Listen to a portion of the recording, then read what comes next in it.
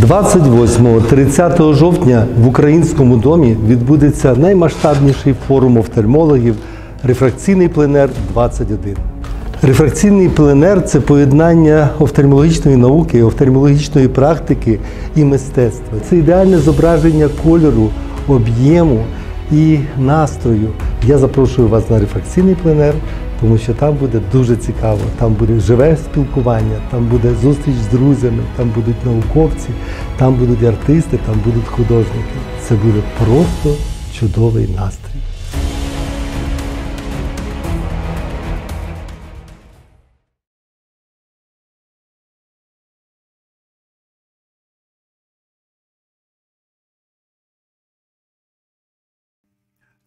Доброго ранку всім, всім щиро всіх вітаємо з другим днем е, нашого науково-практичної конференції з іноземною участю Рефракційний пленер. Е, Вчорашній день вдався по відгукам. Ми дуже вам щиро вдячні. Якщо чесно кажучи, ми е, дуже працювали. У нас е, робочий колектив. Доброго дня, Доброго до дня, речі, Тетяна, Е, Сергій Олександрович. Тетяна е, Юрченко, це відомий український журналіст. Вона е, працює в групі, називається компанії Медексперт. Ми вже другий раз проводимо е, з цією компанією і ставимо такі завдання, що компанія придумує ду- дуже реальні речі, як виконати. От зробили вчора ми е, онлайн е, Вистав. виставку, е, камеру на 360. Приїхала Наталя Фальон. Між іншим, Наталя Фальон з колективом приїхала і здали ПЦР. Приїхали з ПЦР. Всі були в масках. Тобто, всі, вся, вся безпека була витримана. У нас сьогодні дуже цікава програма. Е, У нас вже є лектор. Інтриги не буде, тому що це Георгій Якович Пархоменко вже готується до доповіді. От сьогодні в нас е, топові хірурги-рефракціоністи. Е, ну, в світі в десятку самих відомих рефракціоністів-хірургів входять 10 чоловіків. Із них це Індія, Китай, Японія і два з Європи. От е, чому це так? Тому що надзвичайно велика нагрузка. Ви подивіться, ці рефракційні хірурги роблять 5 тисяч оперативних втручань на рік. Тобто мають величезну досвід. Е, І сьогодні в нас всі топові хірурги е, будуть е, з цікавими доповідями. Ми трошки затягнемо сьогодні програму, тому що Валерій Ніколаєвич вже достав на 6 хвилин відео, якийсь випадок дуже цікавий. От, і в Георгія Яковича дуже складний, цікавий доповідь. В перерві у нас в обіди у нас буде вручення медалі Надії Ісаківни Пільман ем, за заслуги в, офтальмології, і будуть вручати в нас бодібілдери, тобто чемпіони по бо- бодібілдингу України. Ви побачите, як це виглядає, це чоловік і жінка. До речі, коли я запитувала Сергія Олександровича, що саме бодибілдер, ви пам'ятаєте, що ви мені відповіли? планер, краса. Да. Людина повинна бачити світ, колір, Да. об'єм і красу. Е, Хочу наголосити, що ви отримаєте всі 20 балів безперервного розвитку за три дні роботи з нами, всі, хто зареєструвалися. У нас зареєстровано більше двох тисяч учасників. Через те ви всі отримаєте сертифікати до кінця місяця. Наш технічний спонсор е, це все зробить. До речі, я хочу зауважити, що сертифікати ви отримаєте після 1 листопада, тому не хвилюйтесь до 1 листопада. Е, Чекайте, і обов'язково після 1 у вас буде свій сертифікат. Якщо пам'ятаєте, вчора ми показали вам картину е, Манюка Ореста, е, який називається Мальви в Карпатах. Це заслужений художник України. І у нас продовжується конкурс на кращу доповідь конференції. Це не має значення, чи це маститий доповідач, чи це початковець. Це залежить від того, як ви проголосуєте в чаті. Тобто це електронне голосування. Ви пишете прізвище лектора і пишете краща така доповідь. Все, будь ласка, вчора ми вже маємо Да, деякі результати, да, да. але е, в кінці третього дня ми підведемо підсумки. Е, Дякую сердечно всім за увагу. І Можна ще два слова ласка, технічних. Е, Сьогодні у нас, як і вчора, працює два зала. З 10 ранку почне працювати онлайн-виставка. Е, Будуть доповіді на стендах, відповіді на питання. Тому ми чекаємо в чаті. Чат це наше з вами спілкування. На жаль, ми не можемо побачити ваші очі. На жаль, ми не можемо бути разом, хоча дуже дуже цього хочемо. Але чат це саме те, через що ми дізнаємось про ваші думки, запитання. Тому, будь ласка, пишіть і на чат конференції, і на чат е, виставки. Ми обов'язково задамо ваші питання представникам медичним. Будуть інтерв'ю з медичними працівниками, як і вчора. Дуже цікаве запитання. Нові препарати, новинки. Вони діляться з нами. Тому, будь ласка, е, багато зауважень, що як же два зала.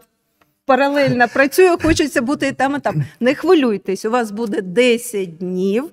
По посиланню ви зможете зайти на запис і конференції, виставки, і передивитись ще і програму і там, і А там. потім довічно ця, ця буде інформація на сайті рефракційного пленеру і на в мене на Ютубі. Через те ви можете завжди заходити. Я можу сказати, що е, минула дитяча конференція показала, що за тиждень після конференції до нас війшли, переглянули майже 35 тисяч лікарів-офтальмологів, сімейних лікарів. Тобто це дуже важливо. І от сьогодні в нас 2 тисячі людей аудиторія. А е, побачимо через тиждень, а потім побачимо ту статистику цікаву. Е, Я думаю, що е, сьогодні в нас надзвичайно цікавий день. Самі відомі рефракційні хірурги сьогодні будуть робити цікаві доповіді. Готуйтеся, готуйте каву і через дві хвилини включення. Е, Дорогі, конфер... е, дорогі учасники наукової конференції, продовжуємо нашу е, роботу другого дня. І в нас сьогодні надзвичайно важливий день, тому що в нас сьогодні виступають рефракційні хірурги. І ви знаєте, без сумнів, рефракційним хірургом номер один в нашій державі за останні 10 років став Георгій Якович Пархоменко. Е, В нього є можливість, в нього є можливість нових технологій, нового обладнання. І практично всі рефракційні оперативні втручання, які проводяться в Європі, проводяться в Україні. Е, Доповідь називається Ефективність та оцінка безпеки хірургії кришталика з імплантацією мультифокальної іол в умовах фізіологічного внутріочного тиску, яке контролюється. Е, Доповідач Георгій Якович, шановний Пархоменко, і е, робота також Могилєвського Сергія Юрійовича. Будь ласка, Георгій Якович, раді вас бачити. Добрый день. Добрый день, дорогие коллеги, Сергей Александрович. М, Хочу сказать, что после такого замечательного представления я даже немножко растерялся, но сразу же вспомнил, что начинал под мудрым руководством Сергея Александровича. Он в свое время даже мне предлагал возглавить детское отделение, от чего я отказался. Сейчас часто об этом думаю, может быть, зря. Вот. Ин- Интересно на самом деле, потому что очень люблю оперировать деток, общаться с ними. Опять же, тот момент молодых матерей, это накладывает определенный отпечаток позитивный. Потому что все-таки у нас геронтология в офтальмологии. Значит, данная работа представлена медицинским центром «Новый ЗИР» и Национальной медицинской академией последипломного образования имени Шупика. Актуальность проблемы, она заключается в постоянном неуклонном прогрессировании методов акоэмульсификации, которая в 1967 году была предложена Чарльзом Кельманом, и не дают нам производители, разработчики новой аппаратуры, интраокулярных линз почивать на лаврах, только мы считаем, что мы приобрели самое дорогое, самое совершенное оборудование, что можно расслабиться и прийти за дивидендами, а нет, на пороге Алкон, Баушлом стучат и говорят, а вот появилась новая аппаратура, а вот появились новые хрусталики, а вот появились новые устройства для интероперационного расчета интраокулярных линз, а вот появился фемтолазер для улучшения качества, вот появились новые мультифокальные хрусталики аккомодирующие, а вот новые ножи, а вот новые вискоэластики, а вот еще, еще, еще, еще. И, собственно говоря, сегодня мы обсудим новинку новинку достаточно революционную. Это возможность работы в условиях нормального физиологического внутриглазного давления. Вот, казалось бы, да, все прекрасно знают, что такое глаукома. Мы расцениваем это как заболевание. При повышении давления на 2-3 мм мы устанавливаем диагноз подозрения на глаукому. Длительно это стараемся лечить, затем переходим либо к диагнозу в 10% случаев, либо э, снимаем подозрения, а факоэмульсификацию уже многие-многие годы осуществляем на высоченном давлении. Ну вот, чтобы было понятно, да, в 1967 году Кельман, как я уже говорил, впервые выполнил факоэмульсификацию, опубликовал результаты своей работы. Как ему это в голову пришло? Он сидел у стоматолога на приеме, и ему очищали ультразвуковым наконечником зубной камень. Это его очень впечатлило, и он решил ультразвук, ультразвук использовать для хирургии удаления э, катаракты. Ну, надо опять-таки сказать, что есть некоторая терминологическая э, путаница. На самом деле образуется не эмульсия в результате дробления хрусталика, а взвесь белка в воде – это, по сути дела, дисперсия. Поэтому, по большому счету, факоэмульсификация, как всегда, ошибочное название, что часто встречается в медицине. И не знаю, насколько это красивее, ну вот правильно было бы назвать факодиспергирование. Но опять-таки вопрос фака или фейка, фейка-диспергирования. Ну, как бы то ни было, метод факоэмульсификации, выполняемый Кельманом в те времена – Операция длилась, чтобы вам было понятно, более двух часов. Это первая его операция. Вес ультразвукового наконечника, которым он удалял хрусталик, составлял примерно 2,5 килограмма. И, к сожалению, как говорят современники, глаза к концу операции редко представляли собой функциональную ценность. Все меняется. Сейчас благодаря тому, что я говорил о появлении э, новейшей технологии, хрусталиков, методик, хирургия катаракты стала по определению Всемирной организации здравоохранения самой реабилитирующей операцией всех, которые существуют в мире. И в частности, вот сотрудник нового ЗИР Андрей Владимирович Коваленко несколько лет назад установил, мы зарегистрировали только в Украине в книге рекордов Гиннесса, но я думаю, что это мировой рекорд – Установил рекорд скорости удаления катаракты 1 минута 56 секунд. Это вот от начала операции до гидратации разрезов. Этот рекорд пока никто не побил. И я думаю, что вот сейчас, когда появились новые технологии, мы с Андреем Владимировичем поговорим для того, чтобы попытаться как минимум повторить, но используя уже другие техники.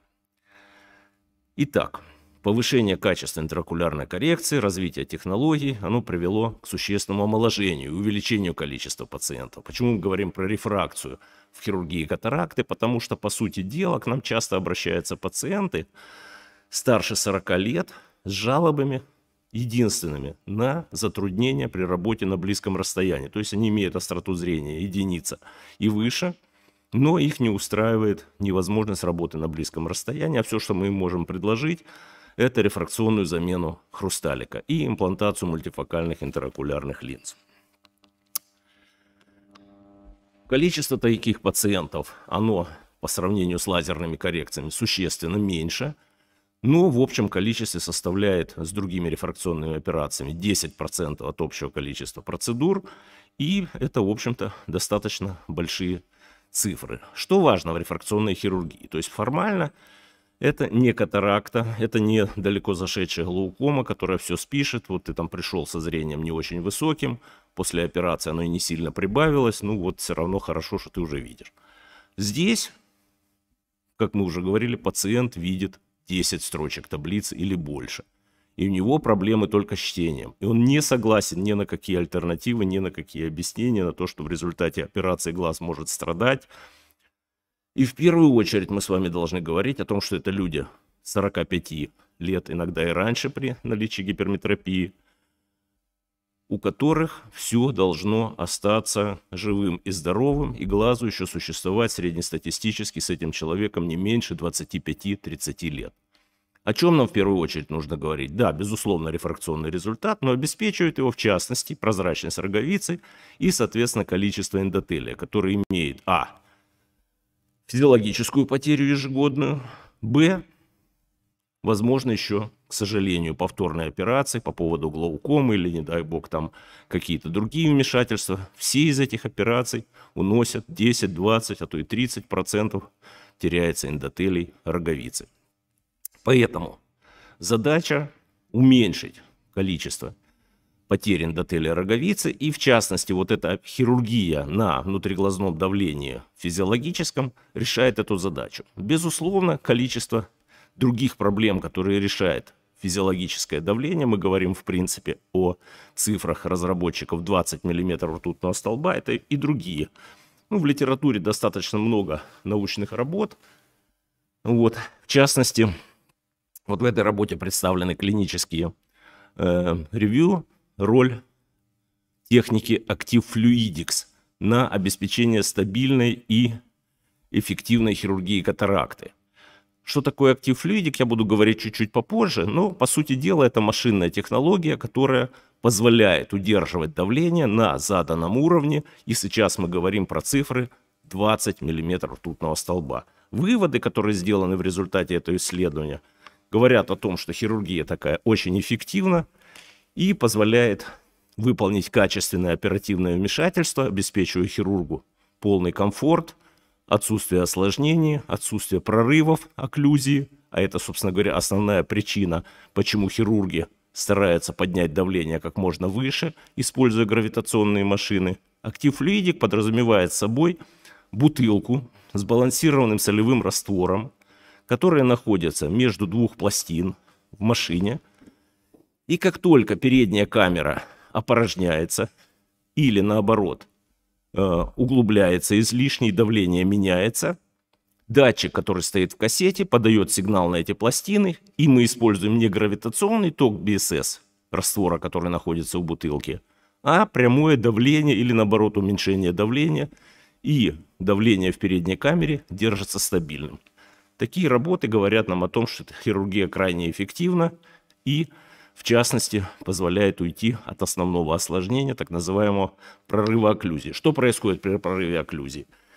Представьте себе, да, мы присосали кусочек твердой хрусталикового ядра, ультразвук сделал свое дело, частицы ядра исчезли ультразвуковой иголки, оно закончилось, а вакуум продолжается – и аспирация продолжается, и в эту иголку устремляется со всей скоростью жидкость, а сразу же за жидкостью радужка, передняя и задняя капсула, опасное приближение к эндотелию роговицы, поэтому хирурги как решали раньше вопрос? Они ставили бутылку я, к сожалению, не могу сейчас провести интерактивное голосование, но вы бы увидели, что большинство хирургов сейчас, которые присутствуют в зале, используют высокие цифры давления, располагая бутылку на высоте метр, метр двадцать. В переводе на миллиметр ртутного столба, на секундочку, представьте себе, это где-то 50, 60, а то и 70 миллиметров. К чему это приводит? То, чего мы боимся, мы лечим глаукому, мы говорим об остром приступе, а во время операции факоэмульсификации мы закрываем глаза на то, что давление настолько высокое, и оно не повредит глаз. Да, операция более кратковременна, но бывает всяко. Сейчас у нас появились так называемые казацкие ядра, и хирургия занимает не меньше 25-30 минут иногда, потому что для того, чтобы такое ядро, которое в стадии ожидания находилось несколько, несколько месяцев, а может быть и лет, время затрат достаточно большое.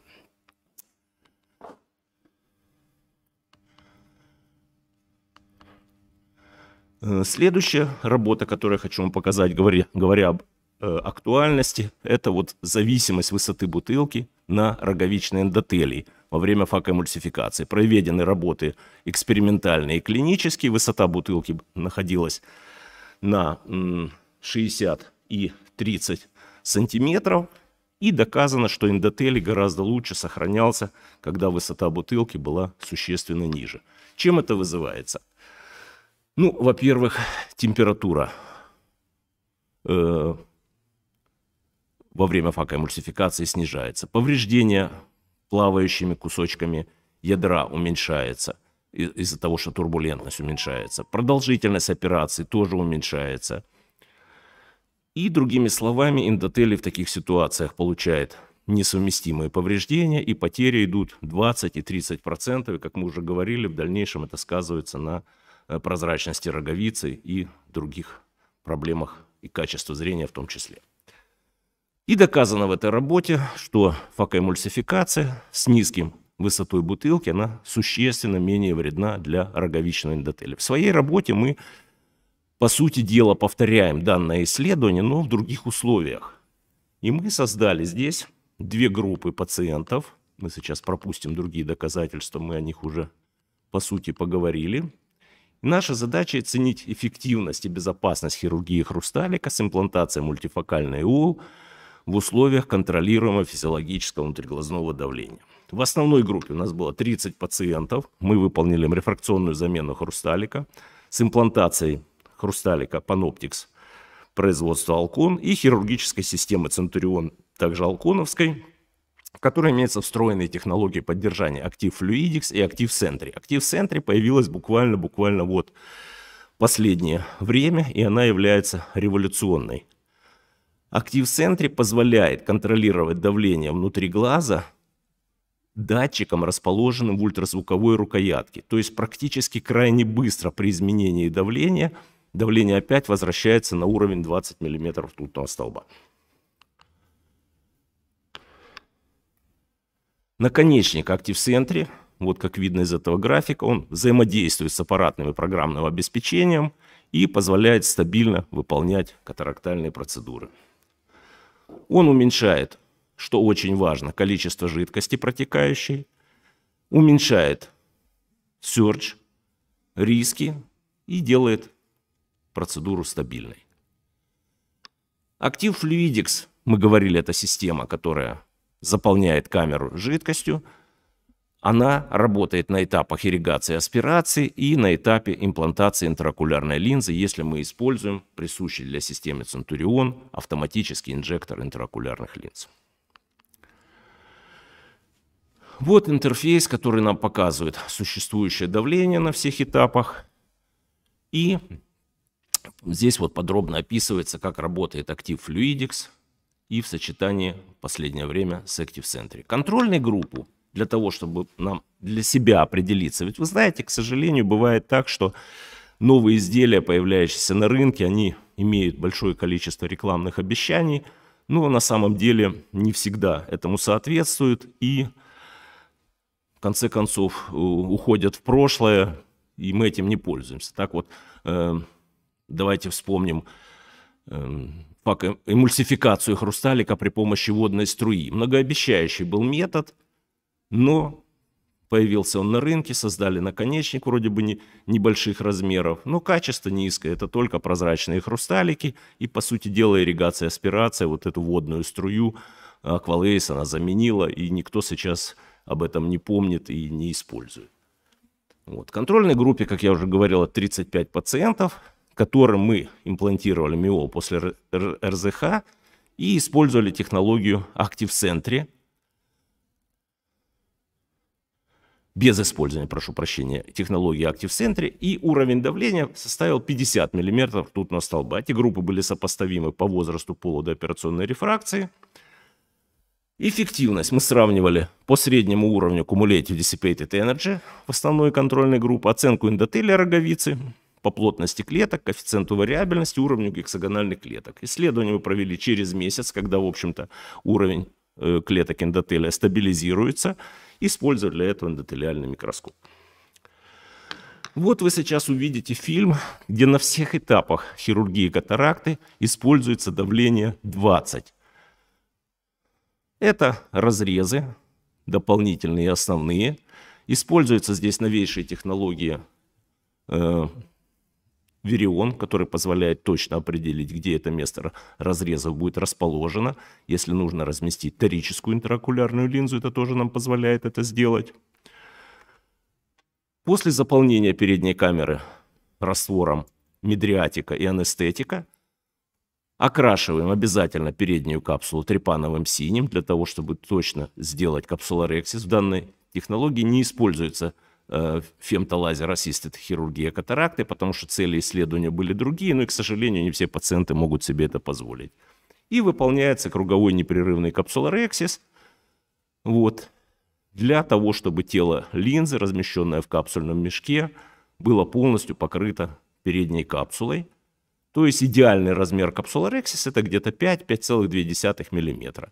Это обеспечит вам стабильное расположение иол, особенно торических, и позволит при необходимости эту линзу вращать, при необходимости эксплантировать, при необходимости выполнить дисцизию вторичной катаракты, не потеряв стекловидное тело, потому что передняя капсула, она плотно прилегает к передней поверхности хрусталика и блокирует возможные смещения.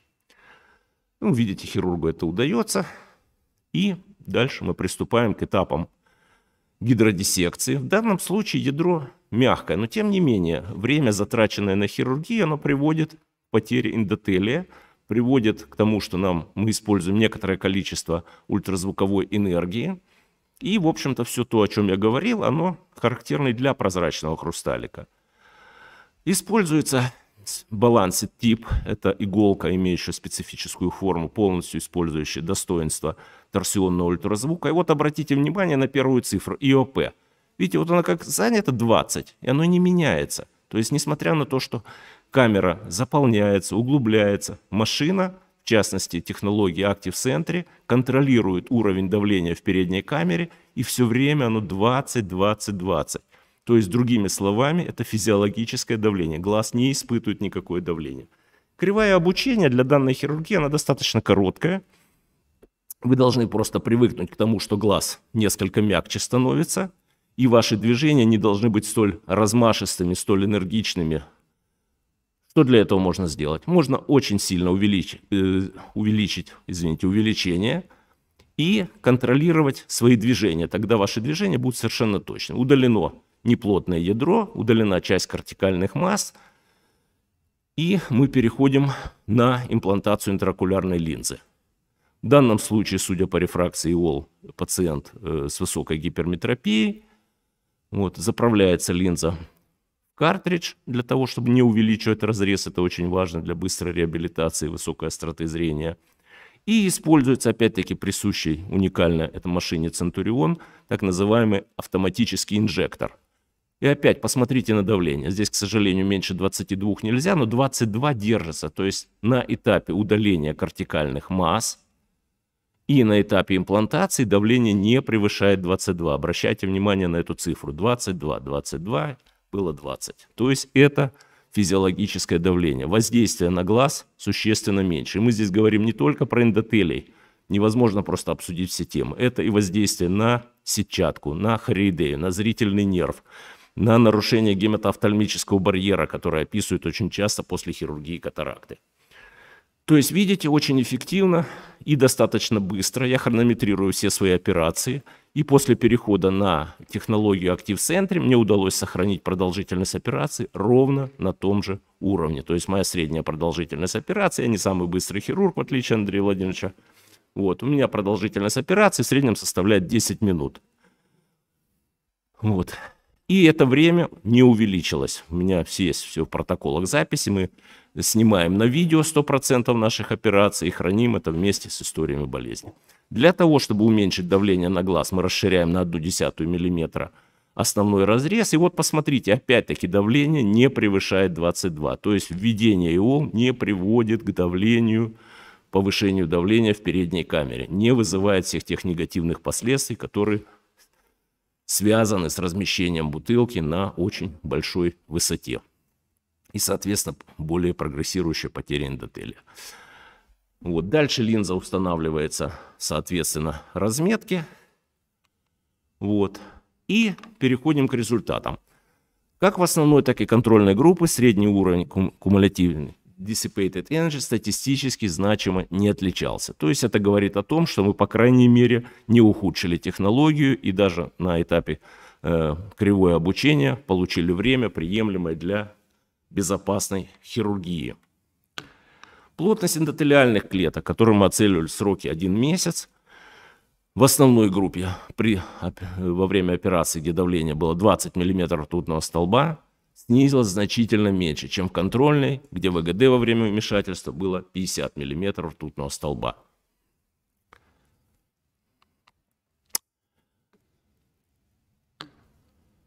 Преимущество, сейчас секунду, это у нас результаты перескочили. Да, вот. И не было обнаружено значительной разницы в коэффициенте вариабельности и уровне гексагональных клеток между двумя группами в те же сроки.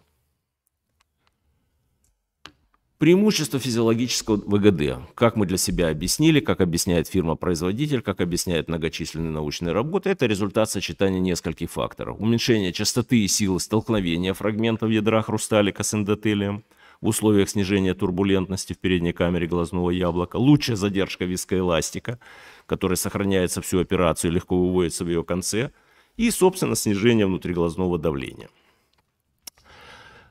Что дальше? Куда мы движемся и что мы можем еще улучшить даже на данном этапе? Вот фирма Alcon представляет так называемый трансформер для удаления хрусталиковых масс. Что он позволяет, чего добиться? Э, здесь нет датчика Sentry, но Active Fluidics, контролируя давление в передней камере, очень быстро через рукав заполняет переднюю камеру, и давление, при котором выполняется удаление хрусталиковых масс, не превышает 20 миллиметров. Это вот такое устройство, которым удается легко убрать кортикальные массы в противоположном секторе. Затем, если это необходимо и трудно достать до хрусталиковых масс под основным разрезом, устройство молниеносно разбирается, получается ирригационный и аспирационный наконечник, и аспирационным наконечником вы можете зайти как слева, так и справа, и остаточные хрусталиковые массы удалить. Это для нас сейчас рутинная технология, и мы широко ее используем и очень довольны результатами, потому что, еще раз позволяю, э, повторяю, в отличие от ирригационно-аспирационных наконечников стерилизуемых, трансформер этот позволяет очень быстро полож получить э, положительный результат при стабильном давлении, не превышающем 22 мм ртутного столба.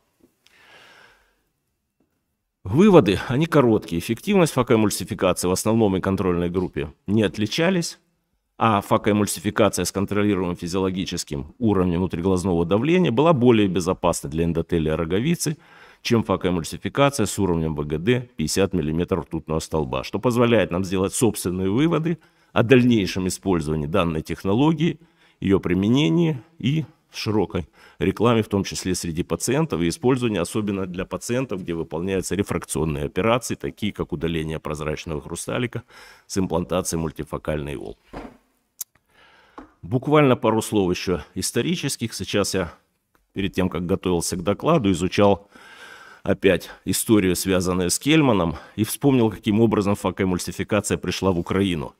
У нас на базе Центра микрохирургии глаза, там участвовал Сергей Александрович, мой учитель, и мой второй учитель Николай Маркович Сергиенко – мы работали вместе с американцами по исследованию э, развития катаракты после воздействия Чернобыльской э, атом, аварии на Чернобыльской атомной станции. Э, в, основу исследований входила оценка клеток поврежденных на передней капсуле хрусталика. Было достаточно много чернобыльцев, у которых развилась эта катаракта. И нужно было оценить, насколько это коррелирует с количеством клеток, которые были повреждены радиацией. Э, руководил этим проектом профессор Воргул, к сожалению, ныне покойный. Вот. И он был очень удивлен, что когда мы достаем капсулу хрусталика после операции, он не может найти там никаких клеток вообще. И я ему говорю, Воргул, проблема заключается в том, что у нас другая хирургия катаракты, у нас не факоэмульсификация. Мы капсулу удаляем только после операции, когда происходит уже э, имплантация интраокулярной линзы, и, соответственно, капсула повреждается во время операции, никаких клеток там не остается. Он говорит, так а что же делать? Я говорю, делать выход только один, это получить факоэмульсификатор в рамках этого проекта совместно с Колумбийским университетом и выполнять операции чернобыльцам, удаляя круговой лоскут передней капсулы уже в начале операции, а потом спокойно исследовать эти клетки. Он говорит, слушай, у нас на исследование нет таких денег. А дальше уже рассказывает представитель фирмы – в Нью-Йорке, когда пришел Безил Боргул, сказал, у нас есть 30 тысяч долларов, и мы готовы купить вашу машину для факоэмульсификации. Это был Универсал 2. Вот. Он говорит, да ты что, у нас таких цен нету, эта машина стоит там в три раза дороже. Ну, Воргл настаивал о том, что это будет первая машина в Украине. Таким образом она появилась, и вот эра факоэмульсификации, начиная с центра микрохирургии, началась успешно. Процветает кафедра, кафедра, где я тоже имел честь работать. Вот, спасибо за внимание. Спасибо, уважаемий Георгій. Як, е, покажіть, будь ласка, в чаті, чи виникли якісь запитання, тому що в нас багато слухають. Е, там одне запитання було, так? Е, і- і яку краще контактну корекцію підібрати, коли одне око міопічне, друге гіперметропічне? Е, ну, Думаю, что это не совсем соответствует, но э, если, н- на мой взгляд, то переносимую коррекцию сейчас появляются контактные линзы, которые позволяют коррегировать астигматизм. Мягкие контактные линзы коррегируют астигматизм до 10 диоптрий. Поэтому сейчас вы ни в чем не затруднены подобрать коррекцию как в миопическую, так и от возраста я бы все-таки пошел на хирургию реально. Да. Ну, по крайней мере, 60 по- попробовать контактные линзы всегда возможно. Спасибо большое. Е, Більше питань немає в чаті, шановний Юрій. Велике спасибі за дуже цікаву е, лекцію, за цікаву технологію. Тепер видно, е, що є можливість е, менше ризикувати. Це дуже важливо, тому що, як завжди кажуть, дай мені хірурга з гарантією. Ну, Хірург з гарантією це перше. Я кажу, ми повинні досягнути головного. Це мінімізувати ускладнення від чого? Від вашого загального стану, від роботи хірурга і від обладнання. Ви відповідаєте всім цим якостям. Дуже вам дякуємо. І якщо будуть виникати запитання, е, ми вам перейшлемо і виставимо на сайт. Спасибо. Спасибо. Благодарю вас. Шановні колеги, е, я продовжую нашу конференцію, тому що в нас сьогодні е, наступна доповідь надзвичайно цікава. Доповідь Сердюка Валерія Миколайовича. Хвороба трансплантанта, адекватна терапія. Е, Дніпропетровська медична академія МОЗ України, директор департаменту охорони здоров'я Дніпропетровської обласної державної адміністрації, заслужений лікар України, доктор медичних наук, професор. Ви знаєте, ну більшого чиновника в офтальмології у нас просто немає в Україні, як Валерій Миколайович. Крім того, він надзвичайно талановитий хірург. Валерій Миколаївич, раді вас бачити. Ну, я очень рад тому, что прервано такое длительное молчание с и- и- июня месяца. Мы снова вместе, благодаря нашему э, очаровательному э, руководителю, э, волшебнику, чародею Сергею Александровичу Рыкову, руководителю нашей ассоциации. И я хочу сказать, что сегодня, кстати, между прочим, международный праздник шефа. с чем? Поздравляємо вас. и поздравляю. Вот. Но я благодарю за такую возможность снова увидеться, Сергей Александрович. Это потрясающе. Я э, всех видеть, слушать вот Георгия, его прекрасный доклад. Сейчас вот мы э, замечательно общались с Павлом Андреевичем. Ну, вообще, общение, мне кажется, это жизнь. Вот. И э, потихонечку мы каждый у себя здесь как-то копошимся, но э, обязательно нужно общаться, обязательно нужно говорить об этом. И я рад, что сегодня у нас опять выпала такая замечательная возможность встретиться, пообщаться, увидеть друг друга и пожелать друг другу здоровья. Спасибо, Самое что вы нашли время для этого. Спасибо. Спасибо, Разрешите туда приступить к лекции. Так что, пожалуйста, приступаем к лекции. Подключаемся.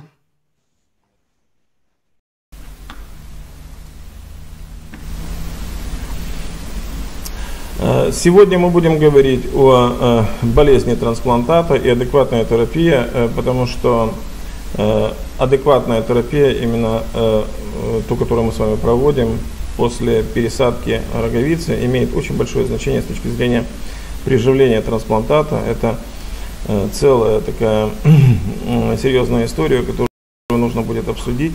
Э, Возможно, переоценить, возможно, возможно даже и записать, но тем не менее это очень важный момент для того, чтобы больные видели, видели позже, после пересадки роговицы. Итак, при пересадке органов организм может вызывать иммунный воспалительный ответ, который приводит к сбою и отторжению трансплантата. Некоторые части тела способны переносить присутствие чужеродных антигенов, не вызывая иммунного воспалительного ответа. Глаз, как головной мозг, и репродуктивные органы обладают уникальной способностью или иммунной привилегией. Это одним из наиболее эффективных применений иммунной системы и привилегий в офтальмологии является вот такая трансплантация роговицы. Термин «иммунная привилегия» был придуман еще в 1940 году Питером Медоваром, который заметил, что передняя камера глаза не отторгает трансплантаты чужеродной ткани. Э, считается, что иммунные привилегии являются механизмом адаптации, который, э, который появился в результате эволюции для предотвращения повреждений наиболее жизненно важных органов со стороны собственной иммунной системы. Какие механизмы и как реализовывается подобная иммунная привилегия? Первое – это за счет афферентной блокады, э, за счет периферической толерантности к интраокулярным антигенам и за счет эферентной блокады или иммуносупрессивного окружения в глазу. Афферентная блокада э, имеет и э, она в основе лежат это морфологические особенности роговицы, это аваскулярность, гематофтальмический барьер. Благодаря вот этим двум основным функциям или двум основным особенностям строения э, появляется возможность внутриорганной э, э, это ограничивается на возможность внутриорганной сенсибилизации лимфоцитов. Экспрессия молекул главного комплекса гистосовместимости первого типа клетками роговицы снижена благодаря вот этим особенностям, а второй тип в покое они не экспрессируют, а только при стимуляции интерферона гамма и трансформирующего фактора некроза альфа. Иммунное отклонение связано с передней камерой, э, так называемый SAID, это э, Anterior Chamber Associated Immune Deviation – это антигены в передней камере вызывают уникальный иммунный ответ, который сопровождается супрессией антиген-специфической гиперчувствительности замедленного э, типа. Иммуносупрессивное микроокружение в глазу или эферентная блокада обеспечивается экспрессией. С одной стороны молекул фас-леганда, которые индуцируют апоптоз активированных Т-клеток и нейтрофилов – и с другой стороны, это мембранных ингибиторов компонентов активации комплемента CD46, 55, 99 и край, которые препятствуют активацию Т-клеток и трансформирующего фактора роста бета-2, э, который в свою очередь супрессирует активацию Т-клеток, НК-клеток и макрофагов. Э, безусловно, э, мы уже как-то встречались раньше, и я читал лекцию в отношении гендерных особенностей иммунитета. И вот на этой таблице мы видим разницу, гендерную разницу между особенностями иммунитета у мужчины и у женщины. Если у мужчины мы говорим о том, что иммунитет является достаточно мощным, быстрым, эффективным, имеет большой процент продуцирующих ферментативных цитокинов, производящих моноциты, и преимущественно генерирует ответ TH1.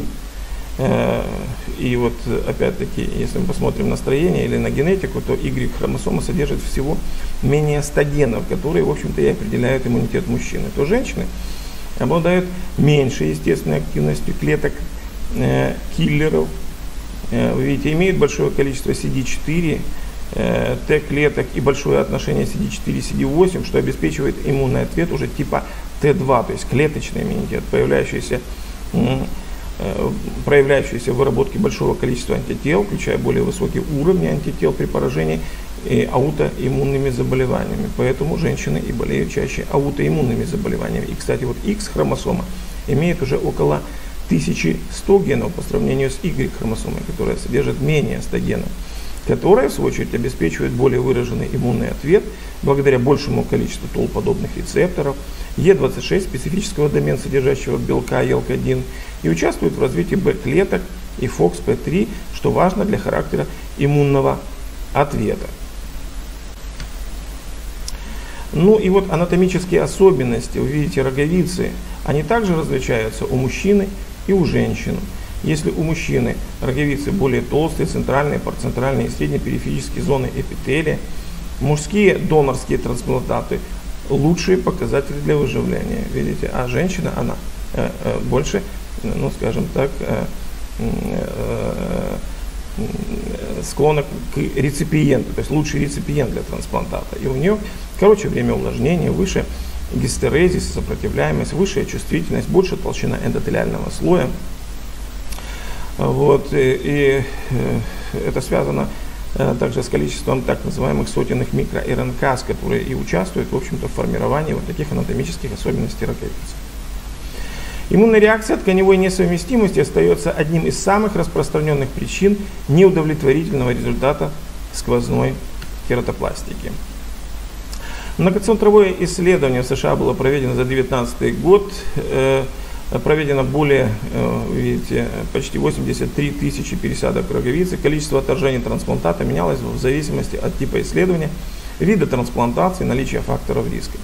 Количество отторжений при сквозной кератопластике по разным данным колеблется от 2%, от 2-3% до 68%. Э, какие же факторы и э, отторжения трансплантата? К ним относятся тканевая несовместимость. Э, данные по тканевому типированию мы видим HLA-1 и второй тип. Хотя и свидетельствует пользу целесообразности его выполнения у пациентов с высоким риском, но остаются темой для дискуссии, особенно учитывая экономическую составляющую HLA-типирования и время, необходимое для подбора совместимого донора. Э, действительно, э, конечно же, было бы совершенно оптимальным вариантом, если бы мы имели вот такую HLA-диагностику, в общем-то, и у донора, и у реципиента, но, к сожалению, есть экономическая составляющая, которая пока не позволяет делать это в полном объеме. Далее, васкуляризация. Э, это также является фактором отторжения трансплантата, потому что мы понимаем о том, что любая васкуляризация, она меняет Э, меняет иммунную составляющую вообще роговицы. Мы говорили, что э, вот э, такая замедленная иммунная реакция, она достигается благодаря вот той афферентной, афферентной составляющей, потому что мы не имеем ни сосудов и мы имеем гематофтальмический барьер. А наличие васкуляризации усиливает афферентное звено иммунного ответа и тем самым способствует отторжению трансплантата. Васкуляризация ложа реципиента в более двух квадрантах связана с высоким риском развития реакции тканевой несовместимости. Следующим фактором это заболевания глазной поверхности, такие как синдром сухого глаза, химические или радиационные ожоги, синдром Стивена Джонсона, нейропаралитические поражения. Кератиты, бактериальные, вирусные или грибковые кератиты, передние увеиты являются фактором риска, снижающим вероятность прозрачного приживления трансплантата. Герпетическая инфекция. Через один год после кератопластики у пациентов, имеющих в анамнезе герпетический кератит, частота возникновения реакции тканевой несовместимости достигает порядка 30%, а ко второму году порядка 46%. Возраст. Считают, что молодой возраст ассоциирован с большим риском отторжения трансплантата.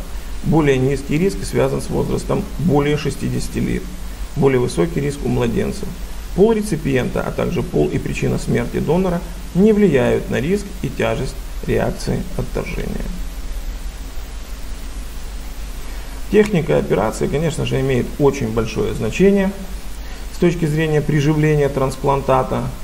Э, здесь, безусловно, имеет и техника выполнения операции, или это мануальная операция, или это операция с помощью высокоточного фемтосекундного лазера. Конечно же, э, на сегодня мы понимаем о том, что фемтосекундные лазеры являются э, стандартом или мировым стандартом кератопластики. Это уже факт совершенно очевидный, потому что именно с помощью фемтосекундного лазера нам позволяет с математической точностью и э, достаточно высоким процентом прогнозирования осуществлять вот такое абсолютно конгруентное сшивание трансплантата, потому что адаптация краев раны – это э, одна из основных причин дальнейшего выживления трансплантата.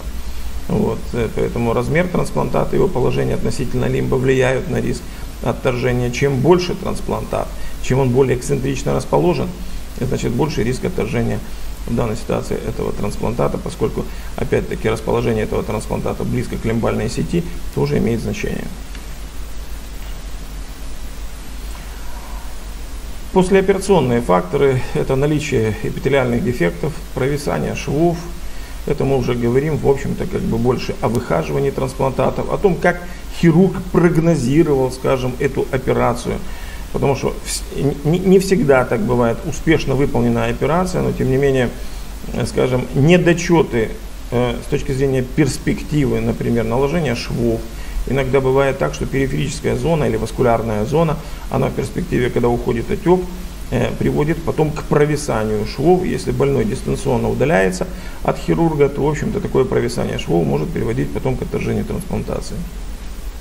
Дегесценции краев трансплантата могут привести к локальному воспалению. Мы видим часто вот такое несоставление, скажем, краев раны, оно приводит вот такую дегесценцию или, или, или э, скажем, побелению краев раны, что в перспективе конечно, приводит вот к э, некротизации этой части и, в общем-то, потом, э, соответственно, к быстрому отторжению, локальному воспалению, быстрому отторжению трансплантата.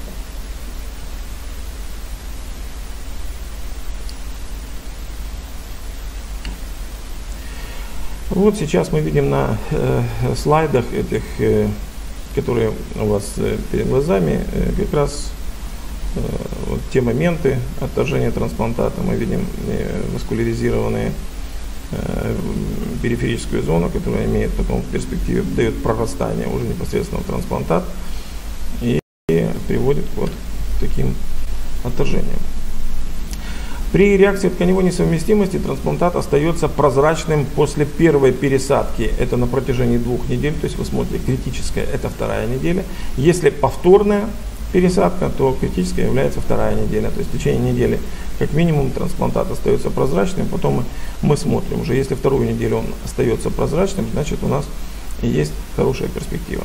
Если же донорский лоскут отечен и полупрозрачен непосредственно после кератопластики, это первичная несостоятельность трансплантата. Из-за его невысокого дооперационного качества или избыточных манипуляций в ходе оперативного вмешательства. Случаи отторжения роговичного трансплантата наиболее часты в первый год после кератопластики, но выявлялись также в сроки и превышающие 20 лет с момента операции.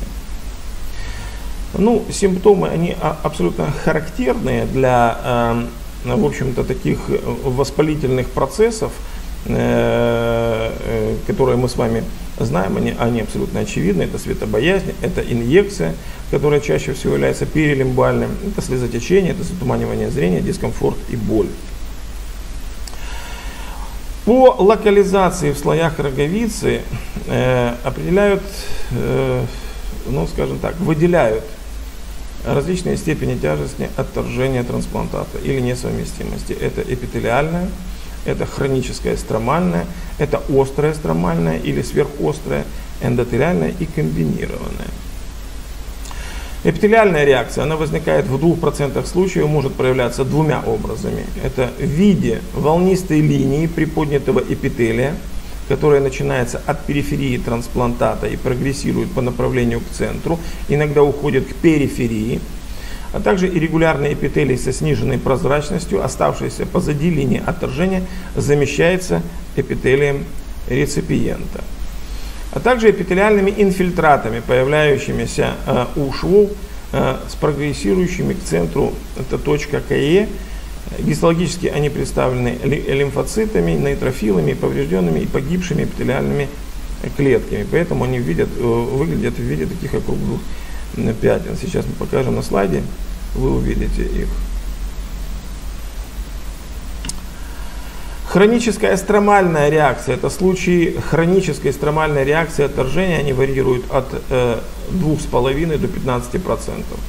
Хроническая стромальная реакция отторжения редко протекает изолированно, часто, часто в сочетании с эпителиальной и эндотелиальной реакцией. Субэпителиальные помутнения или инфильтраты – это пятна Крахмера – от 6 недель до 21 месяца после операции хорошо видны в прямом диффузном освещении и представляют собой белые овальные образования от 0,2 до 1 мм в диаметре, расположенные в бауменовой мембране или под ней, что характерно исключительно для трансплантата. Вы видите такое облаковидное помутнение, которое вот находится сразу же под бауменовой мембраной. Вот такая хроническая стромальная реакция.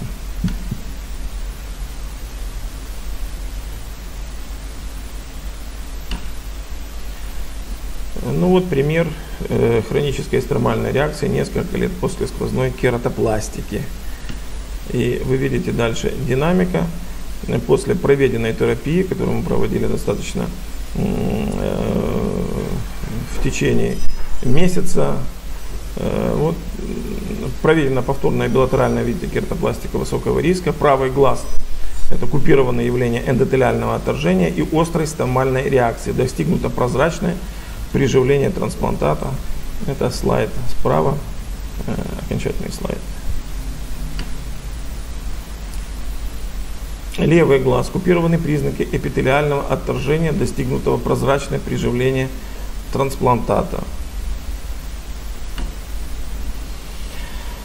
Сверхострая стромальная реакция, она протекает следующим образом. Вы видите, присоединяется эндотелиальное отторжение – когда присоединяется эндотелиальное отторжение, то, в общем-то, сразу же появляется, ну, во-первых, сосудистая реакция вокруг лимба, внезапное периферическое помутнение на всю толщу ранее прозрачного трансплантата. Трансплантат становится отечным, э, происходит, э, ну, скажем, расслаивание, так сказать, переднего эпителия, то есть могут появляться булы, Помутнение распространяется к центру в течение 24-48 часов. Может наблюдаться картина, напоминающая стромальный абсцесс но с отсутствием гипопиона. К стойким эпителиальным дефектам, сохраняющимся длительное время, присоединяется врастание сосудов в строму. В строме могут появляться кристаллоподобные депозиты. При дальнейшем развитии процесса все приводит к тотальному помутнению, стромальному некрозу, дестематоцеле и перфорации. Ну и эндотелиальная реакция, она встречается с частотой до 44%, э, как правило, после 8 месяцев, жалобы на боль, покраснение глаза, снижение зрения. При раннем обследовании после появления симптомов отторжения будет видна клеточная инфильтрация передней камеры без воспаления или патологии трансплантата. Клинические признаки включают гиперемию конъюнктива, отек стромы трансплантата и складки десеметовой оболочки, аполисценцию влаги передней камеры, роговичные прецепитаты, либо беспорядочно либо формируют линию э, хододоста, который начинается на периферии трансплантата образованного сосуда и идет к центру и уходит к периферии. Эндотелиальные клетки увеличиваются в размере, становятся округ, теряют межклеточные контакты, связь между клетками нарушается, и в дальнейшем они замещаются мононуклеарными лейкоцитами и фибробластами. Э, на этом слайде вы хорошо видите как раз линию хедодоста, которая вот она идет, получается, от периферии к центру и уходит наружу. Вот так э, выглядит э, вот такая эндотелиальная реакция. Острая эндотелиальная стромальная реакция с формированием необратимого помутнения трансплантата. Видите, это уже варианты комбинированной несовместимости, поэтому она, как правило, ведет к стойкому помутнению трансплантата, который, в общем-то, единственное лечение подобное это, это повторная кератопластика. Пример удачного купирования в виде эндотелиального отторжения трансплантата. Дифференциальная диагностика. Поздняя несостоятельность трансплантата, декомпенсация эндотелиального слоя в отдаленный период после кератопластики. Мы дифференцируем с рецидивирующими графитическими кератитами, врастанием эпителия, асептический или инфекционный эндофтальмит, инфекционная кристаллическая кератопатия. Напоминаю о том, что ну, мы э, и в нашей клинике мы сейчас отдаем предпочтение меньше сквозной кератопластики. Сквозной кератопластику мы выполняем в основном по уже э, ну, по тем показаниям, которые не дают нам возможность выполнить другой вид кератопластики. А так клиника ориентирована сейчас в основном на переднюю глубокую кератопластику и эндотелиальную э, пересадку э, роговицы. То есть это или DALK, или DMEC. По сравнению со сквозной кератопластикой роговицы, при передней и задней эндотелиальной послойной кератопластике отражение трансплантата отличается, конечно же, реже. Представлена в литературе частота реакции тканевой несовместимости после послойной кератопластики – находится в диапазоне от 0 до 8%. При этом для них характерна высокая частота обратимости при своевременном местном лечении стероидами и низкое число несостоятельных трансплантатов также после начала реакции отторжения. Вот так вы видите на диаграмме, видно, как э, э, возникает частота отторжения трансплантата в зависимости от вида кератопластики. Вы видите, при эндотелиальной кератопластике процент этот составляет порядка 4%, При передней послойной кератопластике 15,1 и при сквозной, видите, порядка 30%. Э, прогноз прозрачности трансплантата представлена таблица 2009 года. Э, Сант-Луис, Мосби, э, Оливия, видите, Питер. Вот так выглядит. Группа первая сюда, вы видите, прогноз приживления трансплантата. Вы видите 92 и 98 процентов при условии, если мы имеем дело с кератоконусом, вы видите с ранним фуксом, стромальной видите, дистрофией или другими центральными помутнениями. Безусловно, чем ближе к центру расположено помутнение, тем прогноз после операции э, приживления трансплантата, конечно же, выше. Вы видите, во вторую группу, где приживляемость трансплантата составляет 85-90%, вышли, вошли, вы видите, э, псевдофакичная булезная кератопатия, э, булезная афактическая кератопатия, видите, э, диффузный фукс и периферические рубцы роговицы, неактивные, то бишь, что такое неактивные? Это не васкуляризированные периферические рубцы роговицы. Приживляемость 70-85% дается при кератоглобусе, при пелюцидной дегенерации, при перфорации роговицы, при псевдофакической, видите, булезной кератопатии, э, при, видите, ирисклипс э, линзах, то есть переднекамерных линзах, э, которые также могут влиять, в принципе, на состояние эндотелия роговицы. Ну и в четвертую группу, где приживляемость всего лишь 40, видите, от 40 до 70%, это уже Э, глазные пемфибоиды, видите, анаридия, это Стивен Джонсон и, э, и, э, и другие синдромы, уже которые вызывают глубокие нейропаралитические заболевания роговицы. Медикация – это то, что, на наш взгляд, является таким же важным компонентом выхаживания трансплантата, как и э, операция, потому что не всегда прекрасно выполненная операция на э, современном уровне с учетом последнего современного протокола дает возможность выходить трансплантат, э, потому что э, больные, как правило, дистанционно удаляются, а вот такое дистанционное наблюдение за больными невозможно в той клинике, где больной прооперирован, и поэтому в этом состоит и сегодняшняя лекция моя для того, чтобы мы с вами Э, сейчас определились с той терапией, которую необходимо выполнять уже э, в послеоперационном периоде. Она подразделяется на два основных этапа или две основные терапии. Это, это прежде всего иммуносупрессивная терапия стероидная терапия, как вид иммуносупрессивной терапии. И с другой стороны это восстановительная или реконструктивная терапия, которая позволит абсолютно, э, ну скажем, деликатно, корректно восстановить Э, э, э, роговичную ткань, позволит нам, потому что мы полностью пересекаем роговичную ткань, поэтому восстановление и коллагена, восстановление чувствительности роговицы имеет очень большое значение. И вот такая реконструктивная терапия тоже имеет особое значение в подобной медикации. Видите, современное начало стероидной терапии, оно длительное, 12 месяцев. Местное профилактическое применение стероидов является наиболее целесообразным. Оно в полтора раза повышает частоту прозрачного приживления трансплантата. Мы очень любим стероиды, и стероиды назначаем как до операции, так и после операции, длительный период.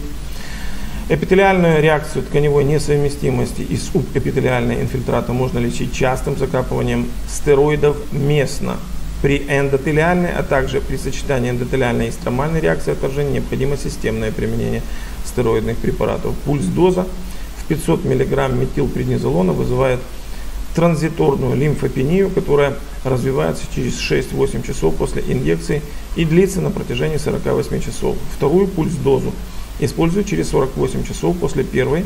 Эффект пульс-терапии сохраняется еще на протяжении 4-7 дней. Иммуносупрессивная терапия, э, мы очень любим препараты циклоспорина, содержащие циклоспорины А.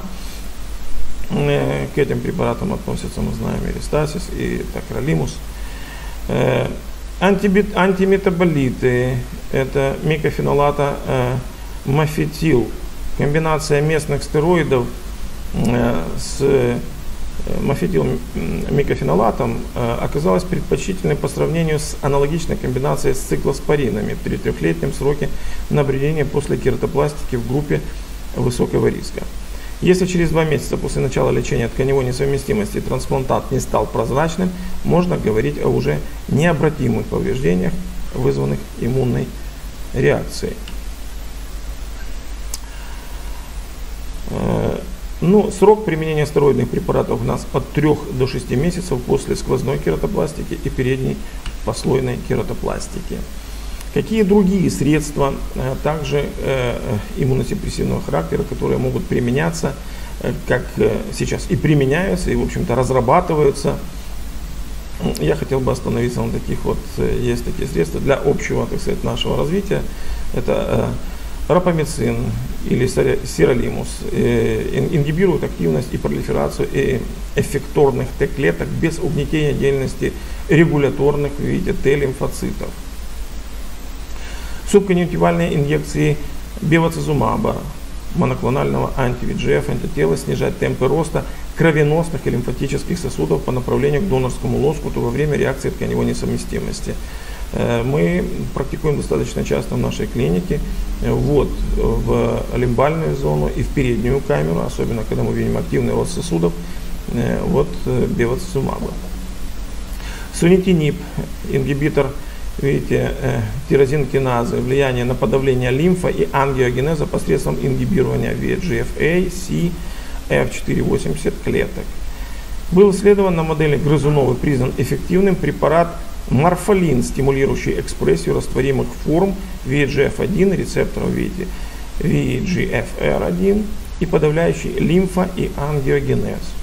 Также используется моноклинальные антитела, действующие на рецепторы в виде интерлейкины 2, экспрессированы на активированных Т-клетках. Современное достижение генной терапии с применением э, векторов и трансгенов в настоящее время ограничены лабораторными исследованиями на моделях животных, но в дальнейшем могут быть перспективными. Так, введение гена, кодирующего интерлейкин-10 в клетке донорского роговичного материала, является новым подходом в предотвращении реакции тканевой несовместимости, что также еще пока находится в состоянии исследования. Ну и препараты, которые, э, о которых я уже говорил, которые для нас являются сейчас основными в лечении э, в послеоперационном периоде выхаживания и приживления трансплантата, это, я говорил, восстановительная или реконструктивная терапия. Вот она содержит в основном препараты, которые содержат аминокислоты. Э, аминокислоты, а также гасители свободных радикалов, также антиоксиданты, поэтому это те препараты, без которых мы на сегодняшний день не видим перспективы э, выхаживания трансплантатов. Это нами все известные препараты тиаретин, видите, риболизин, лакрисек. В основе их лежит, вы видите, э, аминокислоты L-лизин, лейцин, пролин у всех препаратов – в зависимости от того, какая добавка еще существует, вот если мы говорим теоретине, это липоевая кислота, и э, как связующая э, э, гипромелоза, то в риболизине это рибофлавинофосфат, видим витамин В2 5 сотых, и очень важная добавка глицин, а также э, на основе натрия гиалуроната 0,15. В лакрисеке это ретинол, пальмят, альфа-токоферол и липосомальные фосфолипиды. Э, ну, а также уже, я уже говорил, гидрогенизованные, это лизин, лицин, глицин и пролин. Аминокислоты – это основной структурный компонент живых организмов, природные нутриены, из которых образуются основные структурные компоненты белков и пептидов. Содержатся аминокислоты в сыворотке крови и слезной жидкости. Концентрация аминокислот в слезе изменяется при заболевании поверхности глаза – и в частности при синдроме сухого глаза. Ну и остановимся на тех вот компонентах и на тех аминокислотах, которые входят в состав таких важных препаратов, о которых я сказал немного ранее. L-пролин – это гетероциклическая аминокислота, которая из 20 протеиногенных аминокислот особенно богат пролином белок коллаген первого типа. Это тот белок, основной белок, стромы роговицы. Он составляет 70% сухого веса роговицы. Он важен для полноценной структуры десмосон. Поэтому обязательное, так сказать, вот наличие пролина э, в медикации, оно дает нам эффект очень правильного, деликатного восстановления вот тех коллагеновых шивок между э, трепанационным отверстием и непосредственно трансплантатом. Пролин синтезируется из глутаминовой кислоты. В составе коллагена пролин при участии аскорбиновой кислоты окисляется гидроксипролин. Чередующиеся остатки молекулы пролина и гидроксипролина способствуют созданию так называемой стабильной трехспиральной структуры коллагена, придающей молекуле прочность. Пролин поддерживает в нормальном состоянии соединительные ткани глаза. Э, ну, э, я уже сказал о том, что пролин очень важен, но также и лизин. Лизин это, это следующая аминокислота, которая дает уже потом нам радикальные шивки для того, чтобы образовать трехспиральную или, или сшить трехспиральную, достаточно прочную э, коллагеновую так сказать, молекулу, которую м, формирует пролин. Э, и с образованием гидроксипролина, а в основном уже потом уже гликозилирование гидроксилизина дает возможность вот такого э, образования э, достаточно стойкой трехспиральной, э, трехспиральной так сказать, тройной спирали, которая уже может образовываться в целые клоны и образовывать, ну или, или скажем, производить вот, или, или давать возможность роговице восстанавливаться достаточно деликатно и плотно за счет вот таких шивок.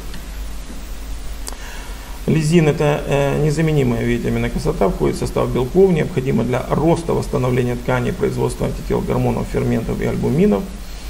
Э, гидроксилирование пролина необходимо для стабилизации тройной спирали э, и необходимо для последующего образования ковалентных связей между молекулами коллагена при сборке коллагеновых фибрил. Глицин – это простейшая алифатическая аминокислота, единственная Протеиногенная аминокислота, не имеющая оптических изомеров. Она входит в состав очень многих белков и биологически активных соединений. Из глицина в живых клетках синтезируются порфирины и пуриновые основания. Это нейромедиторная, э, видите, аминокислота, проявляющая двоякое действие. С одной стороны, э, глицин вызывает тормозящее воздействие, то есть, как бы я бы сказал, даже упорядочивает действие за счет повышения выделения гамма-аминомасляной кислоты – Э, он, с другой стороны, он уменьшает выделение нейровозбуждающих нейронов или аминокислот, таких как глутаминовая кислота, но повышает гамма.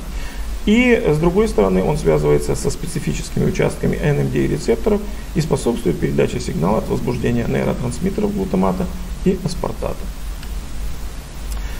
Лейцин – алифатическая аминокислота, имеющая в своей структуре хиральный центр – Э, конечно, лейцин это люмиканы, э, вот, и э, наша прозрачность роговицы, вот, восстановление абсолютной прозрачности прежде всего связано именно с этой аминокислотой. Липоевая кислота – это идеальный антиоксидант, и обнаружена ее высокая эффективность в защите организма от повреждающего действия. Но самое главное в липоате или в липоевой кислоте, что она устраняет свободные радикалы, которые образуются при окислении пирувата в митохондриях и реактивирует другие аминокислоты, такие как Е и С, а также э, тиоредоксин и глутатион. Вот глутатион, особенно SH3-пептид, он обладает, э, и, в белках он является, скажем, это радикальная группа, э, она определяет э, детоксикационные свойства клетки, и поэтому когда мы, когда мы активируем подобную группу, таким образом мы, мы освобождаем клетку от большого количества токсических составляющих, которые образуются в результате перекисного окисления липидов. Лакрисек. Вы видите ретинолопальмиат, токоферол, липосомальные фосфолипидные Э, гидролизованные также и L-лизин, лицин, глицин и L-пролин.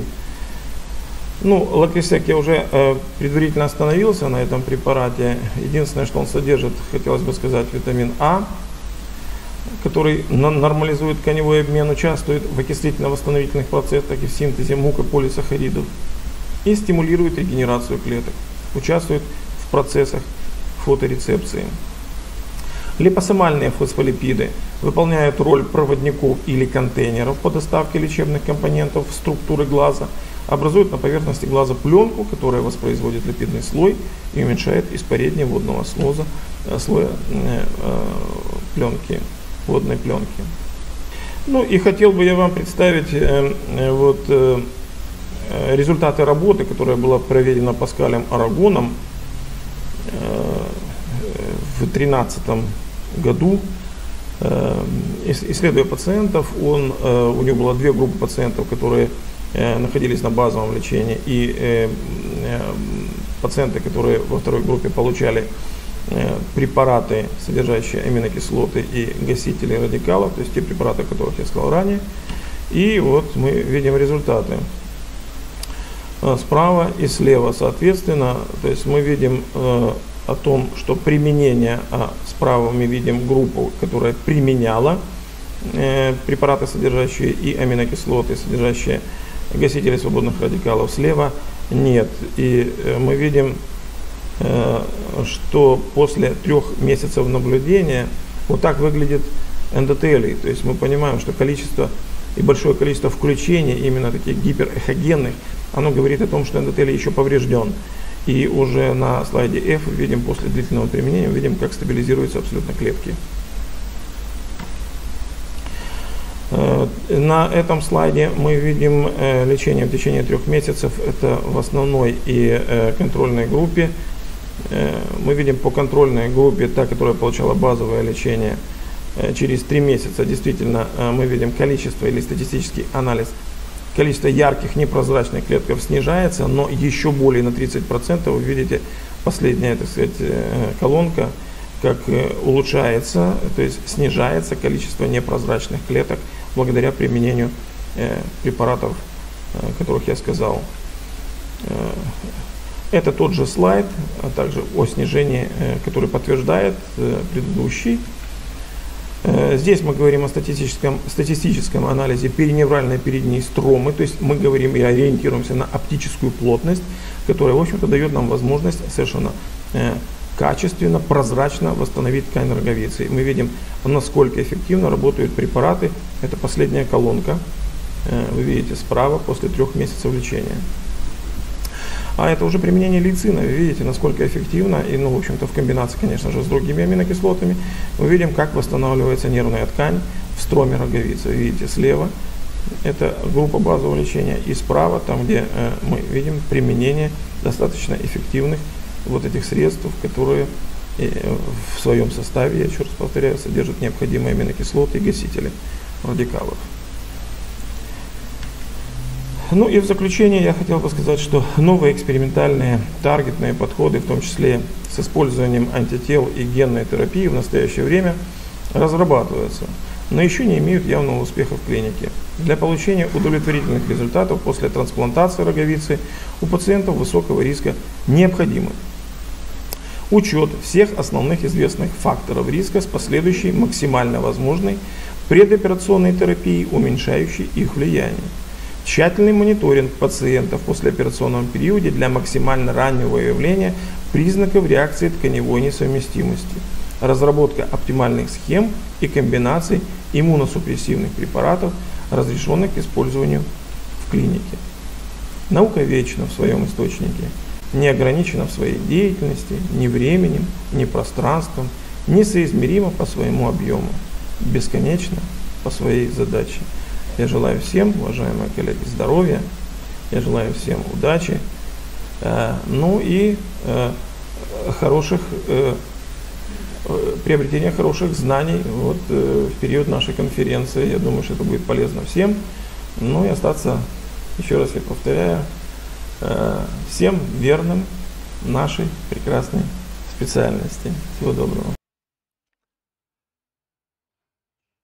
Спасибо, е, шановний Валерій Ніколаєвич, за дуже складну, цікаву доповідь. І ви знаєте, завжди, коли закінчується доповідь, ми включаємо запитання в чаті. Е, От зараз ми подивилися в чаті. У нас е, зараз підключено дуже багато офтальмологів, але запитань не виникло, тому що ви розказали про унікальні речі. про те, що молодь, інтерни, вони просто мріють оволодіти цими технологіями. І офтальмолог це взагалі хірургічна спеціальність. Я ще раз підкреслюю. Через те Валерій Миколаївич у нас взірець ем, офтальмохірурга, і в нього в єдиній державній клініці є фемтосекундний лазер, є всі технології, які потрібно для сучасної рефракційної хірургії. Валерій Миколаївич, спасибі велике. Сказали, що ви підготували якийсь подарунок для офтальмологів. А ну скажіть. Мы, да, да, мы говорили, кстати, сейчас в основном говорили о, э, терапевтическом лечении состоятельности и отторжении. А, в общем-то, как бы сейчас в клинике мы разрабатываем методы хирургические. Их не так много по всему миру. Мы сейчас, в общем-то, как бы так э, ори- ориентируемся на те примеры,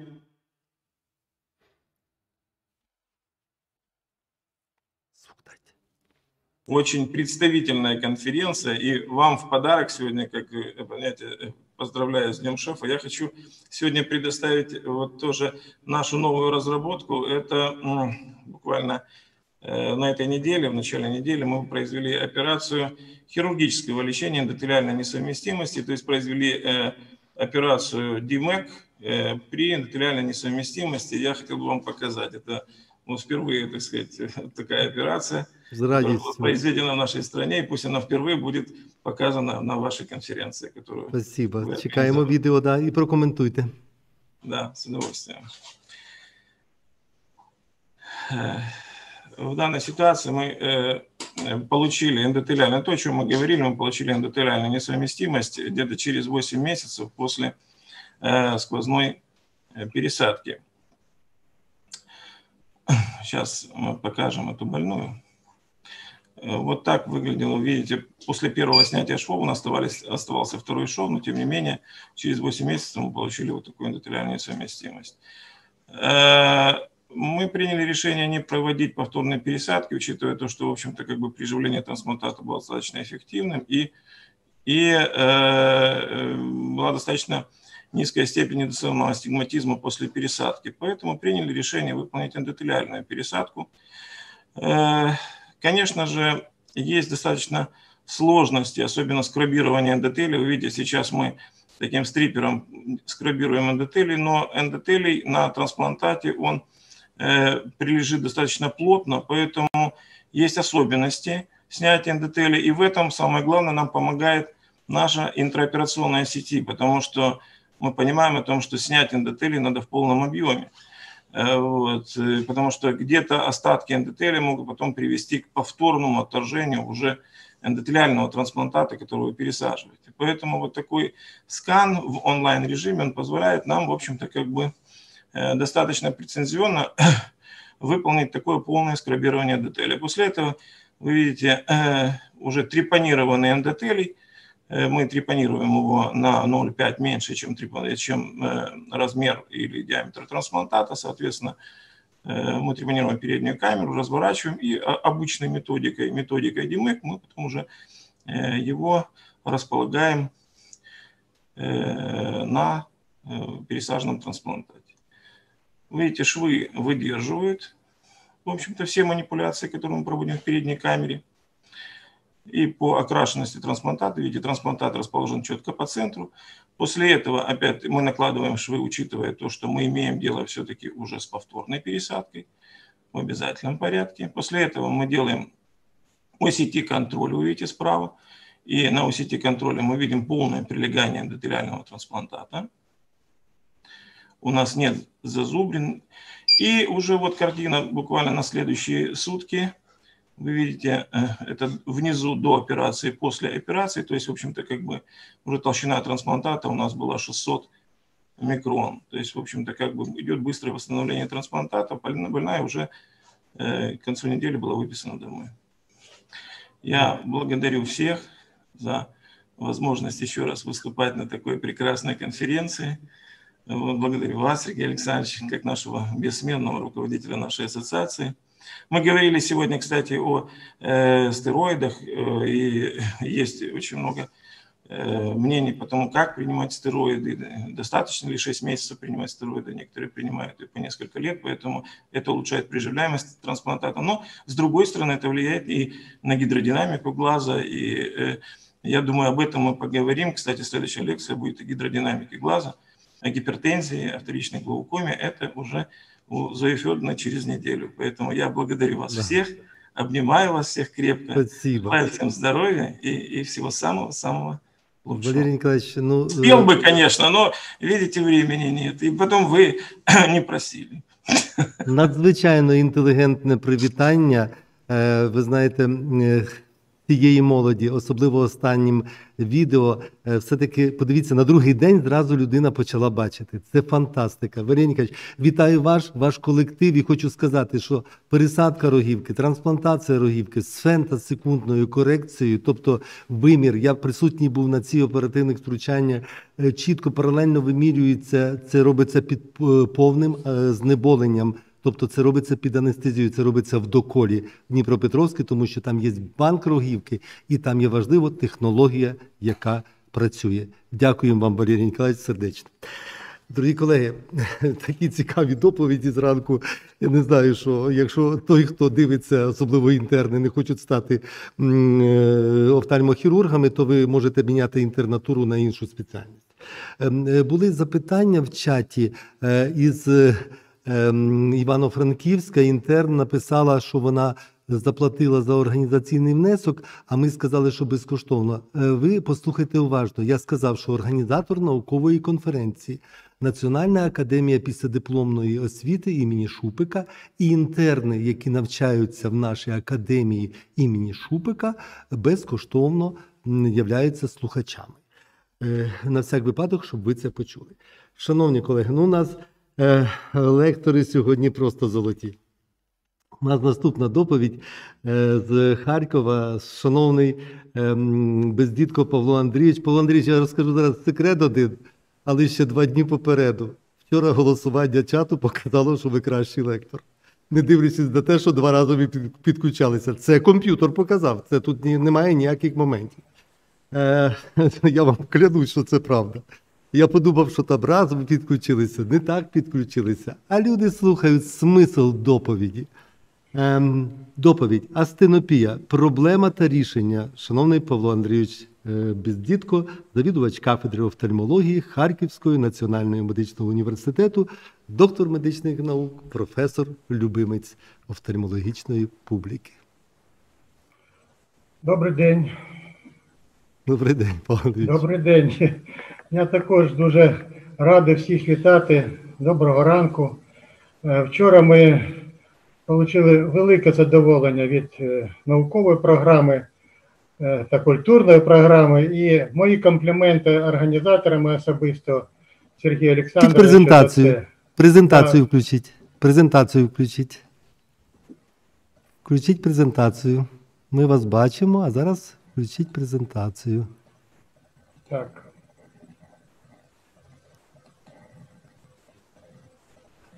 Спасибо, все є. Дякуємо. Поки що ні. Не все. От тепер все. Ми вже бачимо, да, дякуємо. Так, ну продовжуємо. Сьогодні тема це астенопія та проблеми та рішення. Я думаю, что для нас, офтальмологов, особенно, с одной стороны, приятно, с другой стороны, конечно, это большая очень ответственность. Э, то, что мы лечим с вами орган зрения, которые ответственны за практически 90% информации, которую мы получаем извне. И э, на сегодняшний день э, очень большое внимание уделяется в том числе и работе на близком расстоянии, по крайней мере по, по статистике до 80% работы, которую выполняет орган зрения, он проводит как раз на близком расстоянии. И сегодня, как раз во время ковида, к сожалению, когда мы находимся в закрытых помещениях, когда мы общаемся в основном исключительно с помощью экранов, это особенно актуально. И вот интенсивная визуальная нагрузка в современном мире, конечно, начинается не только у взрослых, она начинается с младенческих лет.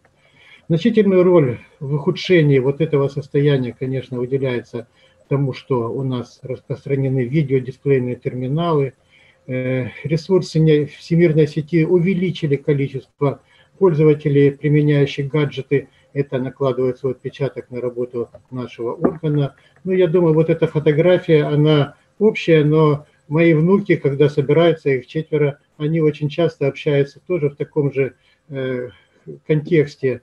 И на сегодняшний день уже сформирована новая патология, компьютерный синдром, мы о ней знаем. Появилось понятие цифровой глаз, которое описывает как физический дискомфорт, ощущаемый после более чем двухчасового времяпрепровождения перед экранами.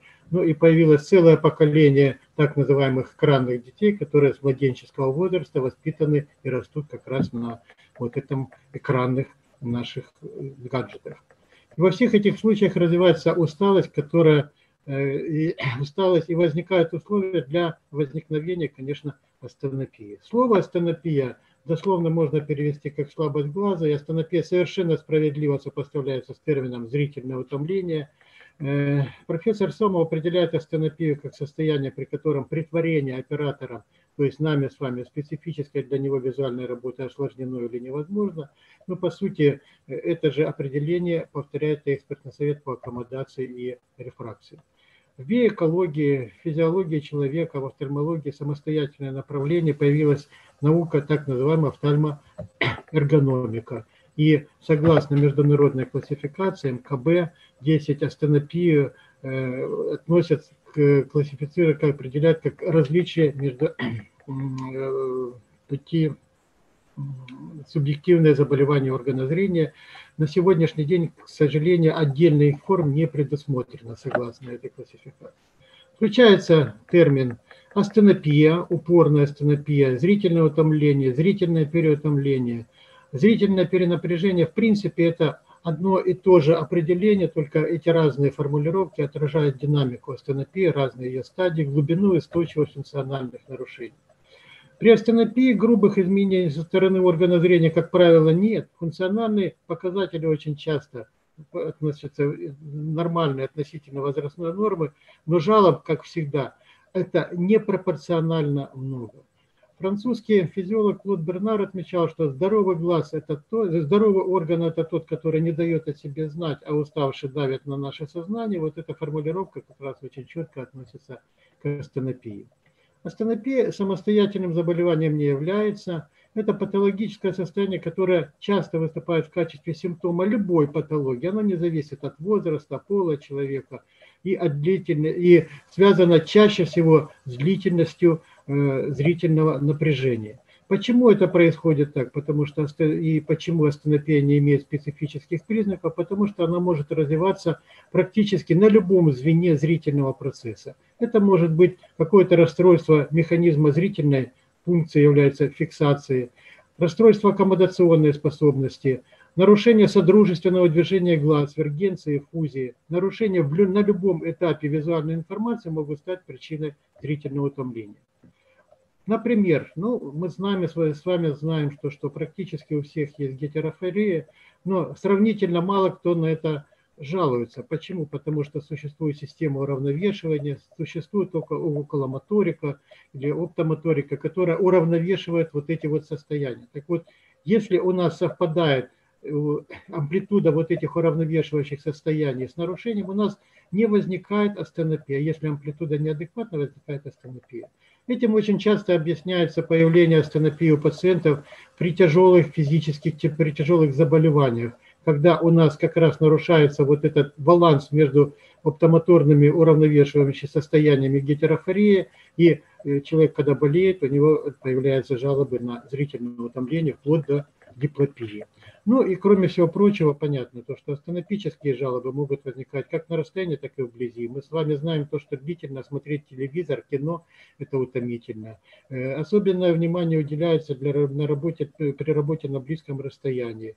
Очень в качестве примера можно привести еще одну вещь, когда речь идет о том, что вот эта гетерофория – Э, у человека есть встроенный механизм подавления. То есть у нас подавляется изображение от одного глаза, по крайней мере, на региональном уровне, и астенопические симптомы могут уменьшаться или вообще проходить.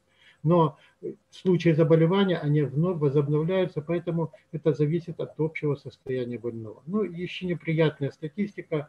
Э, согласно ей, примерно около 5% детей, которые учатся в начальных классах, страдают от астенопии.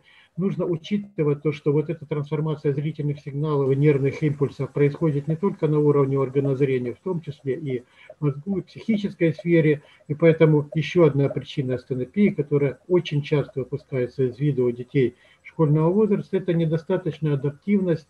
И, собственно, когда дети идут рано в школу, это может проблема возникнуть в этой ситуации. Ну и, конечно, на сегодняшний день, когда больные дети находятся в онлайн обучении, потом выходят в школу, потом опять идут на онлайн обучение, это тоже может быть приводить к нашим, э, к тому, что у нас наших пациентов, школьного детей школьного возраста увеличится.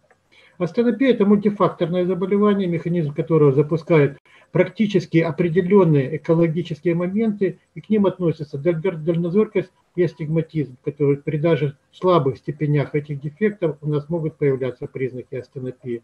Пресбиопия, в том числе и ранняя пресбиопия, она обычно возникает после 40 лет, но это может быть в любом возрасте, по сути. Длительно многочасовой просмотр телевизора, продолжительное чтение при плохом освещении, постоянное использование гаджетов, вождение автомобиля в плохих, в плохих погодных условиях и так далее.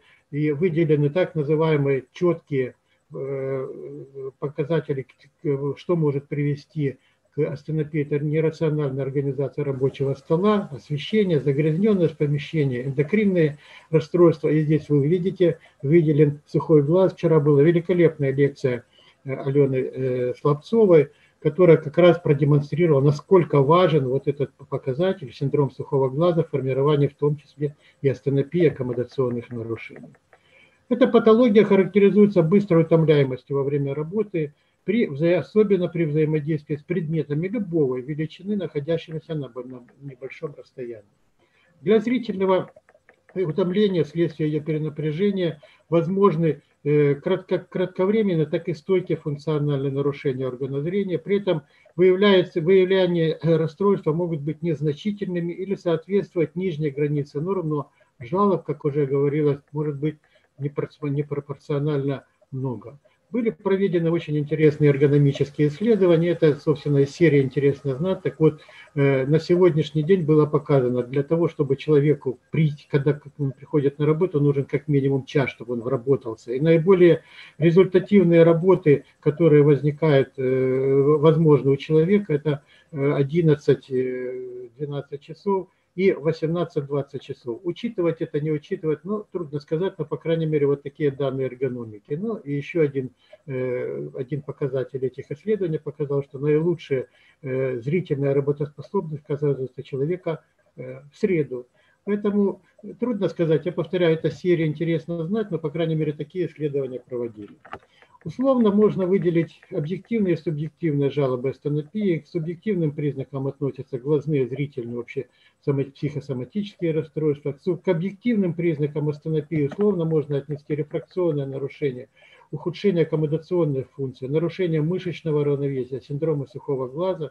Глазные жалобы, как правило, сводятся к физическому состоянию глаз. Это покраснение, частое моргание, цветобоязнь, чувство тяжести народного тела – зрительным жалобам можно отнести затуманивание трудо, трудности фокусировки и выбора расстояния э, адекватного для зрения, диплопия, искажение изображения. Очень интересный симптом Маккалаха, э, который заключается в том, что при переводе э, взгляда с экрана на черный или белый экран предмет окрашивается цвет, который доминировал на экране. Ну, по крайней мере, это один из симптомов, который можно использовать у каждого из нас.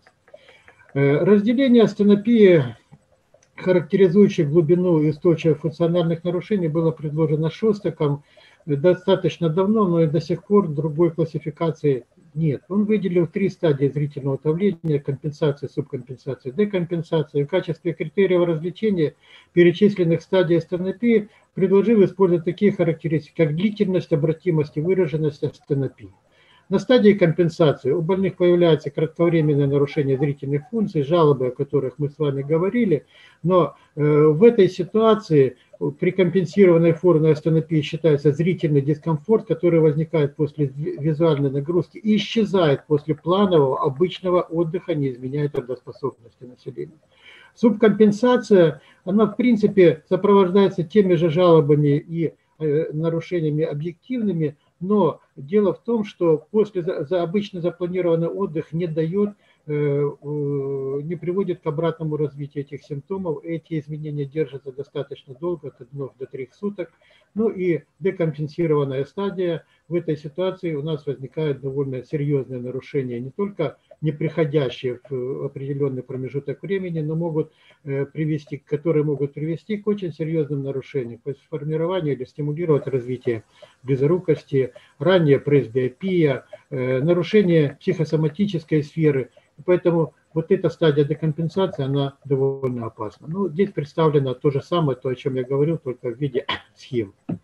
На сегодняшний день у разных авторов расходятся мнения относительно видов и определения стенопии. Классификация основана преимущественно на патогенетическом подходе. За рубежом наиболее э, принятой квалификацией является классификация Нордена, опубликованная в 2002 году. И согласно этой классификации выделяется аккомодационная и мышечная э, астенопия. И для дифференциальной диагностики используется так называемый патч-тест, очень интересный, очень оригинальный. Пациент носит окклюзионную повязку на одном глазу несколько дней. Если патч-тест убирает симптомы, Астенопия вызвана мышечными факторами, если нет, аккомодационными. По крайней мере, вот такая схема, которая говорит о том, как это все проводится и к чему приводит, как это все можно, на что можно влиять при лечении этой астенопии, была представлена Норденом.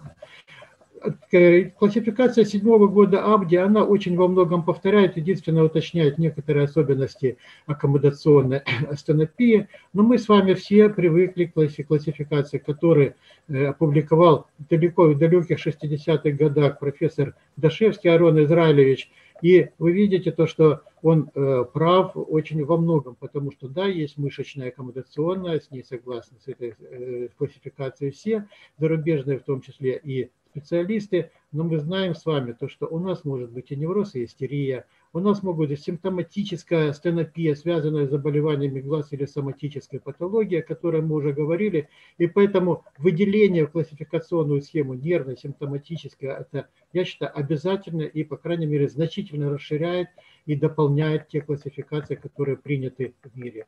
Есть классификация Шаповалова, которая выделяет 6 таких функциональных нарушений, учитывая то, о чем я с вами говорил. Ну и классификация, которая выделяет 4 э, классификации, это классификация э, э, САР, это экспертного совета по нарушениям рефракции, это аккомодационная, мышечная, сенсорная, психоэмоциональная, она как раз и суммирует вот эти классификации, которые на сегодняшний день есть. Перед назначением лечения астенопии мы проводим комплексное лечение, конечно. Это анамнез, визометрия, определение остроты зрения, исследование аккомодации, очков, исследование поля зрения. Здесь, собственно, обычная первичная диагностика офтальмологии, но есть очень интересные схемы и методы, которые дают интегральное понятие о том, какие же нарушения связаны с астенопией. Один из таких методов является измерение ВФМ, который основан на измерениях мерцания, методом, э, другим методом, который используется исследователи для, исследователями для оценки зрительной усталости, усталости является вопросник. Здесь они представлены в нескольких вариантах. Вот эта шкала ВФМ-90 классифицирует зрительную усталость по четырем основным признакам. Анкета состоит из 15 вопросов, и каждый вопрос – это балл нарушения, э, который, на основании которого можем делить астенопию. Ну и вот классификация, которая очень похожа на, на шкалу ВФМ, это методика Овечкина. Першина оценивали субъективные симптомы зрительного утомления, как трудность фокусировки, покраснение глаза, э, чувство народного тела, то есть всего таких 10 пунктов, и каждый пункт имеет один, один балл. И вот когда у нас мы насчитываем при опросе у больных до 3 баллов, это астенопия слабо выраженная, от 4 до 6 пунктов астенопия средней степени выражена, 7-10 баллов астенопия высокой степени. И вот здесь представлен сайт, на котором можно получить более подробную информацию. И можно классифицировать уже, исходя из того, о чем я говорил, классификации, э, степени компенсации, влияние на трудоспособность, выраженность по 10-бальной шкале, можно классифицировать таким образом астенопические явления. Исследование аккомодационной э, характеристики проявляется одним из ключевых методов диагностики астенопии. Объем абсолютной аккомодации определяется арифметической суммой рефракции в положении ближайшей дальнейшей точки э, ясного зрения. Я думаю, то, что были проведены очень исследования, исследования с Фегиным, который показал, что у пациентов с астенопическими жалобами недостаточность аккомодации по сравнению с возрастной нормой существует. Исследования на аккомодографе подтвердили эти данные. Есть такая классическая схема, на которую мы всегда можем ссылаться в зависимости от возраста, объем абсолютной аккомодации тоже меняется, но можно и пользоваться очень интересной э, э, формулой, которая был предложен Головиным в 1923 году. Она вот здесь представлена. На основании этого можно вычислить объем аккомодации в зависимости от возраста. Но я бы на что обратил внимание. Если у пациента объем аккомодации более э, половины, то аккомодация более двух диоптрий, э, то аккомодация комфорта должна составить две трети от максимальной аккомодации. Вот именно в этой ситуации не развивается астенопия. Если же объем аккомодации менее двух диоптрий, половину аккомодации нужно затратить для того, чтобы не иметь признаков астенопии. Вот на это можем мы, по крайней мере, опираться в наших исследованиях. Это методы автоматической аккомодографии и те коэффициенты, которые мы можем рассчитывать и получать при различных степенях нарушения аккомодации, ну и, конечно, говорить о э, астенопии. Нужна ли циклоплегия для диагностики.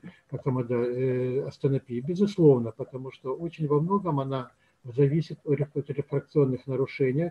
И э, мы с вами знаем, что золотым стандартом циклоплегии является трехдневная атропинизация, хотя, вы же понимаете, есть очень серьезные проблемы, связанные с системными нарушениями, необходимость консультации у невропатологов и прочее. То есть все мы сталкиваемся с этой проблемой. Для преодоления этих и других досадных обстоятельств используют циклопериодические средства кратковременного действия. И чаще всего речь идет о цикломеде, тропикомеде, и, э, который используется в нашей стране. Э, цикломед, вот здесь представлена его формула. Э, фармакокинетика, начало действия быстрое, Продолжительность действия до 24 часов, а начало действия это практически 360 минут. Его можно использовать как для определения рефракции у детей, тогда капается по одной-две капли 2-3 раза в день с интервалом 15-20 минут. Но можно и использовать просто для осмотра глазного яблока, и тогда э, делается, ну, чуть-чуть уменьшается промежуток времени э, между закапываниями вот этих препаратов. И очень важно то, что по глубине циклоплегического действия циклопенталат близок к атропину. Остаточный тонус аккомодации после двукратной инстилляции циклопенталата по сравнению с трехдневной атропинизацией в среднем составляет 0,15 диоптрий.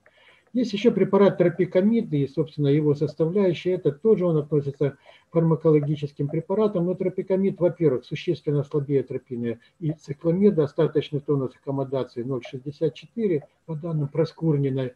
Но самое главное, то, что на сегодняшний день он внесен в список так называемых опасных препаратов, которые нужно выписывать с особой осторожностью, и поэтому его применение довольно тоже ограничено.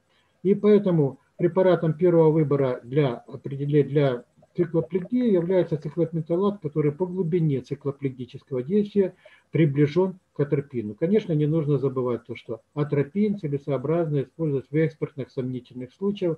Об этом не спорят ни отечественные, ни зарубежные офтальмологи. Исследование мышечной компоненты. Мы с вами говорили, что самым простым способом является э, патч-тест, так называемый. Видите, он довольно просто проводится и без напряжения у детей, но самый распространенный способ измерения а это именно мышечное равновесие в данной ситуации страдает, это палочки Медекса, и призменные компенсаторы, которые на сегодняшний день, синаптофор можно использовать в этой ситуации. Поэтому методы, которые позволяют измерить нарушение гетерофории и если, э, если выяснить, если этот компонент или нет, их достаточно на сегодняшний день есть, поэтому применять к этому, использовать эти методы нужно. Лечение астенопии – это применяют их с давних времен. Понятно то, что 550 год, египетский папирус. И, э, в принципе, конечно, не лечили оптические дефекты, а лечили чисто нарушения общие. Но при лечении важно определить тип астенопии. От этого зависит терапия. После того, как врач точно определит вид патологического процесса, узнает причины, назначается лечение. Лечение астенопии аккомодативно обычно сводится к раннему назначению корректирующих очков. Дети должны носить очки постоянно. Взрослые во время чтения или письма рекомендуется хорошее равномерное освещение, показано общее крепляющее лечение при слабости целлярной мышцы, тренировка аккомодации. Лечение же мышечной астенопии также должно включать в том числе и оптическую коррекцию, создание благоприятных гигиенических условий, но нужно проводить специальные упражнения на, для того, чтобы устранить или каким-то образом компенсировать гетерохромию, э, гетерофорию. Поэтому в данной ситуации вот различия и направления должны быть такие. Офтальмолог разрабатывает тактику лечения, исходя из индивидуальных показателей. На стадии компенсации при отсутствии патологических изменений пациентов необходимо обеспечить отдых. При наличии изменений на стадии субкомпенсации назначают аппаратное лечение – Э, которая заключается либо в применении аккомодотренера, либо в тренировке аккомодации, либо устранении детерофории. Ну и декомпенсированная стадия куда более серьезных мер требует, которая заключается в подборе очков, контактных линз, а также медикаментозном лечении, направленных на использование глазных капель. При снижении астенопии включает э, э, рациональную оптическую коррекцию, это эргономические меры – ну, понятно, то, что нам нужно проводить циклоплегии. Вот э, после этого делается оптическая коррекция. И э, следует э, в данной ситуации при наличии у пациента даже малых доз 0,5 диоптрии степеней физиологического астигматизма целесообразно выполнять коррекцию рефракционных нарушений, что обеспечивает, по крайней мере, устранение астенопических жалоб. Коррекция аккомодационных нарушений может быть осуществлена различными способами. Это могут быть обычные монофокальные очки, э, очень большие, хотя за рубежом обсуждается проблема моновижен, но это, я считаю, что это все-таки достаточно большие проблемы с точки зрения астенопии. Ну и, конечно, есть речи прогрессивные очки, очки с дегрессией, очки с поддержкой аккомодации – Выбор сейчас на сегодняшний день достаточно большой. И вот показания кандидации являются, конечно, пресс-биопия, но мы не должны забывать, что если у человека в более раннем возрасте появляются признаки жалобы на астенопию, связанные с нарушением э, работы на близком расстоянии, вот эта аддидация может быть применена в том числе в более раннем возрасте. Э, коррекция бинокулярных нарушений необходима необходимость призматической коррекции нарушает, наступает при декомпенсации экзофории при мышечной форме астенопии, как правило, в тех ситуациях, когда становится компенсированы более 10 призменных диоптрий, э, но в некоторых источниках говорится даже о 6 диоптриях. Необходимо специальное упражнения, которые тренируют аккомодацию. Они вот здесь представлены, я думаю, все мы сталкивались с такими упражнениями. В том числе есть аппаратное лечение, которое проводится, по крайней мере, в двух третях детских отделений наших клиник. Я надеюсь, даже думаю, что и, более, э, и в большем количестве. Кроме всего прочего, есть ортоптические и диплоптические методы лечения, которые позволяют тренировать гетерофории и в том числе устранять вот эти, устранять вот эти компоненты и проводить их нужно в обязательном порядке. Ну и, конечно, есть еще одно направление лечения астенопии, это медикаментозное. Для снятия у вас усталости применение слезозаменителей обязательно – мы говорим в том числе о мониторном синдроме, могут быть использованы препараты на основе гликозида, наперстян, гигоксин. У нас, к сожалению, таких препаратов нет и опыта применения этих препаратов, в том числе у меня нет. В комплексном лечении используются ретинопротекторы, антиоксиданты, препараты для улучшения микроциркуляции – ну и, конечно, определенный психоэмоциональный компонент обычно сопровождает любую форму астенопии, поэтому седативные препараты, конечно, чаще у взрослых, это тоже необходимый компонент в этой ситуации. Но я думаю, что вы и слезозаменители очень хорошо относитесь к препарату автолик, который содержит поливиниловый спирт, повидоны, вспомогательные препараты, это безалкония хлорид. По крайней мере, э, он применяется по одной-две капли 3-4 раза в день в оба глаза независимо, э, в зависимости от выраженности симптомов, это безопасный препарат. С точки зрения э, антиоксидантов мы с вами говорили, что, что можно применять в том числе и препараты нутрофорта, которые содержат и витамин D, антиоксиданты, каротиноиды, омега-3 жирные кислоты или сверотрол. В случае аккомодационной астенопии патогенетическое лечение, конечно, выражается и в нормализации тонусной, тонуса целлярной мышцы. И в данной ситуации мы должны вспомнить, что есть целлярная мышца, она состоит из мышцы аккомодационной и дезаккомодационной. И для того, чтобы уйти от ст- астенопии, мы не только можем применять э, циклоплегию, то есть выбивать человека из рабочего режима, мы можем стать стимулировать так называемые дезаккомодационные мышцы. И в данной ситуации человек сохраняет свою работоспособность и в качестве стимулятора дезаккомодации через воздействие на симпатическую нервную систему можно применять препарат ирефрин, э, который э, достаточно широко э, используется в нашей стране. И это не новое направление, будем так говорить, потому что оно известно 1974 года. Ваченко, Дашевский при свежих спазмах аккомодации применяли эфедрин. И на сегодняшний день за рубежом выпускают целый ряд препаратов, которые имеют аналогичное действие. Вот, поэтому в данной ситуации было проведено исследование, было показано, что применение препарата эрифрин э, э, для э, ликвидации или уменьшения компьютер, развития компьютерного синдрома позволяет снизить степень выраженности жалоб, повысить остроту зрения. Это э, институт э, Федорова такие исследования проводил. Ну и, конечно, препарат эрифрин назначается в короткой схеме. Это два раза в день в качестве экспресс-метода, но его можно назначать через день на ночь в оба глаза в течение месяца и более. И в данной ситуации, если речь идет о устранении, особенно если речь идет о гиперметропии слабых степеней, это разных степеней гиперметропии астигматизма, когда речь идет о фармакологической докоррекции, его можно позвонить, назначать длительное время. Ну и, конечно, были проведены исследования, доплеровские исследования, которые показали, что применение рефрина безопасно для, для лечения и длительного применения у детей и у больных э, с, э, со степенью астенопии. Ну, самое главное, это, конечно, профилактика, и здесь они представлены, все, ре- все э, рекомендации. Я думаю, что они известны, я их не буду озвучивать. Я подхожу к концу лекции, благодарю всех за внимание.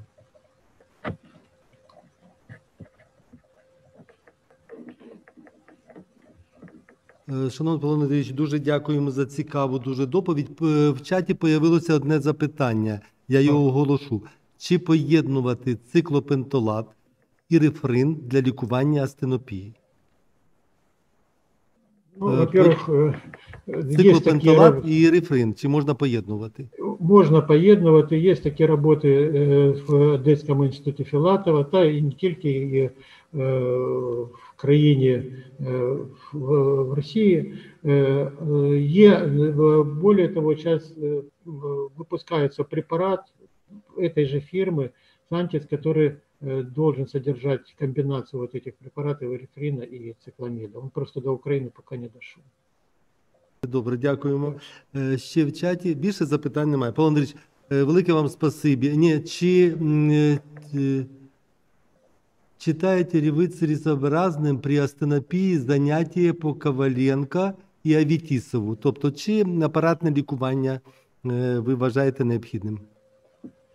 Ну, Я говорил об этом, собственно, любые упражнения, которые направлены на развитие аккомодационной мышцы и устранение гетерофории, они эффективны и целесообразны. Вопрос у детей 100%, но, э, как говорится, вопрос у взрослых может быть, э, ну, это обсуждается. То есть это вопрос, ответ неоднозначный, но проводить обязательно. Спасибо. Е, Це, я так думаю, що вирішує дитячий офтальмолог і офтальмолог, е, яка є необхідність. Чесно кажучи, батьки дуже хочуть починати з апаратного лікування. Нехай би пройшли один-два курси, щоб практично вони Так, так, заспокоїлися. Да, і е, ну, ефективність процентів 30 є завжди. А ради цього варто.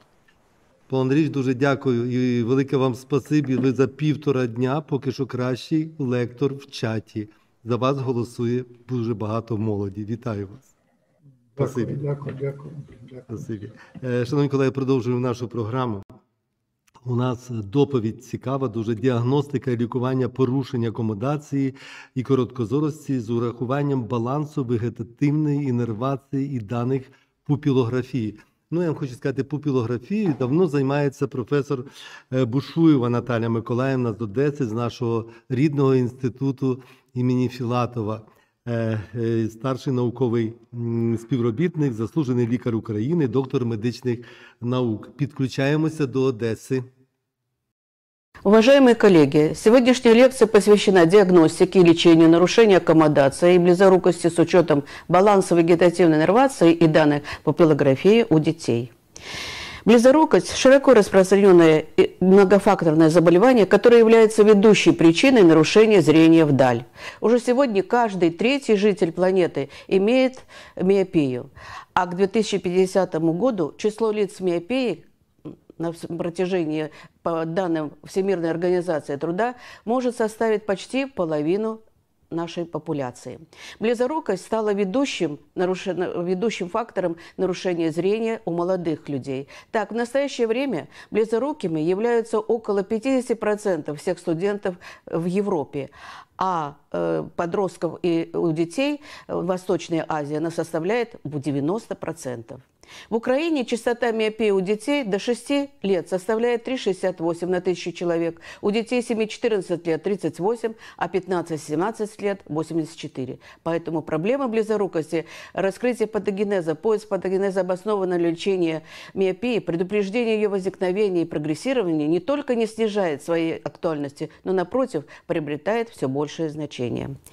Среди ведущих патогенетических факторов происхождения и прогрессирования приобретенной миопии рассматривается рассматриваются аккумуляционные нарушения. Непосредственными причинами возникновения аккумуляционных нарушений считаются вегетативные дисфункции. Последние годы из-за тотальной компьютеризации значительно повысилась зрительная нагрузка, что привело к существенному увеличению напряженной аккомодации и, как следствие, к ее нарушению. Нарушение аккомодации вызывает снижение остроты зрения, асанопию, снижение зрительной работоспособности, а иногда поражение мышечного равновесия, нарушение бинокулярного и стереоскопического зрения. Основные звенья Звенья исполнительного механизма аккомодации являются хрусталик, целлярная мышца, связочный аппарат и хореидея.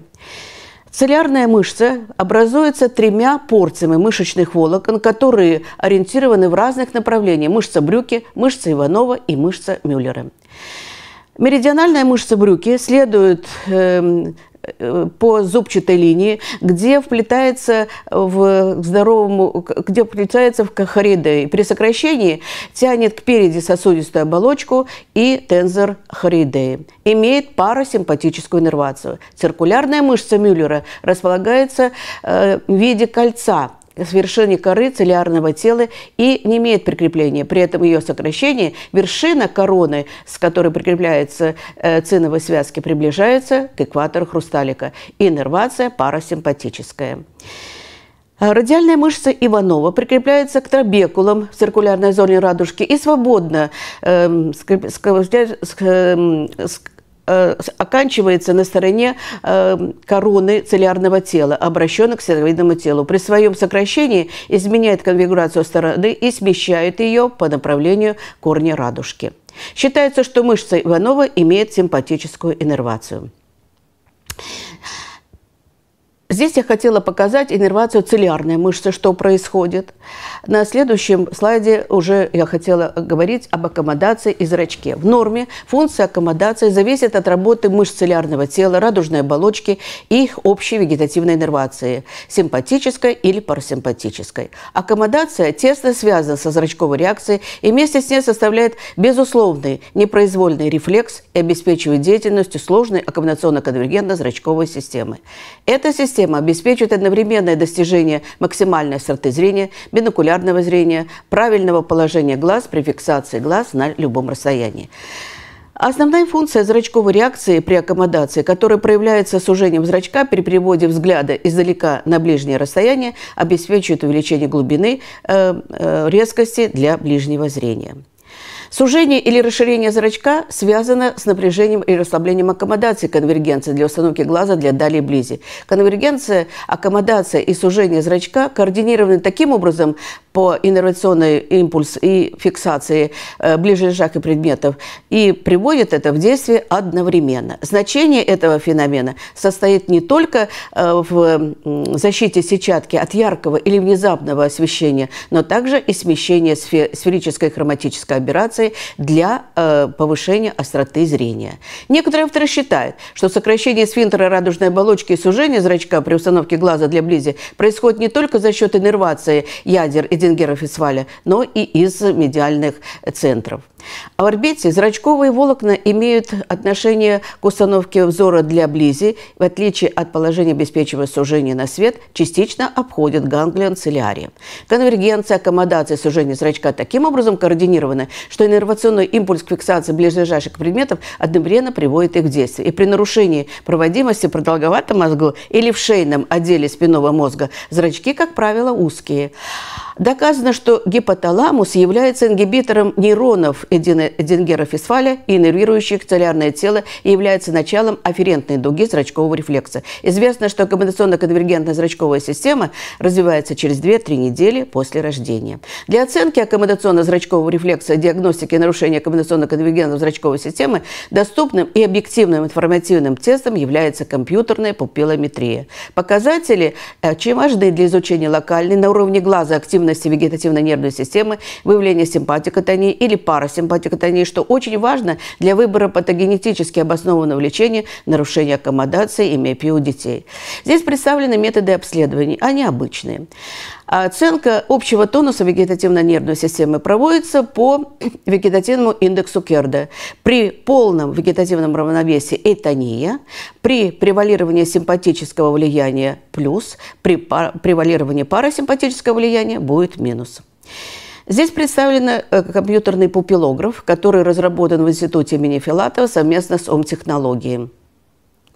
Здесь представлен график, по которому мы рассчитываем все показатели, которые нас рисуют при пупиллографии. Итак, нами были обследованы 209 детей и подростков с нарушением аккомодации, 130 человек со спазмами аккомодации и 79 человек со слабостью аккомодации. По возрасту все дети были распределены на три подгруппы 6-9 лет, 10-14 лет и 15-18, а по состоянию баланса нормотония, парасимпатикотония и симпатотония.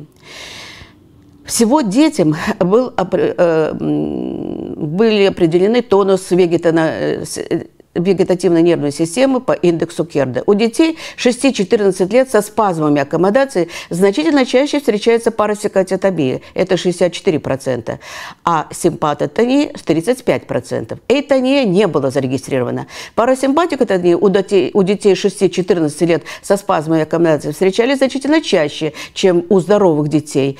И этого же возраста. А у подростков 15-18 лет в 70% случаев отмечалась симпатикотония и всего лишь 25% парасимпатикотония. Площадь зрачков при расслабленной аккомодации у детей со спазмами аккомодации у парасимпатиков практически не отличалась от показателей здоровых лиц. А вот при симпатикотонии максимальная площадь зрачка была в среднем в два раза э, примерно на 102% меньше, чем у здоровых лиц. Это позволяет предположить локальное на уровне радужки и целлярного тела, ослабление симпатического влияния у детей со спазмами аккомодации. Продолжительность периода сужения зрачка у всех детей со спазмами аккомодации была больше, чем у здоровых лиц. У парасимпатиков на 37, у симпатикотониев на 54. Латентный период расширения зрачка больше, чем у здоровых. У парасимпатиков на 77, у симпатотоников на 210. Период активного расширения зрачка был практически одинаковым, таким же, как и у здоровых лиц. При исследовании корреляционной зависимости показателей аккомодационной зрачковой реакции от возраста и тонуса вегетативной нервной системы у детей и подростков со спазмой аккомодации установлено, что все зрачковые показатели существенно зависели от тонуса вегетативной нервной системы и не зависели от возраста детей. У здоровых же детей показатели площади зрачков коррелировали с тонусом вегетативной нервной системы, а временные показатели изменения имели обратную корреляцию с возрастом и э, за исключением э, периода э, сужения зрачка и не коррелировали с тонусом вегетативной нервной системы. Медикаментозное лечение последние годы э, стали использоваться медриатики. Наиболее часто применяются препараты циклопенталата и фенилэтрина рефрина. Э, эти предлагаемые различные схемы из инстилляции, э, исходя из известных особенностей фармакологических воздействия и состояния зрительных функций пациентов. Однако не удалось найти сведения о том, Учитывалось ли при выборе той или иной схемы состояние общего и местного вегетативного индекса? А, здесь я хотела показать медикаментозное лечение спазма аккомодации, что происходит, когда мы закапываем однопроцентный э, цикламет, когда мы закапываем, э, через час уже происходит расширение зрачка, после рефрина только через два с половиной, а после закапывания цикламеда однопроцентного уже через одно-трое суток еще было, были широкие зрачки, что говорит о том, что э, значительное медриатическое действие. После инстилляции фенилэфрина зрачки возвращались к исходному значению уже через на следующие сутки. При э, сравнении реакции зрачки на инстилляцию рефрина и цикламеда видно, что увеличение максимальной и минимальной площади зрачков, а также амплитуда изменения площади зрачков под влиянием циклопенталата существенно выше, чем при применении фенилэфрина, как при парасимпатиков, так и у симпатотоников. Итак, мы разработали алгоритм лечения медриатиками. Это использование на протяжении четырех дней ирифрина по одной капле каждый день на ночь, затем один день инстилляции цикламеда на процентный по одной капле каждый глаз с двухдневным перерывом и последующим повтором этого цикла в течение месяца. По предложенному алгоритму было пролечено 26 детей подростков в возрасте 9-15 лет со спазмами аккомодации. До лечения у 93% определялась миопия слабой степени, после лечения в 30% и в 80 случаев были метропия, и в 10 всего лишь гиперметропия. Результаты аккомодации по Дашевскому до лечения у всех больных не превышало 2 диоптрий. В результате лечения у всех пациентов также повысилась острота зрения и увеличились резервы аккомодации на 2-3 диоптрии. Папиллографические исследования показали, что через 1-2 месяца после окончания лечения, несмотря на значительное улучшение остроты зрения и резерва аккомодации, папиллографические показатели пациентов со спазмом аккомодации все еще имели отклонение от нормы, что может свидетельствовать о продолжительном существовании локального вегетативного дисбаланса. Длительное течение одного и более месяцев применения комбинации инстилляции цикламеда и рефрина у детей со спазмом аккомодации более целесообразно у парасимпотиков. Мы также провели папиллографические исследования исследований с признаками слабости аккомодации. Дети жаловались на снижение зрения вдаль и в большей степени на близком расстоянии и зрительная утомляемость. Некоррегированная острота зрения вдаль была снижена на 0,6-0,8. Резервы аккомодации по Дашевскому не превышали полутора диоптрий. По индексу Керда у всех пациентов была симпатикотония. Пупиллографические показатели у детей со слабостью аккомодации были практически такими же, как и у здоровых детей, и отличались лишь по некоторым показателям. Это максимальная площадь зрачка была несколько меньше, и латентный период расширения зрачка был более длинным. На основании э, известных данных о, парасим, э, о парасимпатическом действии на целлярную мышцу, сфинктера радужки и электрофизиологического тока для лечения детей со слабостью аккомодации были использованы электростимуляции, это электрокрания стимуляция на приборе транс и фосфен электростимуляция. После курса лечения методом транскраниальной электростимуляции острота зрения, показатели аккомодации э, улучшали состояние состояние для близи на 65%, и, а после фосфен-стимуляции на 40%. А также у всех пациентов была нормализована острота зрения вблизи. Площадь зрачков э, после курса э, транскраниальной электростимуляции э, уменьшала площадь зрачка на 3%, что может свидетельствовать о его парасимпатическом эффекте лечения.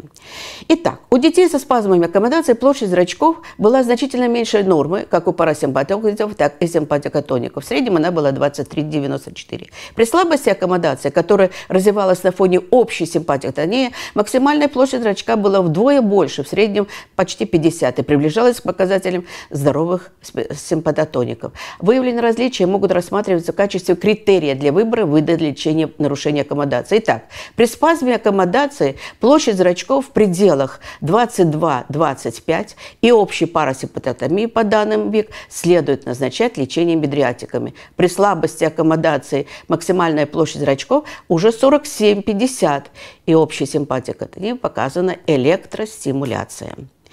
При отрицательном эффекте лечения нарушения аккомодации у детей и подростков развивается близорукость.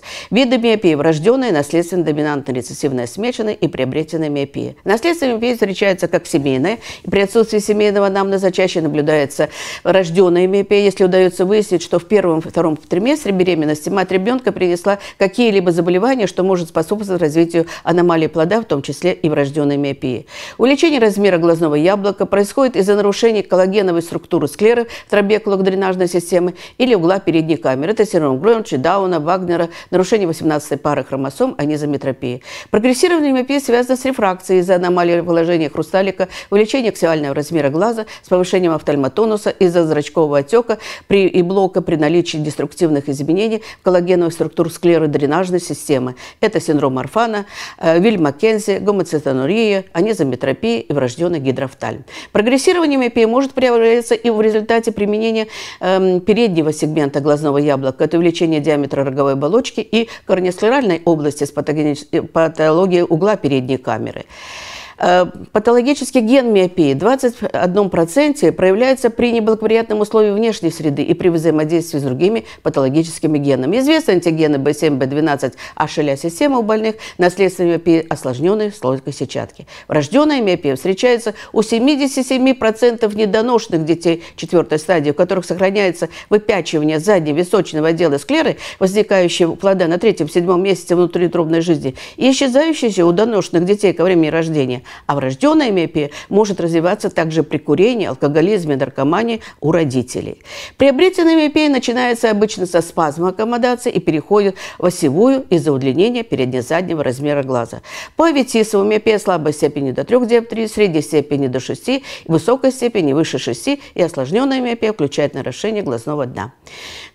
По классификации Малеева и Бушоева рефракционная миопия – это передний-задний размер 24,3 и э, преломляющая сила роговицы 43,86. Осевая миопия уже больше, ПЗО 24,3. Смешанная миопия, когда больше 24 и изменения со стороны преломляющей силы роговицы. И комбинированная миопия, когда и ПЗО, и преломляющая сила роговицы имеют другое значение. Для осевой миопии характерны значения диаметра роговицы, площади диска зрительного нерва, площадь экскавации диска зрительного нерва, толщины фавелы, минимальной толщины фавелы в сравнении с рекреационной, смешанной и комбинированной миопией и ширина угла передней камеры меньше, чем в группах рефракционной и смешанной миопии. Для рефракционной миопии характерно меньшее значение диаметра роговицы по сравнению с осевой смешанной и комбинированной и площадью э, зрачка и объема экскавации диска зрительного нерва, чем осевой и комбинированной миопии. Установлены дифференциальные диагностические критерии функциональных показателей глаз у больных различными глазами, э, типами миопии. При рефракционной миопии внутриглазное давление больше 18 мм. А среднее значение новой ГД у пациентов с осевой миопией 15, у смешанной миопии 15-48. И э, не отличается от эмитропов и достоверно ниже, чем при комбинированной миопии. Внутриглазное давление является одним из факторов влияния на прогрессирование миопии, ведущим к растяжению склеры глазного яблока. Также выявлено, что у больных с смешанной миопией резервы аккомодации ниже. По сравнению с осевой, рефракционной и комбинированной. Мнение академика Филата о связи между патологией соединительной ткани всего организма и прогрессированием миопии подтверждено данными результатов экспериментальных электронно-микроскопических, биохимических, иммунологических, клинических исследований как отечественных, так и зарубежных авторов. При прогрессирующей миопии происходит дезорганизация элементов соединительной ткани, склероз с одновременным изменением обменных процессов в организме, нарушением функции гипоталамуса, щитовидной железы, тимуса и других эндокринных желез. Алифанова э, опубликовала данные, что имеет прогрессирование близорукости скачкообразное увеличение. У детей до 6 лет 3,5 тысячи на тысячу обследованные, 7-14 лет уже 16,3 и у подростков 15-17 лет 54. Прогрессирование миопии возможно у взрослых лет независимо от пола после перенесенных инфекционных заболеваний при патологии дыхательной, сердечно-сосудистой системы, пищеварительного тракта, опорно-двигательного аппарата. Биомикроскопическое исследование изменения эпибульварной конъюнктивы на 6-7 неделе беременности у женщин является критериями прогрессирования миопии не только во время беременности, но и в послеродовом периоде. А реоофтальмологические критерии также говорят о том, что нужно внимательно относиться к беременным женщинам во время беременности. Снижение содержания лимфоцитов первичной крови 1,38. Снижение содержания иммуноглобулинов класса М0,84, которые по сравнению со здоровыми лицами повышено содержание иммуноглобулинов класса G. Индекс Т-супрессор ВТ-хелпером 4, фагоцитонии до 40 и РБТЛ контигеном увиального тракта 17%, независимо от степени миопии, характерно для наследования. Показатели активности протеолиза больше 2,5, содержание ингибиторов трипсина 1,17, содержание свободного оксипролина 39,8 и содержание общего аминового азота в плазме крови 30,9. Повышение активности трипсиноподобных протеолиаз в сыворотке крови на 27%, а слезной жидкости на 59%. Снижение антипродлитической активности в сыворотке крови на 26% и в слезной жидкости на 30% в сравнении с нормой является критериями прогрессирования МПИ. Лечение. Применение витаминов группы А, В, А, С, Д, Е внутрь в разных дозировках. Общеукрепляющее лечение состоит при оральном лечении препаратов кальция, аскорбиновой кислоты, трентала, децинона и других. Известна эффективность бета-блокаторов, тимолола, зопта, травитана. И закапывали 0,5% или 0,25% раствора э, лабитанола два раза в день, тоже в течение 2-4 месяцев уменьшает степень миопии. За рубежом у детей в возрасте от 4 до 17-18 лет применяется 0,1 атропина на ночь с пятилетним сроком наблюдения. Механизм действия устранения спазма аккомодации, блокада ацетилхолина, влияние на фибробласты склеры и экспрессия дезовина проводит к увеличению синтеза молекул коллагена и влияние на сетчатку и на уровень гормона роста. Но необходимо длительное наблюдение за пациентами, так как действие атропина 1,01% еще непонятно. Здесь я привела данные иностранных авторов, которые считают, что даже после двухлетнего э, использования э, токсическое влияние атропина неизвестно. Тканевые препараты, экстракт алоэ, ФИПС э, нормализуют обмен веществ, обладают иммунокоррегирующим, антиоксидантным, нейтрофическим, дексокатилоном и радиопротекторными свойствами. Препараты черники, акювайт, лютеин и другие тоже используются. Э, факовид в виде таблеток на ночь один месяц, три курса в году, желудочная растворимая таблетка, она очень хороша для остановки близорукости у детей. Медриатики, цикломет и рефрин были использованы для лечения э, функции а, аккомодационно-конвергентной зрачковой системы с учетом баланса вегетоиннервации. Цикломет блокирует холиноэнергические синапсы сфинктера зрачковой и целлярного тела, расширяет зрачки за счет преобладания тонуса мышцы дилататора и расслабляет мышцы сфинктера. А рефрин, э, он э, действует на э, целлярные и гладкие мышцы артерии когнитива, приводя к медриазу. Инстилляция однопроцентного цикломеда снижает степень миопии и способствует выявлению гиперметропии и рефракции. Кроме того, медриатическое действие цикломета более выражено у лиц с превалированием парасимпатического тонуса цилиарной мышцы. Отмечена хорошая переносимость у детей и подростков без аллергического и токсического влияния. Использование рефрена целесообразно у детей малого возраста для экспресс-диагностики. Для лечения близорукости местно также используется магнитофорез, фоноэлектрофорез, вибромассаж, гели и фосфен-электростимуляции. Актуальна разработка хирургических методов укрепления склеры. Согласно данным Кэтина и Малышева, использование аллотрансплантатов из гомосклеры, аутофасы, твердой мозговой оболочки не останавливает прогрессирование миопического процесса. Склера преципиенты вырабатывают коллагеназу в склере и в трансплантационном коллаген в отдаленные сроки наблюдения включается в этот процесс развивается эктазия склеры. Поэтому понятен поиск биоинертных синтетических материалов. Я э, здесь показываю вам через 20 лет после склеропластики, что происходит происходит синтетическим трансплантатом, который выпячивается, и его нужно удалять. Поэтому осложнения характерны даже через 20 лет после операции. В Институте глазных болезней нами был разработан э, ингибитор трипсина, и в эксперименте изучена активность трипсиноподобных протеиназ и антиамплитолитическая активность ткани склеры после эксплантации склеры с ингибитором трипсина, и разработан способ укрепления склеры. Здесь я показываю электромикроскопические исследования, что происходит с трансплантатом и вокруг окружающей ткани. Срок до трех месяцев после укрепления склеры э, э, активность ткани склеры составляла 13, Однако спустя 4-6 месяцев после операции достоверных различий уже нет. И антипролитическая активность на правых глазах была достоверно выше, чем на тех глазах, которые не были прооперированы. Более того, через 4-6 месяцев после склеропластики с ингибитором тритина антипролитическая активность склеральной ткани таких глаз была, естественно, выше, чем на других глазах. Эффективность склеропластики показана на этом склере на протяжении трех лет намечалась стабилизация процесса. Таким образом, применение предложенного синтетического биинертного эксплантата для укрепления склеры может заменить использование донорского трансплантационного материала, что очень важно для Украины в связи с тем, что у нас запрещено использование донорского материала. Установлена высокая эффективность комбинированного хирургического медикаментозного укрепления склеры синтетическим биинертным эксплантом с ингибитором трипсина, что стабилизирует 95%. Даже сроки наблюдения у нас более 20 лет. Стабилизация белковых структур соединительной ткани склеры, коллаген, эластин происходит за счет уменьшения катаболизма, осуществляемого ферментами коллагеназы и эластазы, активация которых осуществляется с помощью реакции ограниченного протеолиза. Снижение активации этих ферментов осуществляется введением иммобилизованного ингибитора трипсина в, э, в трансплантационный материал.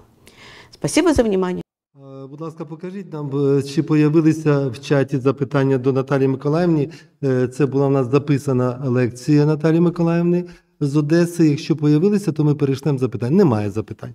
Ну, пупілографія взагалі і вегетативна нервова система це взаємозв'язані дві речі. Через те цим дослідженням займається завжди інститут Філатова і завжди займається Наталя Миколаївна Бушуєва. Шановні колеги, я вас сердечно вітаю. Вітаю Андрія Степановича Гудзя, завідуючого кап, завідуючого кафедрою офтальмології Львівського національного медичного університету імені Данила Галицького, доктора медичних наук, професора. В Андрія Степановича дуже цікава доповідь. Якість ретинального зображення у псевдофакічних пацієнтів. Андрій Степанович Гуц з співавторами від своєї кафедри і від своєї клініки. Андрій Степанович, раді вас вітати як самого відомого рефракційного хірурга Західної України, частини нашої держави. І дуже раді послухати вашу доповідь. Дякую, Сергій Олександрович. Перш за все, дякую за можливість прийняти участь у пленері. Не знаю, як мене чути. Дуже добре. Я чую вас дуже добре. Радий вітати в цей складний час для нас усіх. І дозвольте, колеги, запропонувати вам наш деякий досвід в плані спостереження за пацієнтами після хірургії катаракти. Ця доповідь дійсно є спільною. І оскільки зараз життя стає все складнішим і складнішим, дуже добре, коли є можливість проводити спільні дослідження з приватними структурами, які мають можливість технічного забезпечення краще, ніж це мають університетські клініки. Шановні колеги, в більшості випадків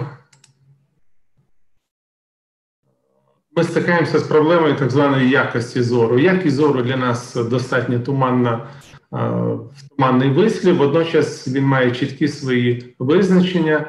І якщо опиратись на визначення Американської академії офтальмології, це дійсно є суб'єктивний параметр, який базується на унікальній особливому особливості сприйняття зору конкретного індивідууму свого зору. Це цей параметр є дуже мультифакторний, який складається не тільки з візуальних факторів, але також і з психологічних. І хоча оптика і оптичні параметри, і параметри гостроти зору можуть бути легко вимірені, жодне з цих вимірювань, на жаль, не описує нам, як пацієнт суб'єктивно а, описує свій зір, як він дійсно бачить це зображення. Тому всі наші вимірювання є лише певними показниками.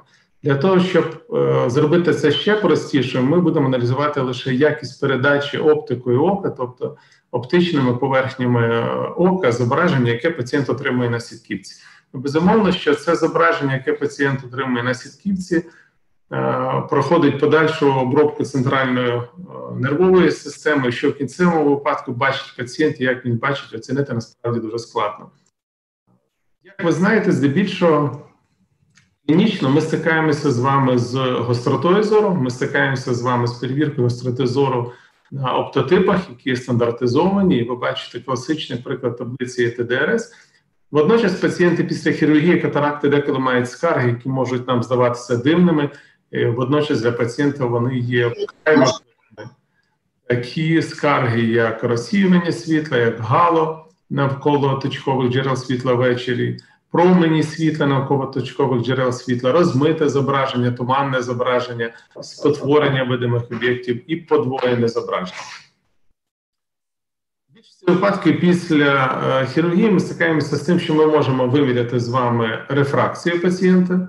Причому рефракція пацієнта здебільшого ми вимірюємо або в центральній зоні, або в 2,8 мм, лише деякі прилади мають можливість дати нам значення, отримати значення рефракції у різних зонах: центральний близько 2 мм, 3 мм і в мезопічних.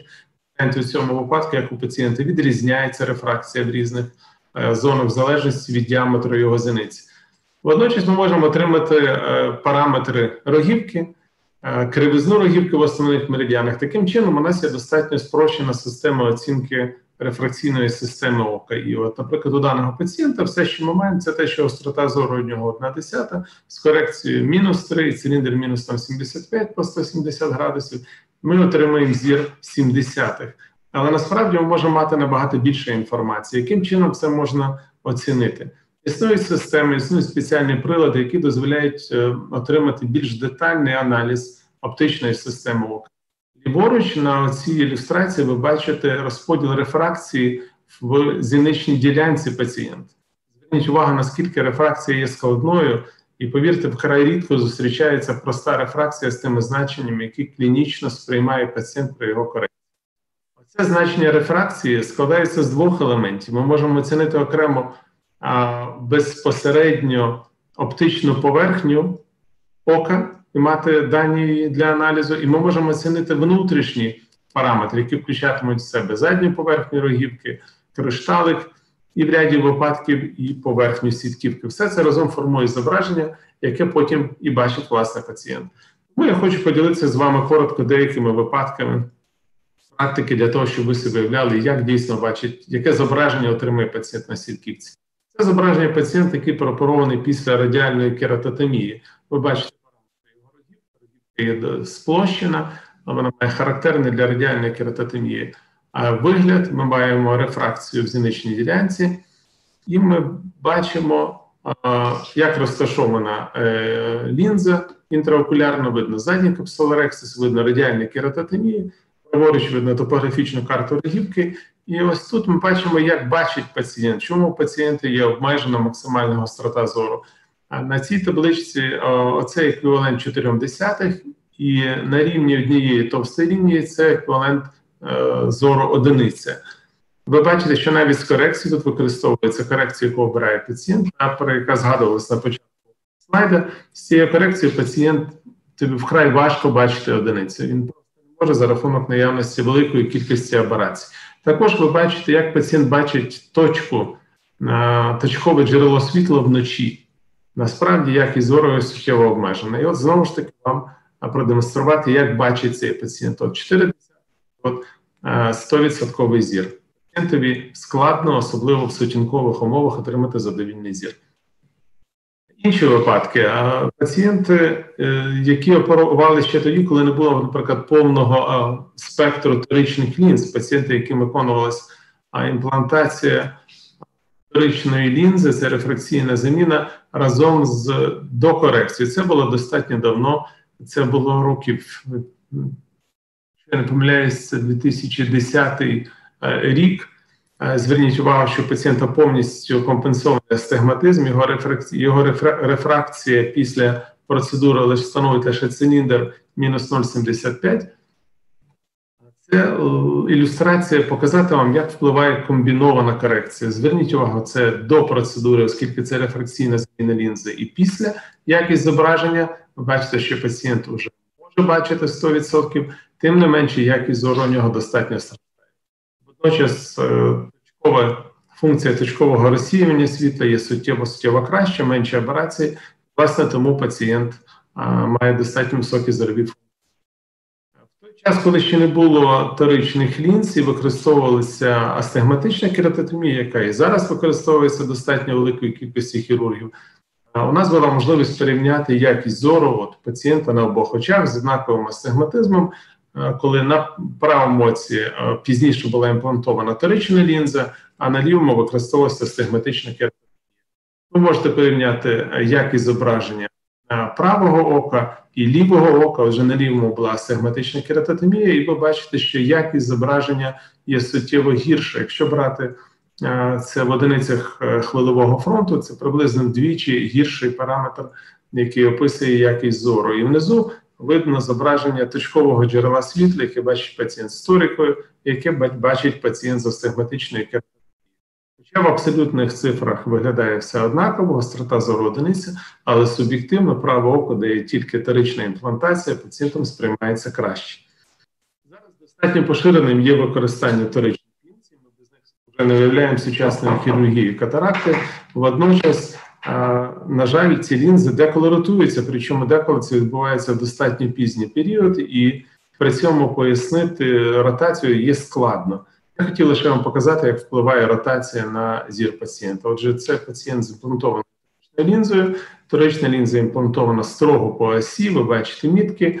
І от через місяць пацієнт проходить контрольний огляд, а через два дні після цього дзвонить і каже, що йому стало суттєво гірше. У пацієнта відбувається ротація на достав... на достатньо суттєвий кут без незрозумілих причин. Знову після відновлення положення правильного лінзи у пацієнта відновлюється а висока гострота зору. Ви бачите, ротація лінзи в цьому випадку. Ряді випадків, як ви знаєте, існує залишкова рефракція після наших втручань. Як би ми не старались попасти в емотерапію або в ту планову рефракцію, яку ми обговорили з пацієнтом. Водночас існує статистики, ми не можемо попасти більше ніж 60 випадків в абсолютно рефракційну емотерапію.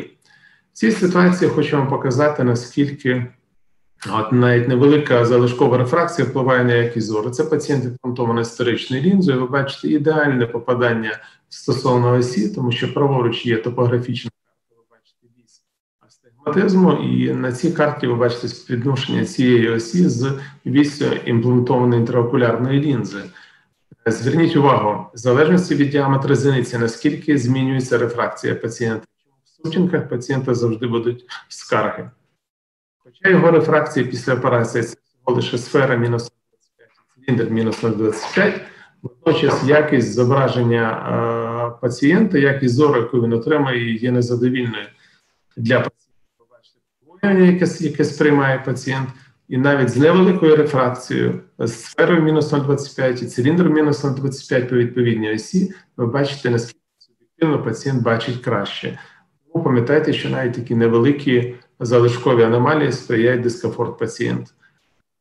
Група пацієнтів на сьогоднішній день, які отримують колосальні переваги е, після імплантації інтракулярних це є і пацієнти з аксіальною короткозорістю. Ви бачите пацієнта з мультифокальною теричною лінзою. Ви бачите, що його аксіальна довжина більше 28 мм класичні косі скани на оптичній когерентній томографії. Це також впливає колосально на якість ретинального зображення короткозорих пацієнтів. Це його інше.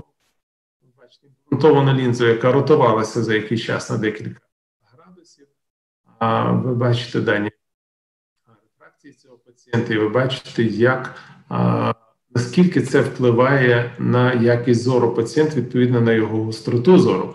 І з невеликою корекцією плюсовою пацієнт отримує високу якість зору, водночас пацієнт настільки задоволений порівняно з тим величезним мінусом, який у нього був, що він відмовився від будь-яких подальших.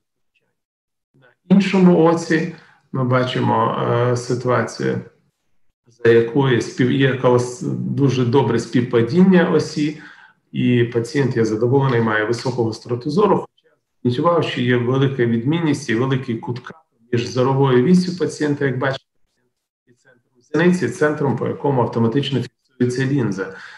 Хоча гострота зору є велика, є високою, ми все одно бачимо спотворення зображення подвоєння, і навіть з невеликою залишковою рефракцією пацієнт суттєво відчуває покращення цьому зверну вашу увагу, що сферичний еквівалент близький до нуля отриманої рефракції. Гіперметропи також становлять е, дуже велику специфічну групу в плані оцінки якості зображення, і багато хто з вас стикався з тим, що гіперметропи після імплантації можуть втрачати один або два рядки максимальної коригованої гостроти зору. Е, це зумовлено рядом феноменів. Один з них я спробую показати вам тут. Зверніть увагу, наскільки а, є рогівка, і наскільки швидко е, має місце і спад кривизни, і наскільки ця кривизна не є настільки рівномірною і плавною, як це має місце на нормальних очах. Пацієнти після імплантації має місце навіть незначна вторинна не менше втрата зору є високою, якість зору є високою. Це якість цього зору без додаткової корекції, а це інше око. Зверніть увагу, наскільки при залишковому циліндрі невеликому є складною рефракція в зіничній ділянці. Також зверніть увагу, наскільки рефракція залежить від діаметру зіниці. 3-мм зіниці у нього рефракція близька до нуля. Якщо ми оглянемо його кут капа, він є величезний на лівому оці. Погляньте, це центр зорової осі пацієнта, і це центр е, безпосередньо оптики і зіниці. Відповідно, пацієнта на лівому оці колосальні аберації. Ви бачите, наскільки пацієнт бачить некомфортним подвоєне зображення. І при цьому зверніть увагу, що це вже гострота зору його з корекцією. Тобто ви не можете нічого зробити. Це одна з причин, яка полягає в тому, що гіперметропи можуть втрачати один-два рядки. Один з випадків, коли е, ми бачимо, наскільки е, впливає ротація торичної лінзи після правильної імплантації, на якість зору, бачите, пацієнт опероване е, ліве око, хороше центрування лінзи, хороше співпадіння осі. Ми бачимо пацієнта після операції без корекції, після операції з залишковою корекцією. Ми бачимо на лівому оці без корекції. Ми бачимо добре центровану мультифокальну торичну лінзу, співпадіння осі. І водночас через день у пацієнта реактивна гіпертензія, високий внутрішньоочний тиск, тренування передньої камери, за рахунок чого ротуються лінзи. От видно, наскільки лінзи ротувалися відповідно до положення, яке би вона мала займати приблизно. Ось так ми бачимо, наскільки це впливає на зір, і при цьому навіть оптична корекція не приводить до максимально комфортної остроти зору. Зверніть увагу осі. І е, після того, як лінза була відновлена, правильне її положення, правильний градус у пацієнта суттєво покращилося. Зверніть увагу, що в цьому випадку великий кут капа, і цього неможливо уникнути. При цьому виникає в першу чергу така е, неприємна для пацієнта і феномен, як е, кома, і власне аберація кома дуже негативно сприймається. Є ще цілий ряд цікавих оригінальних лінз із поглибленою глибиною, з подовженою глибиною фокусу, з якою зараз будемо все частіше стикатися. Ви бачите пацієнта з лінзою, яка є поєднує в собі поглиблену глибину фокусу, і складну оптику, яка дещо нагадує прогресивну оптику в окулярах. Ці пацієнти мають надзвичайно складну рефракцію в ділянці зениці. У них специфічне сприйняття фар, які світять донизу завжди у них. І ви бачите, у цього пацієнта є також певні, певний зоровий дискомфорт навіть з корекцією. А ще один з пацієнтів з такою ж лінзою. Зверніть увагу, що у нього також складна дуже рефракція в ділянці зениці, хороше розташування лінзи, задній капсулорексис, невелика залишкова рефракція. Рефракція е, всього мінус 0,75, мінус 0,5 циліндра, і з цією корекцією пацієнт бачить набагато більш комфортно і симптоми, з якими стикаються пацієнти, зумовлені і складною оптикою інтерокулярної лінзи, і наявністю великого кута капи у цього пацієнта. Тому, завершуючи лекцію, хочу вам ще раз якість зору пацієнта є дуже складним феноменом. Ми не завжди можемо це адекватно і до кінця оцінити, навіть маючи і колосальні технологічні для цього можливості тому що суб'єктивний фактор він дуже дуже важливий. Крім того, детальний аналіз всіх цих параметрів займає дуже багато часу. Такий параметр, як і абсолютні значення аберації, він суттєво коливається як і від діаметру зіниці, так і від стану слізної плівки, і від цілого ряду багатьох факторів. Я дякую вам за увагу. Бажаю, щоб у вас всіх була гострота зору, така як на цій тестовій таблиці, щоб у вас була прекрасна якість зору, і що, якщо, не дай Бог, ви будете впроваджувати у вас є ще астигматизм, щоб співпадіння осі було таке, як у цього пацієнта, який має цей результат дуже хороший і є. Дякуємо, шановний Андрій Дякую, Степанович. за- Сергій Олександрович. Да, дуже цікаву доповідь. Е, Дійсно, якість е, ретинального зору це саме головне, тому що коли пацієнт приходить після деякої хірургії, і коли він бачить безпричинно, скажімо, 0,4, для цього потрібно просто м, е, говорити про те, що пацієнт недообстежений був до оперативного втручання і не попереджений був. Андрій Степанович, появилося два запитання до вас в чаті. Е, Якщо ви розумієте цю мову, то я вам назову, е, прочитаю. Какую величину астигматизма убирают астигматические кератотомии в вашем случае? Имеется в виду без старической иол. Е, Я тоді відповім такою ж мовою оригіналу. А С астигматическими кератотомиями мы работали лет 10. Это период касается середины 90-х до э, 2007 года. А С астигматическими кератотомиями наиболее прогнозированным является а, амплитуда где-то до двух диоптрий.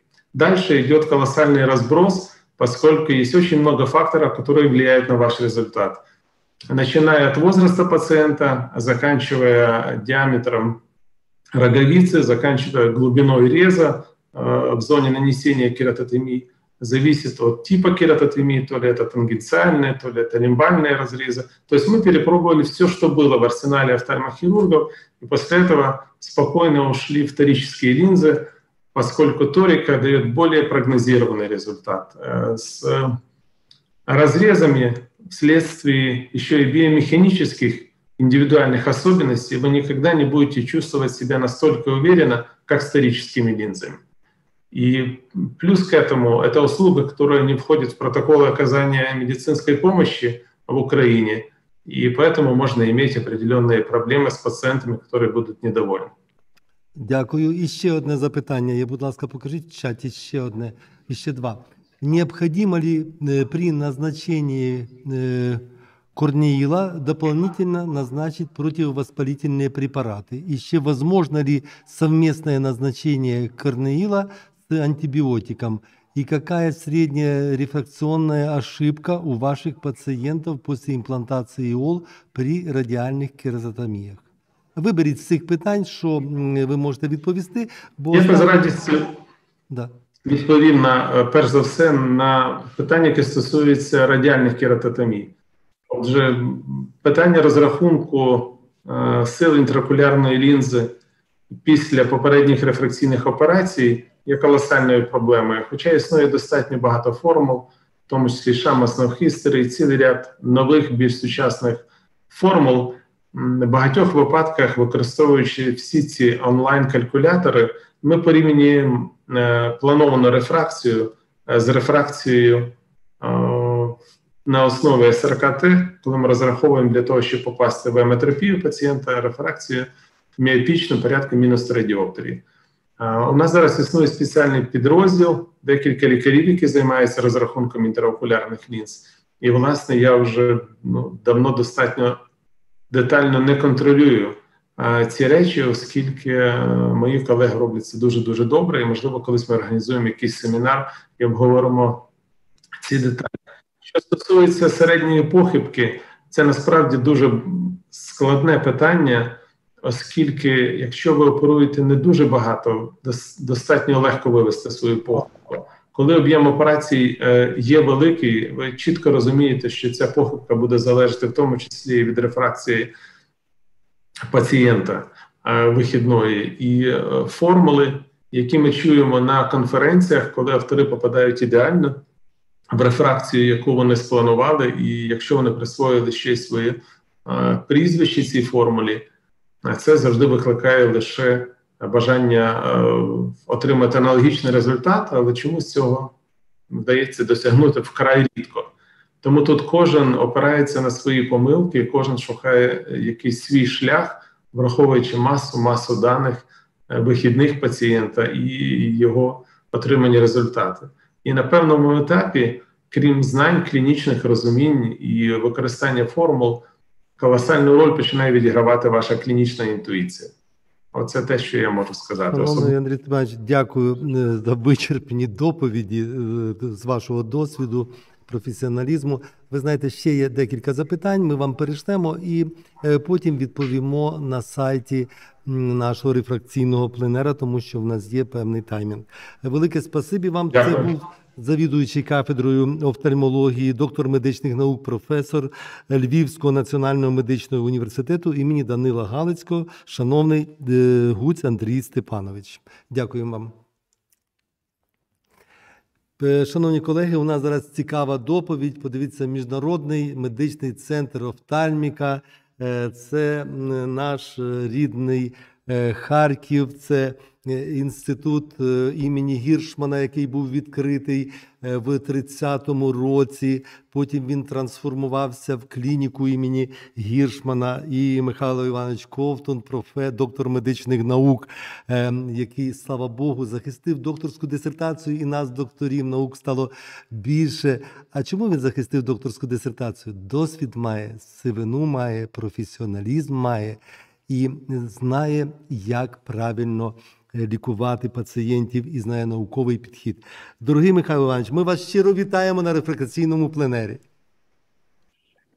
Е, і е, надаємо вам слово з доповіді. Да, ради вас бачити. Е, Доповідь особливості передопераційної підготовки і техніки факоемульсифікації катаракти у пацієнтів після лазерної корекції зору. Тобто надзвичайно важливий момент, тому що правильно розрахувати лінзу це великий, м, треба мати великий досвід. Михайло Іванович, вам слово. Э, Прежде всего, я рад участвовать. в Презентацию. этом. Включите презентацию, пожалуйста. Мы еще не видим презентацию. Э, Сергей Александрович, нас видно вдвоем? Видно вдвоем, да. А сейчас будет видно презентацию и вас вдвоем. Отдельно в окошке. Мы будем делать вдвоем доклад, если вы не против. Это Э, правильно. Сергей Александрович, я очень рад приветствовать всех участников рефлексийного пленера, э, видеть всех своих коллег, которыми давно мы не встречались. И, наверное, прежде всего поздравить вас и ваш э, оргкомитет с успешным проведением этой конференции. Что с- мы сегодня представляем действительно две клиники. Это старейшую больницу Украины, больницу имени профессора Гершмана и международная ботаника. Э, Что нас как бы сподвигло на такую тему, это то, что у нас стали появляться пациенты, которые в анамнезе перенесли рефракционное вмешательство уже в нашей клинике. И мы понимаем, что мы находимся на пороге того, что таких пациентов все будет больше и больше. И мы сталкиваемся с определенными проблемами, общаясь с этими больными, э, готовя их к операции. И мы хотели бы поделиться нашим пока небольшим опытом, но то, что как бы то, с чем мы столкнулись. Мы прекрасно понимаем, что эти пациенты уже когда-то приняли решение и э, решились на рефракционную операцию. То есть э, у них требования, безусловно, завышены. Они уже решили жить без очков, и, в общем-то, они хотят видеть так же, как в молодости, и для этого они опять приходят к нам. Я хочу напомнить, что мы начали оперировать этих больных с 2008 года, и на данный момент цифра этих операций доходит у нас до э, 20 тысяч человек. Что же главное, когда мы готовимся к операции с этими пациентами? Безусловно, очень большое внимание мы уделяем беседе и правильно собранному анамнезу. Мы спрашиваем, как они прожили это время, пользовались ли очками, мягкими контактными, контактными линзами. И также проводим очень-очень серьезно их обследуем. Мы спрашиваем их профессию, мы спрашиваем их э, хобби, то, чем они увлекаются, потому что это очень важно, как он будет дальше жить. И когда у нас есть такой план, когда мы проводим обследование этих пациентов, на первом месте, безусловно, стоит это выбор ИОЛ. Какой хрусталик мы поставим этим пациентам. Затем у нас есть специальная группа людей, которая проводит расчет силы ИОЛ именно вот этим пациентам, потому что я вам сказал, что у них уже завышенные требования, и они э, могут предъявлять различные претензии, с которыми нам порой бывает очень тяжело справиться. И здесь обязательно проводится и топография, топограмма роговицы для исключения эктазии, дистрофии, и различные измерения, обследования. Плюс обязательно мы проводим исследования на синдром сухого глаза, оцениваем состояние мейбомой железы, слезной пленки. Также мы проводим определение характера зрения, определяем ведущий глаз, положение глаз. И если эта ситуация еще связана с РЗХ и возможностью, как бы, э, мы обязательно делаем моделирование послеоперационного статуса, используя мультифокальные мягкие контактные линзы. Э, очень важно узнать, какой вид, рефра... какой вид рефракционного вмешательства и когда было это сделано. То есть, если это рефракционное вмешательство было сделано больше 15 лет назад, то это были совсем другие машины, они совсем по-другому проводили абляцию. Это часто были небольшого диаметра децентрированные абляции. И это очень важно учесть, когда вы будете проводить затем хирургию катаракты, потому что вы можете потом столкнуться в послеоперационном периоде с очень большими проблемами, больные будут крайне недовольны, и, ну, в общем, вы только наживете как бы геморрой. Если выбор ИОЛ. Если ранее была миопическая оптика и реф, э, э, рефракционное вмешательство было проверено по поводу миопии, то здесь мы можем ему предлагать, нашему пациенту предлагать асферическую ИОЛ. Это будет лучшим выбором, так как эти глаза обычно имеют высокие сферические аберрации.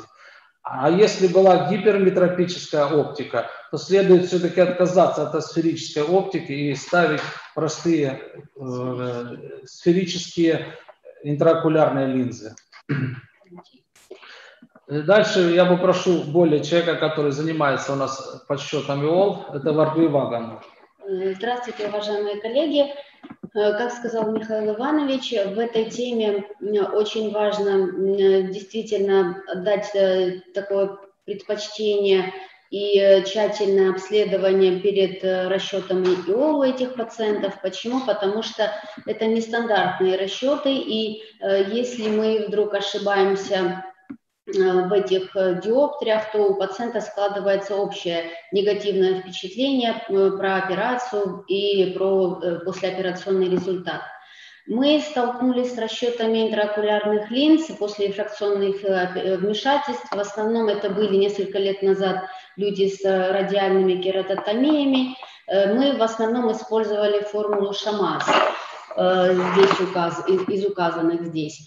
Но э, мы понимаем, что все развивается очень быстро и стремительно, и мы сталкиваемся сейчас с пациентами, у которых были проведены рефракционные, э, э, рефракционные хирургии в виде более современных методов, это лазерные, лазерная коррекция в различных модификациях – Поэтому используем э, более современные уже формулы, и э, их очень легко ими пользоваться, потому что они есть онлайн. Это первое, э, калькулятор для расчета линз американского общества офтальмологов. Дальше мы можем пользоваться формулами, более современными формулами Барретт здесь указанных, для которых не нужны э, исторические данные или же мы же их называем предоперационными данными. Также имеется формула Барретт, которая помогает нам рассчитывать этим пациентам торические линзы. И есть еще, кроме формул, есть приборы, которые э, нам помогают. Это прибор э, фирмы Alcon Virion. Э, здесь наглядно мы можем посмотреть э, и демонстрированные формулы, которыми мы пользуемся. Э, требуют они введения некоторых данных. Опять-таки есть формулы, которые нужны предоперационные данные. Это здесь все можно указать в этих окошечках. Есть формулы, которым не нужны предоперационные данные. Да, операционные данные перед рефракцией, рефракционной хирургией которые были. Что касается сейчас, то, на мой взгляд, все немножко упростилось, если есть такой прибор, как Вирион, потому что те формулы, которые мы с вами рассматривали, они уже введены в этот прибор, и пациенту, нам не обязательно иметь э, историю пациента, нам не обязательно знать э, данные э, перед рефракционной хирургией, потому что здесь можно просто выбрать такую вот опцию, что пациента, провод, пациенту проводилась уже хирургия, и э, сам прибор уже все пересчитывает, потому что уже введены эти формулы. Это очень быстро, это очень качественно, и, э, собственно, ошиб, ошибка сводится к минимуму. Небольшой клинический пример пациентки, которая оперировалась в клинике офтальмика. 90, э, в 2014 году проводилась лазерная коррекция. В 2020 году она обратилась э, с, с, с низким зрением, да, и был поставлен диагноз зрелая катаракта правого глаза. Мы видим кератометрию, то есть и понимаем, что пациентке была проведена ранее хирургия, Обязательно, как сказал Михаил Иванович, мы этим пациентам проводим топограмму, потому что мы должны понимать, с какой роговицей мы сейчас имеем дело. Если мы э, у данной пациентки мы анализировали и заднюю, и переднюю поверхность роговицы, анализ зерники – это определение коэффициента аберраций, это анализ холодей, который нам показывает регулярность роговицы. В данном случае мы не находили противопоказаний для имплантации мультифокального хрусталика э, и перешли к расчетам его. То есть с выбором его мы определились, проводя э, тщательное обследование. И что касается расчета ИОЛ. Э, здесь в этом углу указано если бы мы не выбирали в приборе э, опцию, что пациент уже с рефракционной хирургией, то хрусталик, тут плохо видно, я озвучу, э, прибор э, хотел, чтобы мы имплантировали 18 диоптрий. Здесь, в этом углу, в нижнем, указано уже с выбором опции послеоперационной уже после операционной хирургии, после рефракционной хирургии, здесь уже выдают совершенно другую диоптрию, это 20, 20 либо 20 с половиной. Но мы также использовали в данном случае калькулятор ICRS, э, Э, вводя, э, у нас были э, предоперационные данные, так как пациентка оперировалась, у нас, естественно, сохранилась карточка. Также мы провели расчеты по формуле ШАМАС. Здесь она демонстрирована. Нам нужна только лишь послеоперационная кератометрия и вот как высчитывать. И во всех случаях нам предлагалась диоптрия 20,5, поэтому пациентке имплантировалась рестор 20 с половиной. Ее данные через день после операции мы видим кератометрию, мы видим состояние роговицы, глаза в общем, все спокойно, и роговицу в срезе осетий. То есть небольшой цилиндр, который присутствует, он э, должен э, уйти, потому что это первый послеоперационный день. Э, дальше пациентка не смогла прийти на осмотр, поэтому есть только данные через день. Я передам слово Михаилу Ивановичу по поводу хирургических особенностей таких пациентов. Отдельно мы хотели бы выделить операции после радиальной кератотомии. Вот. Безусловно, таких пациентов тоже довольно много, и периодически они появляются. И я думаю, что многие уже хирурги сталкивались с этими проблемами. Вот. Я прежде всего хочу сказать, что мы после радиальных кератомий, как правило, никогда не ставим мультифокальную ИОЛ, потому что там есть элементы регулярности, и, как правило, пациенты остаются недовольны после имплантации мультифокальной ИОЛ. И здесь мы нашли вот такую классификацию, что когда бывает, было исторически мало разрезов, и показано на схеме, что ваши парацентезы и основной разрез должен быть проходить между разрезами, чтобы э, все прекрасно знают и такими пациентами сталкивались, что после радиальной кератомии строма роговицы она не срастается, а только эпителием закрывается. И, безусловно, это довольно такое слабое место – так как у нас даже были пациенты, которые получали тяжелой контузии, и глаз разрывался именно по радиальным кератотомиям. И, безусловно, отдельно хотелось бы выделить тех пациентов, у которых больше восьми разрезов, и здесь нужно идти, возможно, даже отсепаровать конъюнктиву более лимбально, чтобы не э, вскрыть э, один из разрезов. Вот. Но если все-таки это произошло, как бы ничего пугаться не надо, и просто после окончания хирургии нужно будет наложить дополнительный шов на разрез. И, как правило, это все периферически и не вызывает особых э, как бы, индукций астигматизма. И, безусловно, здесь очень важно, когда вы заканчиваете операцию, проверять, есть ли подтекание или нет, и добиться полной, как бы говорится, да. Э, а фильм здесь был? Будет. Будет, да, извините, пожалуйста. Вот, дальше э, мы хотим остановиться, так как эта пациентка уже перенес, перенесла операцию ласик и э, не радиальную кератомию, а уже рефракционную, лазерную, э, то здесь есть тоже определенные особенности. И э, здесь нужно, если вам есть возможность, посмотреть, где находится ножка. И очень аккуратно проводить э, хирургию, особенно в том плане, что ваши разрезы не должны проходить через, через флоску, через флэп. А вы должны тоже э, все разрезы размещать более лимбально, чтобы ни в коем случае не отслоить э, флэп, и чтобы потом не было в, в, в будущем врастания эпителия. Сейчас мы вам покажем небольшой фильм, который нам предоставил коллега со своей практики. Вот. И здесь видно даже на фильме, что вот э, левый разрез, он довольно далеко от лимба сделал и в результате повредил флэп. И вы видите, как флэп прямо подняло водичкой, и, конечно же, э, БСС. Это очень нежелательно, потому что в будущем, возможно, туда будет врастание эпителия. Э, в нашей хирургии, вы знаете, бывает все, и хорошие эпизоды, и плохие, поэтому мы хотим поделиться еще с одним пациентом, который очень долго находится под нашим лечением, и, в общем-то, ну, я думаю, что это нестандартный пациент.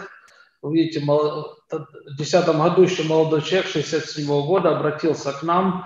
Э, ему был сделан ласик. Э, перед операцией он полностью был обследован. Он получил э, лазерное... На, на периферии у него были обнаружены разрывы. Он получил ограниченную лазерную коагуляцию – и в 2010 году перенес лазерную коррекцию.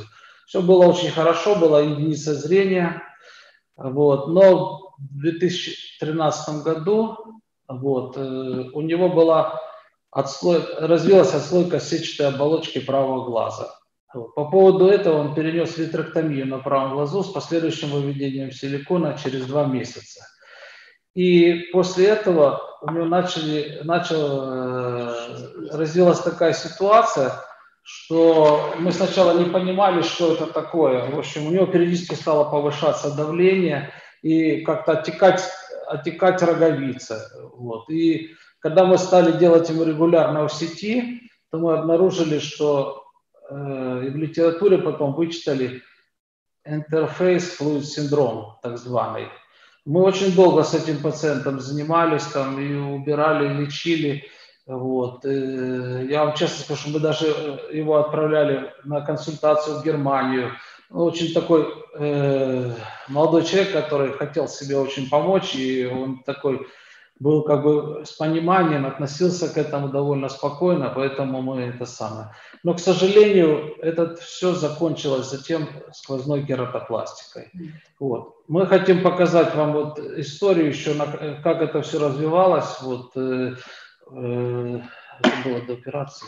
Да, это, это вот, э, э, Давайте я вот э, немножко расскажу про пациента. У него периодически повышалось внутриглазное давление, и после того, как применяли снижающие давление капли, все стабилизировалось. Но, как сказал Михаил Иванович, у него периодически были эпизоды воспаления и использовали дексаметазон.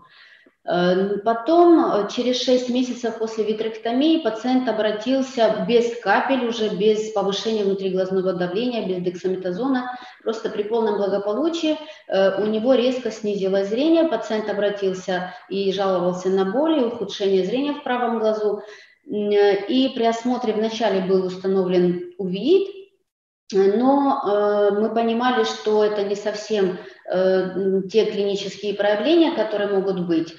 И находя вот такие изменения на роговице, э, и мы видели накопление жидкости между лоскутом и стромой, и периодически эта ситуация менялась. Здесь показано, демонстрировано роговица, э, то эта жидкость уменьшалась, то она увеличивалась. И мы установили ему диагноз интерфейс флюид синдром. Синдром это, это характеризуется и является э, редким послеоперационным осложнением после лазерных, лазерной хирургии, смайл и ламеллярной кератопластики. И, как мы уже сказали, характеризуется скоплением жидкости между лоскутом и стромой. Э, этот синдром может возникнуть как через в раннем послеоперационном периоде, так это может возникнуть и через несколько месяцев и даже через несколько лет, так описано в литературе. У нашего пациента это было через полгода. Э, чаще всего это происходит в результате повышения внутриглазного давления при применении стероидов, а у него в анамнезе мы рассказали, что были такие эпизоды, либо же это происходит при, при дисфункции эндотелиальных клеток. В его случае э, демонстрировано здесь состояние эндотелиальных клеток перед витриоретинальной хирургией, то есть таких проблем у него не было, но были эпизоды применения дексаметазона и были эпизоды э, повышения внутриглазного давления. Здесь э, это уже через год после того, как ему был поставлен этот диагноз, мы видим практически декомпенсацию роговицы, очень мало эндотелиальных клеток, э, они не определяются, несмотря на то, что э, жидкость уменьшилась, но тем не менее пострадали у него эндотелиальные клетки, и роговица уже декомпенсировалась, поэтому было принято решение про уже кератопластику пациента. Мы его, собственно, видели вчера, Э, это уже его глаз после кератопластики. Мы видим достаточно неплохие эндотелиальные клетки. Э, практически все прозрачно, выглядит хорошо. Э, это у него такой вот медриаз. И, к сожалению, его низкое зрение за счет того, что все-таки периодически повыш... мы с этим связываем, что периодически повышалось внутриглазное давление и пострадал зрительный нерв. Вот так выглядит сейчас его роговица и внутриглазное давление 14, то есть все сейчас компенсировано. Вот такой клинический пример. И в заключение мы хотим сказать, что действительно этих больных будет все больше и больше, и как, как будут развиваться события, вот вы видите, мы, никто не думал, что разовьется такой, такая ситуация с этим молодым человеком, поэтому так как много ласиков проводится этим пациентам, и возможны будут вот такие проблемы. Конечно, не дай бог, чтобы их было так много. Да. Спасибо за внимание. До свидания. Спасибо огромное, Михаил Иванович, э, за ваш э, чудесный доклад, интересный доклад, сложный доклад. И так, такие случаи, в общем-то, когда случаются в практических э, офтальмологов, они теперь будут знать, куда их направлять в первую очередь. А скажите, есть у нас вопросы в чате? Сейчас мы посмотрим. Вы не видите вопросы, я их увижу. Если я увижу, я прочитаю. Э, пока что в чате э, конкретный был доклад у вас, совершенно понятный, э, научно обоснованный, поэтому вопросов пока что в чате нет. Если будут, мы вам их перешлем. Огромное спасибо вам за участие і за доклад. Спасибо. Спасибо. Спасибо. Шановні колеги, переходимо. Наступна доповідь чекає включення відомий професор Дрожжина Галина Іванівна. Ем, е, Це державний заклад Інститут очних хвороб і тканинної терапії імені Володимира Петровича Філатова, е, доктор медичних наук, професор, старший науковий співробітник. В Галини Іванівні дуже цікава доповідь. Лактоферин сльози, антимікробні та імуномоделюючі властивості, особливо зараз під час коронавірусу. Галина Івановна, це дуже важлива річ. Раді вас вітати. Слухаємо вас. Добрий день, Сергей Александрович. Добрый день, шановні колеги. Э, Прежде всего, я хотела бы поблагодарить э, Сергея Александровича и организаторов Рефракционного пленера за возможность выступить э, с лекцией, которая посвящена э, антимикробным и иммуномодулирующим свойствам одного из самых мощных э, антимикробных белков слезы – это лактоферин. На сегодняшний день мы знаем, что поверхность глаза постоянно подвергается воздействию внешней среды, и э, на поверхности имеется достаточно большое количество э, микроорганизмов, которые ус- устанавливают с поверхностью глаза симбиотические отношения. В то же время достаточно большое количество патогенных микроорганизмов для того, чтобы внедриться э, в, э, в клетки поверхности глаза, они должны уклоняться от тех защитных белков, которые есть в слезной пленке. И на сегодняшний день мы знаем, что эти белки содержатся в водном компоненте слезной пленки, который насчитывает э, более полутора э, тысяч э, белков различных, среди которых так называемые антимикробные пептиды, в которые входит лактоферин, лизоцим, иммуноглобулин А, липокалины слезы, еще сюда также относятся альбумины, э, представляют собой основной э, э, механизм защиты поверхности глаза.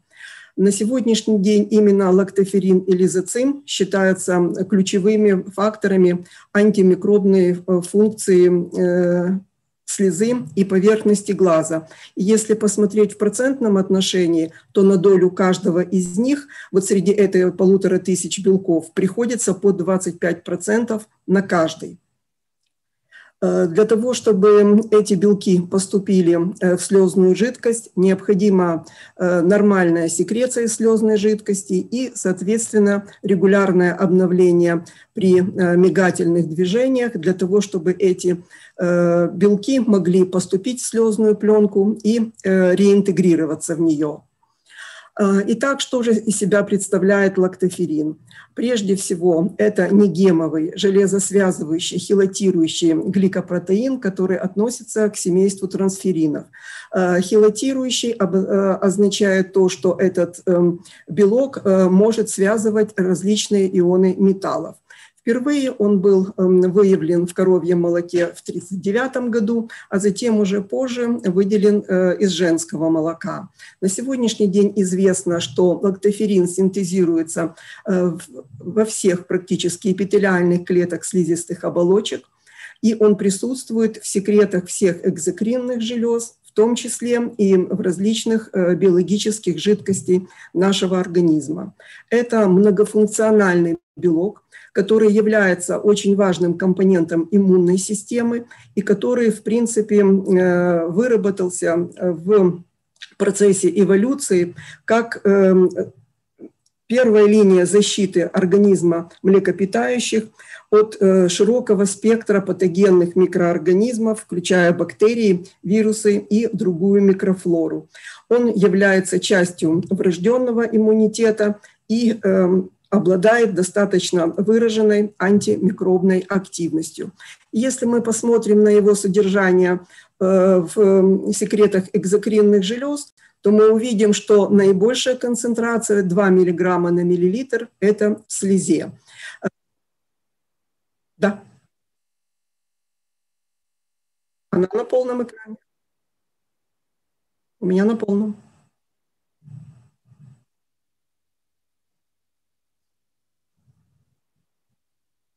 вижу.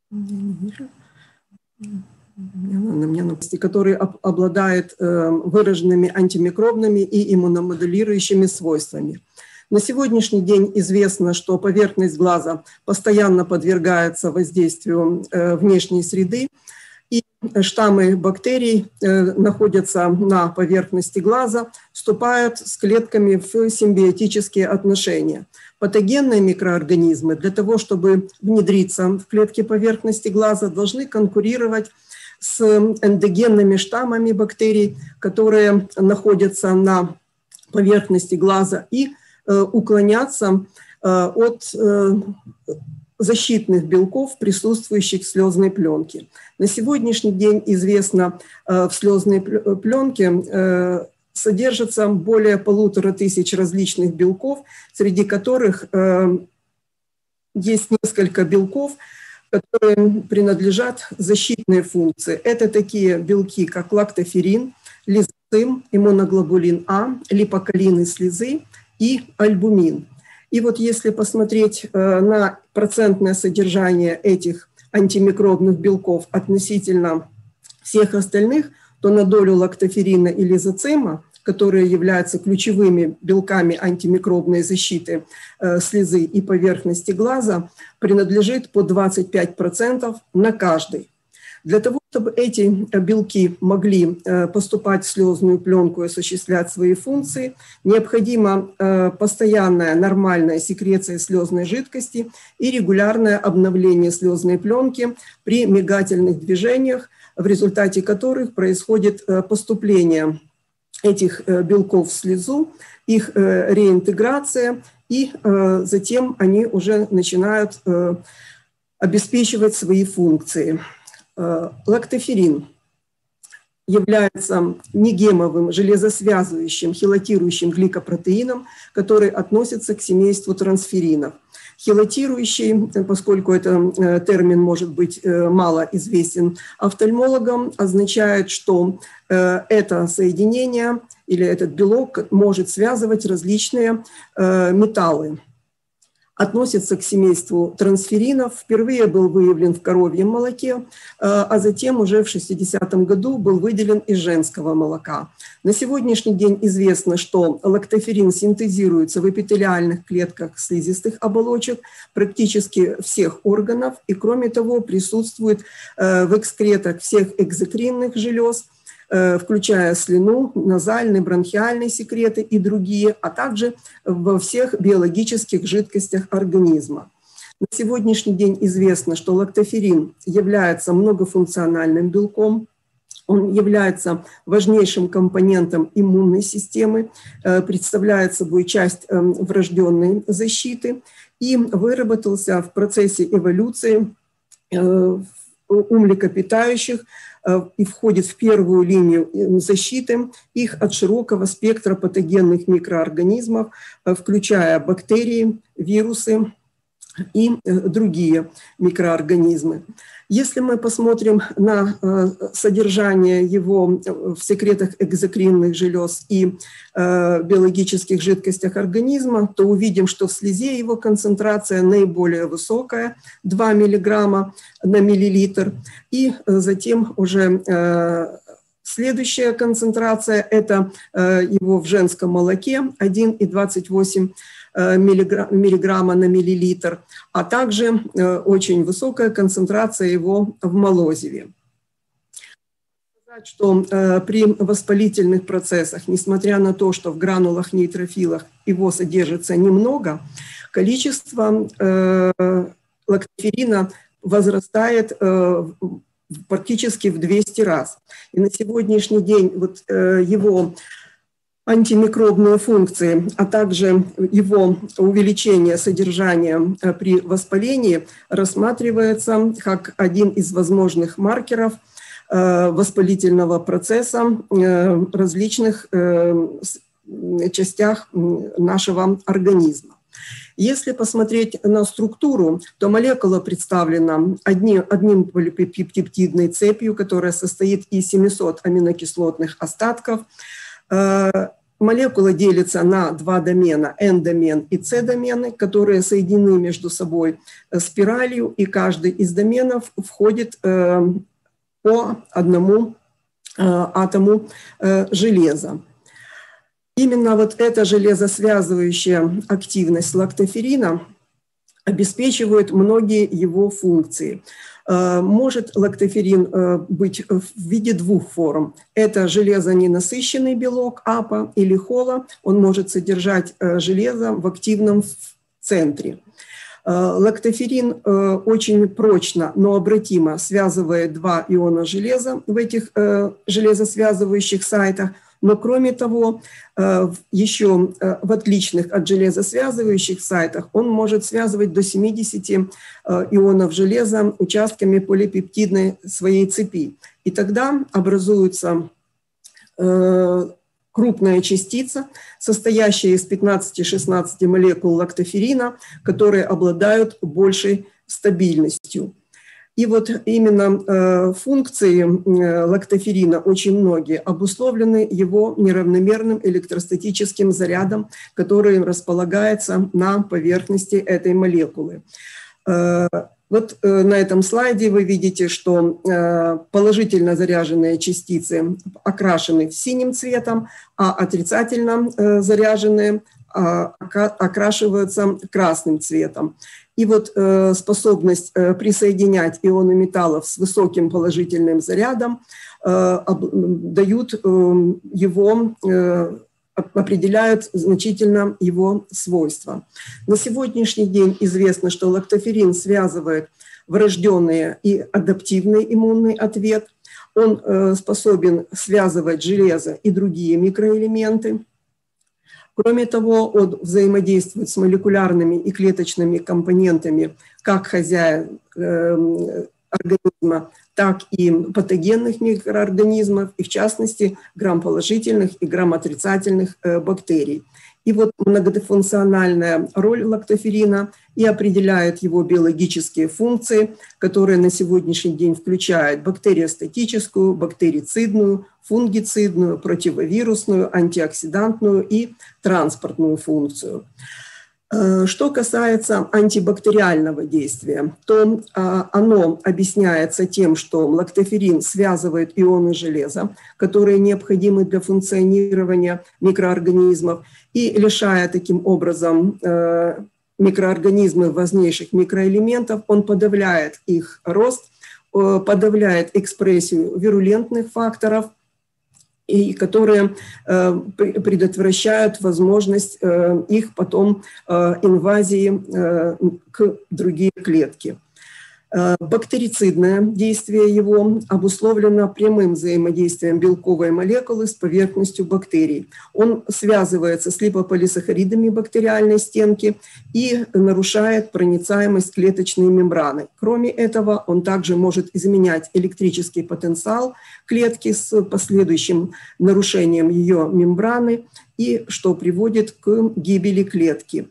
И еще одно очень важное свойство лактоферина – это усиление действия природных антибактериальных агентов, в частности лизоцима, а также образование э, биопленок на поверхности глаза. Вы знаете, что э, многие микроорганизмы на поверхности глаза – образуют такие конгломераты, э, которые помогают им быть устойчивыми против антимикробных различных факторов.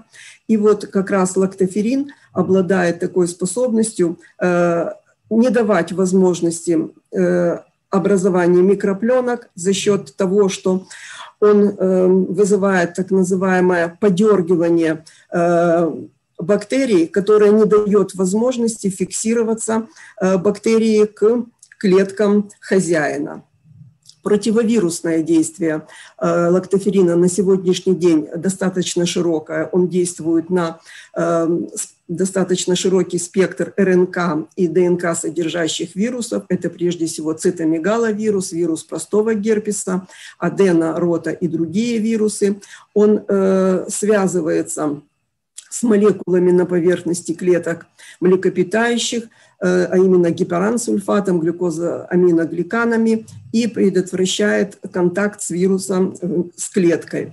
Э, действует как на стадии взаимодействия вируса с клеткой, так и э, подавляет репликацию вируса уже в зараженных клетках. Лактоферин, э, являясь неспецифическим фактором защиты, обладает фунгицидным действием, и прежде всего известно его фунгицидное действие относительно кандиды альбиканс, а также аспергиллюсов. Стимулирует иммунные защиты механизма, и считается, что э, фунгицидное и противопаразитарное действие э, лактоферина заключается прежде всего в повреждении стенки наружной клеточной мембраны э, бактерий, которые затем уже постепенно гибнут.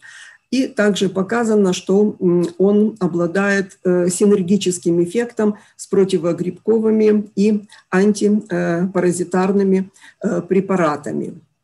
Очень важным действием являются его противовоспалительные свойства.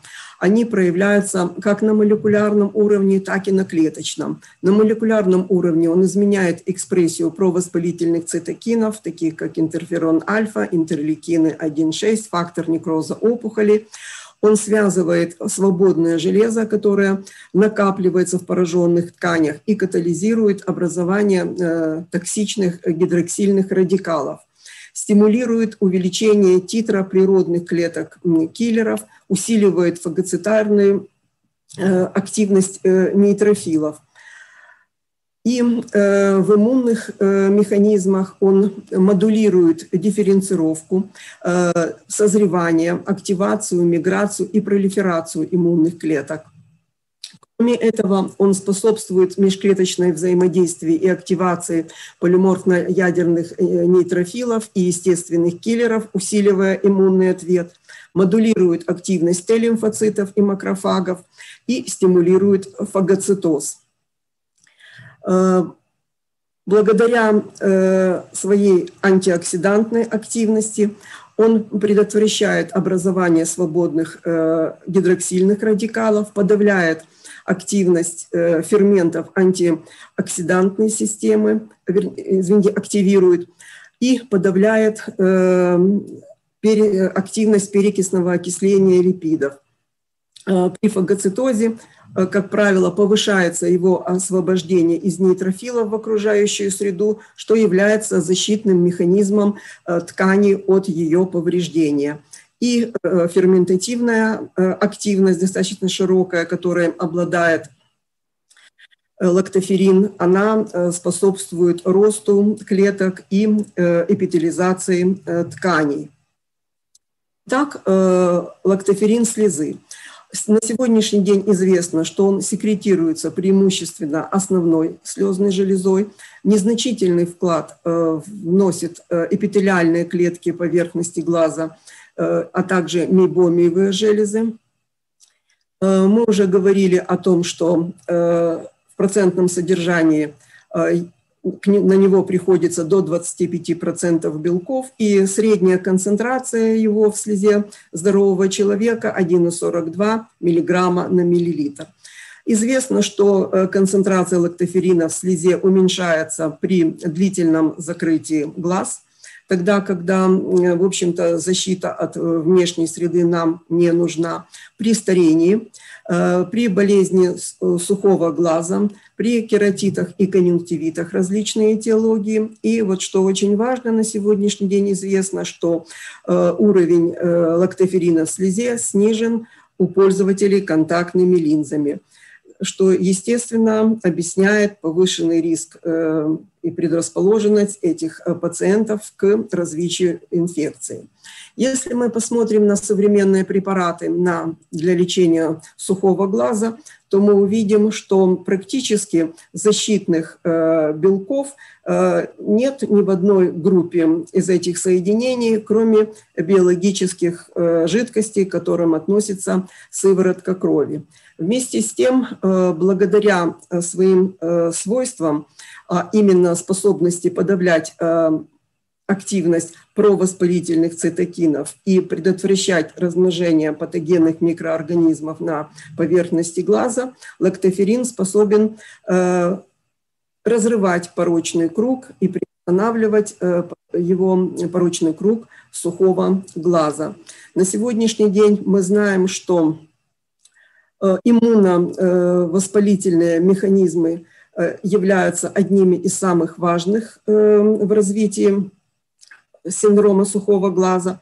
Поэтому э, нормальное содержание лактоферина в слезе играет крайне важную э, роль в защите поверхности глаза.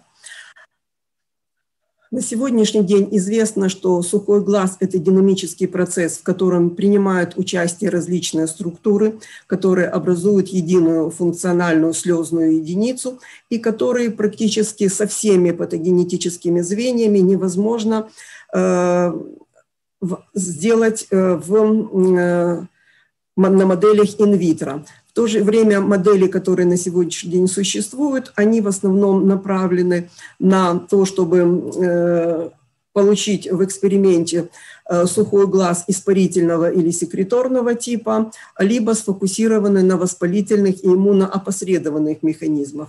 Э, модели, которая бы показала что дефицит лактоферина есть основным фактором заболевания, пока на сегодняшний день нет но в этом направлении ведутся достаточно большие исследования за рубежом э, и предполагают, что условный нокаут лактоферина поможет объяснить его влияние на ткани поверхности глаза, в том числе на патогенез э, болезни сухого глаза, и определить, э, есть ли соединения, которые вот при местном использовании могут стимулировать выработку эндогенного лактоферина.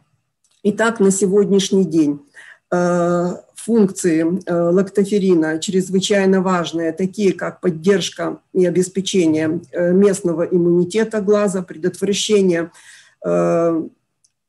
размножения патологических биопленок, защита целостности роговицы, разрыв способность к порочному кругу сухого глаза, э, защита э, поверхности от токсинов, э, противодействие эффектам старения и контроль за концентрацией железа в слезе играют крайне важную роль. Известно, что глаз является порталом для передачи инфекции и прежде всего верхние дыхательные пути, поэтому защитные механизмы поверхности глаза – имеют э, крайне важное значение для э, обеспечения этих функций. Итак, лактоферин реализует в слезной жидкости противовоспалительные, антиоксидантные, антиинфекционные эффекты, которые необходимы для поддержания здоровья поверхности глаза. Э, которая постоянно поддается как возрастным изменениям, гормональным изменениям, а также влиянию э, факторов различных э, внешней среды.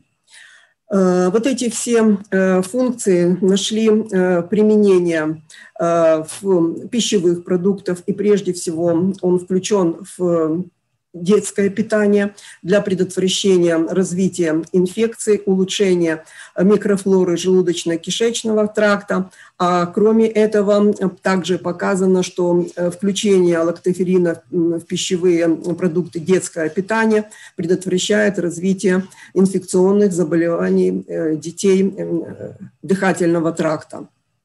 Он включен в продукты по уходу за ротовой полостью, в некоторые косметические э, продукты. И э, вот в Российской Федерации разработан препарат на основе женского молока Лапрот, который обладает дезинтоксицирующим, антибактериальным, противовоспалительным и иммуномодулирующим действием. И вот на основе этого препарата был создан комплекс лекарственных препаратов с различной концентрацией лактоферина для внутриполосного эндотрахеального введения, э, перорального введения, и в том числе и глазных капель. Э, показано, что использование препарата Лапрот э, для лечения гнойных септических процессов, э, особенно в полых органах при сочетанной травме, ускоряет очищение гнойных ран, снижает титры патогенной микрофлоры и ускоряет развитие грануляций. Что касается офтальмологии, то э, изучение влияния бычьего лактоферина на э, заживление эпителиальных ран роговицы, которые индуцированы э, щелочью на модели инвитро было показано, что бычий лактоферин в концентрации 2 дистилляции э, уменьшает площадь язвы, ускоряет эпителизацию за счет э, снижения Э, активности окислительного стресса и усиления антибактериальной активности используемых э, э, препаратов. Шановні учасники конференції, ну інтернет це благодать Господня, але туди деколи вмішується нечиста сила. І як на ЄРСІРС там було 20 перебивок, тому що не завжди з усіх країн підключався інтернет. Через те останні три доповіді Е, Дрожжиної Галини Іванівни лактоферин сльози, фемтоласик е, шановної Тетяни Володимирівни Манойло і доповідь е, порівняльний аналіз результатів поверхневих методів корекції аномалії рефракції Коваленко Лариси Миколаївни. Ми ще раз включимо в кінці сьогоднішнього дня за цим же посиланням. А потім на сайті рефракційного пленеру довічно. Е, у нас наступна доповідь: рахунок, е, розрахунок ІОЛ після лазерних корекцій зору. Е, кандидат медичних наук, офтальмохірург, заступник головного лікаря медичного центру Новий Зір, шановна Тетяна Володимирівна Манойло. Слухаємо, тому що це надзвичайно складна річ і хір... високу ефективність та задоволеність пацієнтів. Але е, з появою знак пресбіопії чи е, чи катаракти ці пацієнти звертаються з метою корекції виникших проблем. І такі пацієнти вони мають, як правило, високі очікування, тому що е, у них є позитивний досвід попередніх втручань на рогівці з приводу аметропії. На сьогоднішній день ми використовуємо сучасні стандартні формули для розрахунку інтракулярних лінз. Це теоретичні формули третього та четвертого поколінь. Ці формули для розрахунку йолу вони використовують показник заломлення рогівки двома способами. Перший спосіб кератометрія безпосередньо використовується при розрахунку заломлення для прогнозування післяопераційної рефракції. І другий кератометрія використовується для прогнозування ефективного положення кришталика, тобто глибини розташування інтраокулярної лінзи відносно рогівки. Е, формули для розрахунку ІОЛ. Тут на цьому слайді ви бачите таку стандартну, скажімо так, формулу, яка більш-менш відповідає більшості формул, і можемо побачити, як е, ці показники використовуються для розрахунку. Але рефракційна хірургія змінює кривизну рогівку і вносить похибки як у вимірювання заломлюючої сили рогівки, так і в прогнозуванні ефективного положення кришталика. Обидва типи помилок призводять до недооцінки необхідної сили іол. В очах, що мали попередню оксимер-лазерну корекцію міопії, ми, як правило, отримуємо СУВ в післяопераційному періоді рефракції в сторону гіперметропії, а в очах, які мали попередню корекцію гіперметропії, таких пацієнтів менше, ми отримуємо е, СУВ в сторону міопії за рахунок того, що відбувається недооцінка необхідної сили інтраокулярної лінзи. XMR, лазерна корекція зору, так і радіальна кератотомія, вони впливають на заломлюючу силу рогівки таким чином, що наші стандартні вимірювання недооцінюють показники кератометрії. В той же час, наприклад, після міопічного ласіку рогівка стає більш пласкою, і тому стандартна формула розрахунку іолу вона оціне камеру ока як мілку і порахує ефективне положення кришталика в цьому випадку неправильно. XMR-лазерна корекція модифікує лише передню поверхню е, рогівки, передню кривизну її, а задня кривизна вона лишається сталим, і це змінює нормальний коефіцієнт передньо-задньої кривизни рогівки або рефракційний індекс. Стандартна кератометрія вимірює у нас лише передню кривизну рогівки, а задня кривизна не міряється, вона враховується або екстраполюється на основі нормального співвідношення передньо-задньої кривизни. Але ця екстраполяція більше не діє після XMR-лазерної корекції. Тому після XMR-лазерної корекції потрібно провести вимірювання як передньої, так і задньої кривизни рогівки і розрахувати чисто заломлюючу силу рогівки. Ось, наприклад, результати обстеження одного пацієнта, який порядка 15 років назад е, зробив лазерну корекцію зору, і ми бачимо, що різні методи обстеження нам дають абсолютно різні показники кератометрії, достатньо близько один до одного е, вимірювання е, кривизни рогівки дає Віріон та Іолмайстер, але автокераторефрактометр він ці показники дає абсолютно неправильним, тому що міряє в зоні, яка не відповідає тій зоні, що ми будемо е, вважати за правильну при розрахунку інтракулярної лінзи. Якщо говорити про радіальні кератотомії, то е, це втручання змінює як передню, так і задню поверхню рогівки, але лише в невеликій центральній оптичній зоні. І ефективний діаметр оптичної зони може бути значно меншим, ніж зона вимірювання при стандартній кератометрії. І в цьому випадку стандартна кератометрія, як правило, переоцінює справжню силу рогівки. Крім того, рогівки після радіальних кератотомій часто мають нерегулярний астигматизм через асиметричні розрізи, і після оперативного лікування катаракти спостерігається центральне сплощення рогівки внаслідок набряку. Більша частина ефекту сплощення зникає протягом декількох місяців, але залишковий гіперметропічний сув може зберігатися роками. В очах після радіальних кератотомій справжню заломлюючу силу рогівки можна оцінити лише беручи до уваги малу ефективну оптичну зону та післяопераційний гіперметропічний сув. В своїй клінічній практиці е, пацієнтам з радіальними кератотоміями ми проводимо розрахунок сили іол на рефракцію в мінус 3 диоптрії. Тобто наша задача, коли ми маємо пацієнта після лазерної корекції зору або, після ексемер лазерної корекції зору, е, зрозуміти, яка істинна заломлююча сила рогівки. На цьому слайді ви бачите різні методи, які ми можемо використовувати для цього. Це метод клінічної історії, це визначення рефракції поверх контактної лінзи, це поправка на основі кератотопографії, вивчення топографії центральних зон, це розроблено для кератотопографа Атласа, та вимірювання, вимірювання істинної заломлюючої сили рогівки.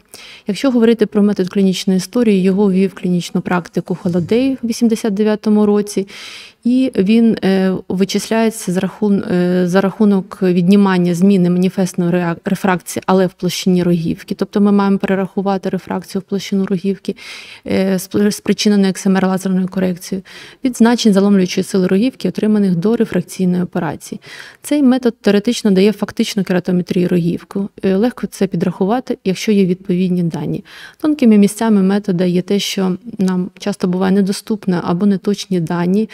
Е, відбуваються зміни інтервалу кривизни рогівки або прозорості кришталика. Крім того, метод клінічної історії не підходить для рогівок після радіальних кератотомій через нестабільну кривизну рогівки. Достатньо популярним методом є рефракція поверхконтактних лінз. Давно він описаний і ведений англійським лікарем Рідлі.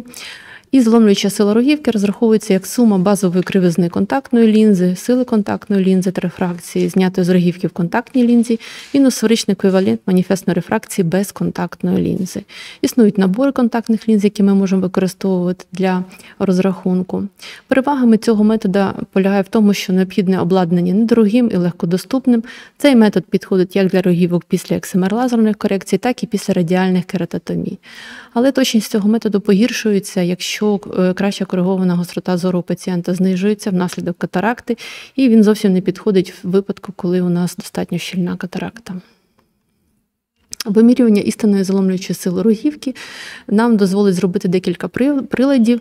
По-перше, це Орбскан, це система відеокератотопографії, яка поєднує диск пласіду та технологію сканування щілинами для безпосереднього вимірювання висоти та кривизни як передньої, так і задньої поверхні рогівок, рогівки. Але е, обмеження Орбскана є те, що змутніння строми рогівки можуть е, змінювати аналіз зображення задньої поверхні рогівки і вводити помилки в розрахунок кривизни рогівки.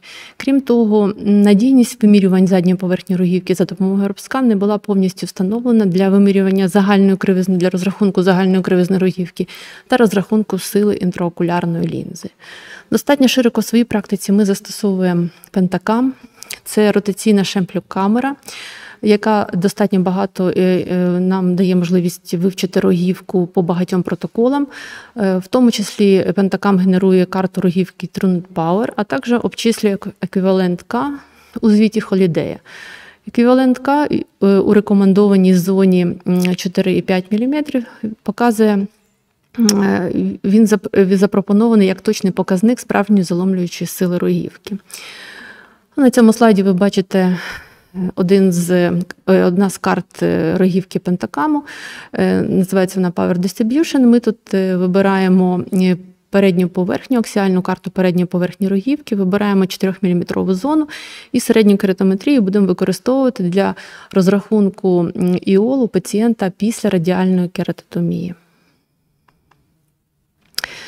Достатньо я вважаю, хороший прибор є оптичний когерентний томограф RedView. І якщо в цьому приборі інстальована, інстальований софт Total Corneal Power, він дозволить вам і вивчити кривизну передньої і задньої поверхні рогівки, а крім того, зразу і порахувати лінзу для пацієнтів після XMR лазерної корекції. Е, формула, яка тут інстальована, була розроблена в свій час доктором Тангом, і на сьогоднішній день багато хірургів е, використовують її для розрахунку інтракулярних лінз у пацієнтів після рефракційних втручань. Е, якщо ми визначили кривизну рогівки, то далі нам потрібно визначитись з формулами, якими ж користуватися для того, щоб провести розрахунок ІОЛ. І на даній таблиці ви бачите, які існують формули. Це не всі, е, це далеко не всі формули, які існують для того, щоб розрахувати інтракуля, сили інтраокулярної лінзи або поправки. Е, достатньо широко використовуються так звані double-K е, формули для розрахунку ІОЛ. І в цих версіях, е, чому ми говоримо double-K? Тому що ми маємо використати дві кератометрії. Показник кератометрії після рефракційної хірургії буде використовуватись для розрахунку фокусування, а показник кривизни рогівки до рефракційної хірургії, який ми порахуємо або спрогнозуємо, буде використовуватися у формулі для розрахунку ефективного положення кришталика. Е, використання double-K зменшує помилку в розрахунку е, ефективного положення кришталика після рефракційної хірургії. І доступні версії формул WK це SRK-T, Hoffer-Q та Holladay 2. HIGIS L це формула, яка була розроблена і вона, як правило, інстальована в Allmaster. Е, є також поправка маскіта, яка дозволяє обчислити е, силу іол за стандартними формулами, е, а потім просто додати хірургічно індуковану зміну рефракції. Існує номограма Кох і Ванк, яка дозволяє, по, якщо ми знаємо, яка ступінь короткозорісті або гіперметропії була коригована у пацієнта, і який ПЗО у пацієнта, теж зробити поправку на силу іол. Хотіла зупинитися ще на достатньо сучасній формі Barrett Трукей, яка інстальована і в Virion, і в Allmeister та в Lenstar, і дозволяє вирахувати нам теж достатньо точно е, е, силу іол для пацієнта. Але все-таки ми маємо стільки формул, як рахувати інтраокулярну лінзу на фоні безліч методів. Є така пропозиція використовувати декілька калькуляторів, а потім порахувати середнє. Ми в своїй практиці використовуємо калькулятор, який е, розташований на сайті е, американської спільноти катрактальних та рефракційних хірургів. Він достатньо зручний. І ви бачите, що ви можете зайти зразу е, для розрахунку, якщо пацієнту зробили міопічний ласік, гіпермітропічний ласік або або радіальні кіртотомії, і далі перейти за цим посиланням для того, щоб вводячи дані, отримати розрахунок інтраокулярної лінзи. Е, хочу навести зараз клінічний випадок. Це пацієнт 67 років, який звернувся скаргами на погіршення зору. 30 років назад йому була проведена кератотомія радіальна з приводу міопії високого ступеню. Зі слів пацієнта, після операції в нього була чудова гострота зору. Е, на момент звернення йому був встановлений діагноз синдром сухого ока, міопія високого ступеню, стан після радіальної кератотомії, дистрофія рогівки ендотеліальна, незріла катаракта обох очей. І ви бачите, що гострота зору у нього з максимальною корекцією досягла, досягала всього лише 30% на правому і на лівому оці. Ми обстежили його повноцінно, зробили обстеження на пентакамі для того, щоб е, вирахувати йому інтракулярну лінзу. І далі е, провели розрахунок, використовуючи е, іол-калькулятор для пацієнтів після радіальних кератотомій. І в результаті розрахунку отримали, що ми мали б йому імплантувати лінзу. Ну, Десь, якщо округлити до мінуса, е, якщо округлити, то 23 діоптрії. Розрахунок вели на лінзу IQ виробник Alcon. Була імплантована дана лінза е, силою плюс 23 диоптри, і в післяопераційному періоді ми на лівому оці отримали достатньо хорошу гостроту зору 60%. І праве око по такому ж принципу було розраховано, гострота зору, яку ми отримали 50%. Пацієнт задоволений, ми теж, але не завжди так легко буває отримати ту рефракцію, яку ми плануємо. Говорячи про всі ці трудності, я б хотіла сказати, е, окрім того, що е, все, що існує, до цього додається ще, як правило, проблема з передньою поверхнею рогівки у таких пацієнтів. І як ми бачимо на цьому слайді, більшість пацієнтів мають або синдром сухого ока, або дисфункцію мейбоміових залоз, і тому е, ми маємо це враховувати і, в принципі, старатися пацієнтів перед розрахунком готувати. Ми е, любимо використовувати е, сучасні препарати, і одним з сучасних препаратів е, є тригалоза плюс гіалуронова кислота. Це препарати Алоздо, які дозволяють стабілізувати слізну плівку і покращити нам показники кератометрії перед розрахунками. І у е, кінці свого своєї доповіді хотіла б зробити невеликі висновки. Так, Якщо ми при розрахунку ІОЛ отримали різні іол по діоптрійності, то рекомендовано проводити розрахунок на міопію, вибрати більшу силу іол або слабший показник заломлення рогівки для використання в розрахунку іол. На жаль, передбачуваність рефракційного результату оперативного лікування катаракти після попередньої рефракційної операції вона не є такою хорошою, як результати в неоперованих очах. Тому таких пацієнтів слід попередити про потенційну необхідність корекції рефракції після е, операції по е, видаленню катаракти. Дякую за увагу. Дякую вам, шановна Тетяна Володимирівна, за дуже цікаву доповідь. І просто всі повинні розуміти, що Якщо вам проведені е, перед, е, скажімо, е, операцією з приводу катаракти попередні операції рефракційні, то тут ж ви платите гроші все рівно. Дуже важливо попасти в ту діоптрійність, правильно вибрати той невеличкий циліндр, щоб правильно поставити. Через те є фахівці, до яких можна звертатися. Щиро вам дякую. Дуже дякую. Е, шановні колеги, ви знаєте, що у нас пропадав інтернет. Е, я казав, що інтернет це благодать, але не чисто сила вмішується туди. Але е, ми всі ті доповіді, які ми всі написали доповіді в кінці сьогоднішнього дня за цим же посиланням, і протягом всього життя ви можете зайти і подивитися ці доповіді. Е, Наступна е, доповідь у нас дуже цікава. Е, це доповідь е, шановної Ксені Павловни Грошевої.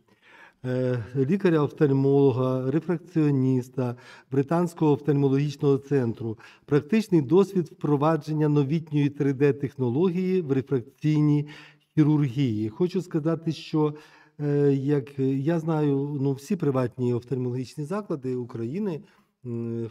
Тому що потрібно їх знати. Я хочу сказати, що приватні офтальмологічні заклади е, беруть на себе 80% оперативних втручань з приводу офтальмологічної патології. І тільки 20% іде як соціальна патологія. І от коли я заходжу в британський офтальмологічний центр е, Ксенія Володимирівна, то зразу у вас величезний портрет королеви Англії. Для мене є дуже великий авторитет єди, два. Це моя мама і чистота цієї людини, королеви Англії, надійність, впевненість нації в цю людину. Я щиро вас вітаю і чекаємо вашу доповідь. Дякую. Доброго дня. Сьогодні я вам представлю свою презентацію, яка стосується практичного досвіду використання 3D-технології в рефракційній хирургии. 3D-инновации. Уже очень давно гаджеты вошли в нашу жизнь, и сегодня мы не представляем себя без них. Я думаю, каждый из вас испытывал ту ситуацию, когда вы забыли где-то телефон. Да, вы ощущали изолированность от всего, как будто бы все пошло не так, как вам нужно было. На сегодняшний день гаджеты помогают нам жить интереснее, они облегчают нашу жизнь. А, один из топ-10 современных а, гаджетов – это очки виртуальной реальности. Очки виртуальной реальности понемногу входят и в медицину, и входят также в операционную. Инновационные гаджеты операционные уже сегодня. Вместо окуляров микроскопа видеокамера с трансформацией оптического изображения в цифровое. Вместо взгляда в окуляры микроскопа уверенный взгляд хирурга сквозь 3D-очки на огромный экран. Практические преимущества 3D-технологий, которые мы выделили а, для себя – Итак, практическими плюсами 3D-технологии является быстрая адаптация, улучшение эргономики рабочего места хирурга. В чем улучшается эргономика хирурга? В том, что он свободен в том, как он сидит. Он может не быть привязанным к окулярам микроскопом, и тем самым он облегчает себе рабочий процесс, и рабочий процесс проходит более комфортно. Самоорганизация команды. Каждый из присутствующей операционной бригады понимает, что делать в тот или иной момент. Быстро и своевременно включается в процесс, хирургический процесс. Также возможность обучения. Обучение а, это не так, как раньше э, студенты заглядывали в микроскоп.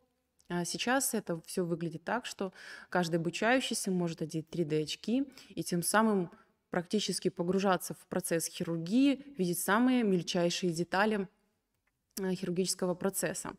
Высокая чувствительность камеры и пакет необходимых фильтров позволяют уменьшить уровень освещения операционного поля.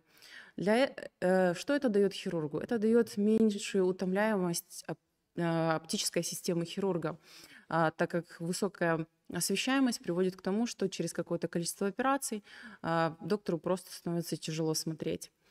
Те практические минусы, которые мы тоже выделили для себя, это время первых наших операций было несколько увеличено. Конечно же, а, необычная поза во время операции. Хочется постоянно посмотреть в объектив микроскопа. Естественно, страх. Все мы люди, и ощущение страха перед чем-то новым всегда присутствует. Но мы с этим очень быстро справились, так как очень быстрая адаптация. Также одним из факторов, которые могут утруднять работу с 3D-системой, э, это аномалии рефракции. Аномалии рефракции именно хирурга. Но с этим тоже легко справиться, либо рефракционной хирургии, э, например, либо в самих 3D-очках существует э, опция, при которой можно использовать коррекцию с диоптриями. Преимущество 3D-технологий для пациента. Это очень важно. А, значительное уменьшение фототоксичности. Сами пациенты отмечают высокий уровень комфорта процедура, а, процедуры 3D-операции. Отсутствует эффект ослепления ярким светом. Это то, что пациенты нам всегда ранее предъявляли. И сокращается время пребывания в операционной, что немаловажно. Чем быстрее проходит операция, меньше стресса у пациента и, соответственно, время на восстановление у пациента быстрее происходит. Ну и самое главное преимущество для хирурга и пациента – это результат без размытых границ. Клинический случай, который я вам сегодня представлю, он объединил в себе несколько хирургических стратегий в комбинации с 3D-хирургией. Пациентка 35 лет, постоянно использует очки, предъявляет жалобы на низкую остроту зрения и косоглазие. Диагноз – гиперметропия высокой степени, гиперметропический астигматизм обоих глаз, амблиопия высокой степени правого глаза, слабой степени левого глаза, сходящее содружественное частично аккомодационное монолатеральное косоглазие правого глаза. При первичном осмотре э, визус без коррекции составлял на правый глаз 3 сотых, с коррекцией это было 8 сотых. Э, левым, на левом глазу была острота зрения такая же 3 сотых, но с коррекцией пациентка давала 0,8. Пациентки синдром короткого глаза. Ортоптический статус – это сходящееся косоглазие. Вдаль пациентка давала 20 призм в очках и вблизи давала 30 призм в очках. Характер зрения монокулярный. А, проведя ряд обследований а, глубоких, мы а, пришли к выводу, что нужно применять комбинированную рефракционную хирургию, первым этапом которой был расчет интраокулярной линзы. По данным биометрии рассчитана интраокулярная линза с миопической целевой рефракцией. Пациентке была проведена рефракционная замена хрусталика с имплантацией интраокулярной линзы на обоих глазах.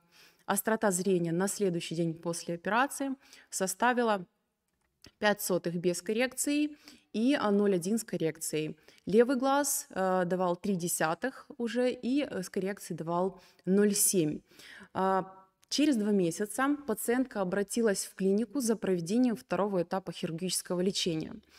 А, перед проведением второго этапа хирургического лечения страта зрения с коррекцией на правый глаз составила 0,15, на левый глаз 0,8. Ортоптический статус э, сохранился прежний. После консультации лазерного хирурга было принято решение о проведении эксимер-лазерной коррекции зрения на обоих глазах. А, пациентке а, проведена лазерная коррекция. Программа лазерной коррекции представлена на слайде. А, результатом лазерной коррекции стала острота зрения на правом глазу, это 0,15 без коррекции, и на левом глазу острота зрения 0,6. Через один месяц острота зрения стала немножко лучше, и мы добились довольно хороших результатов в данном случае. 0,15 э, это на правом глазу и 0,8 на левом глазу. Третьим этапом э, лечения было хирургическое исправление косоглазия, рецессия плюс резекция на правом глазу с применением 3D-технологии. Э, благодаря э, интеграции несколько, нескольких рефракционных стратегий мы получили отри, отличный результат, мы получили довольную и благодарную пациентку, а также мы получили целую команду э, довольных своей работой хирургов. Э, благодарю вас за внимание. Британский офтальмологический центр, клиника инноваций. Спасибо огромное, Ксения Павловна. А, покажите, вопросы в чате у нас появились или нет? Нет. Я вам скажу почему. Ксения Павловна, что все понятно.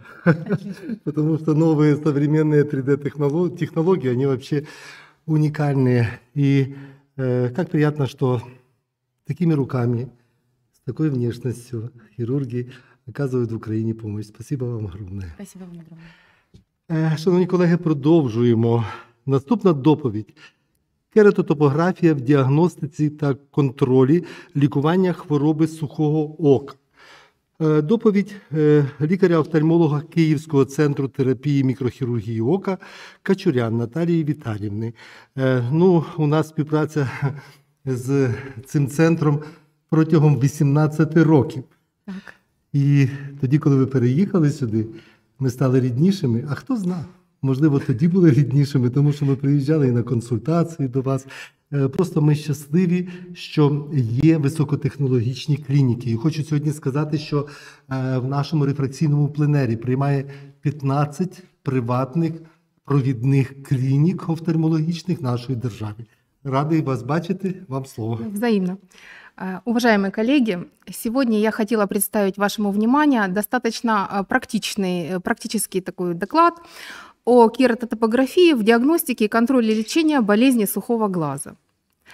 По определению ДЮС-2 сухой глаз – это мультифакториальное заболевание глазной поверхности, характеризующееся потерей гомеостаза слезной пленки и сопровождающееся глазными симптомами, при которых нестабильность и гиперосмолярность слезной пленки, воспаление и повреждение глазной поверхности и нейросенсорные аномалии играют этиологическую роль возраст, женский пол, менопауза, дисфункция мейбомиевых желез, использование глазных капель с консервантами, ношение контактных линз э, и глазная хирургия Частые причины синдрома сухого глаза. Слезная пленка обеспечивает гладкую преломляющую поверхность роговицы. Когда слезная пленка разрушается, оптическая поверхность становится неровной, что может вызвать дополнительные операции или непредсказуемые изменения на кератометрии. Болезнь сухого глаза, к сожалению, часто встречается среди пациентов, которым рекомендовано оперативное лечение катаракты или лазерная рефракционная хирургия, и иногда этот синдром протекает бессимптомно. Если состояние сухого глаза не диагностируется и не лечится до операции, это может повлиять на качество предоперационных исследований и в конце концов отрицательно сказаться на результатах операции и степени удовлетворенности пациента. Диагностика сухого глаза у хирургических пациентов включает не только окрашивание роговицы, конъюнктивы, время разрыва слезной пленки, тест Ширмера, использование опросника субъективных симптомов, но и такой мощный, мощный диагностический инструмент, как э, топография роговицы. Топография роговицы позволяет точно оценить форму э, роговицы, профиль ее поверхности, выявить и оценить любые неровности и сравнить данные поверхности глаза до и после лечения. Я представлю вашему вниманию несколько клинических случаев а, рефракционных хирургических пациентов с синдромом сухого глаза, который имел проявление на э, топографических картах роговицы. Первая наша пациентка, 58 лет, с дальнозоркостью высокой степени, астигматизмом, носит контактные линзы. Она жаловалась на частое покраснение глаз, ощущение сухости и трудности при ношении контактных линз, от которых она решила избавиться. Исследование выявило уменьшение менискослезной пленки, закупорку мейбомиевых желез, точечное окрашивание флюоресциином, низкое время разрыва слезной пленки. Кератопография при этом показала нерегулярную поверхность роговицы, плохое качество изображения и низкую повторяемость результатов.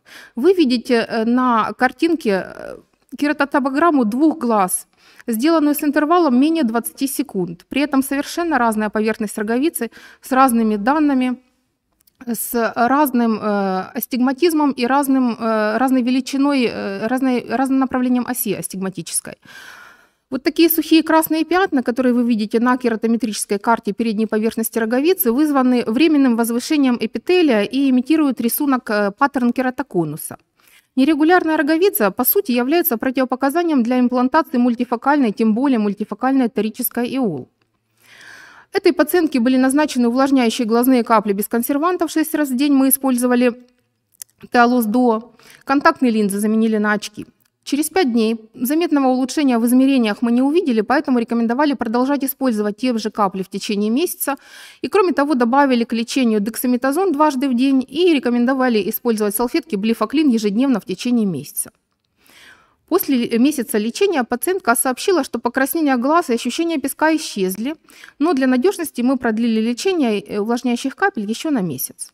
После этого были проведены измерения э, для расчета ИОЛ. На повторных измерениях вы видите, что насколько изменилась стигматическая ось со 170 э, до 7,5 градусов. Исчезли или уменьшились очаги повышенного возвышения эпителия, то есть сухие красные пятна. Кератопография была довольно э, э, ровная, регулярная, э, и нормализовались топографические индексы, которые вы видите внизу в рамочках представлены. На левой стороне картинок это до назначения лечения синдрома сухого глаза, и на правой стороне вы видите кератографические индексы через два месяца после лечения.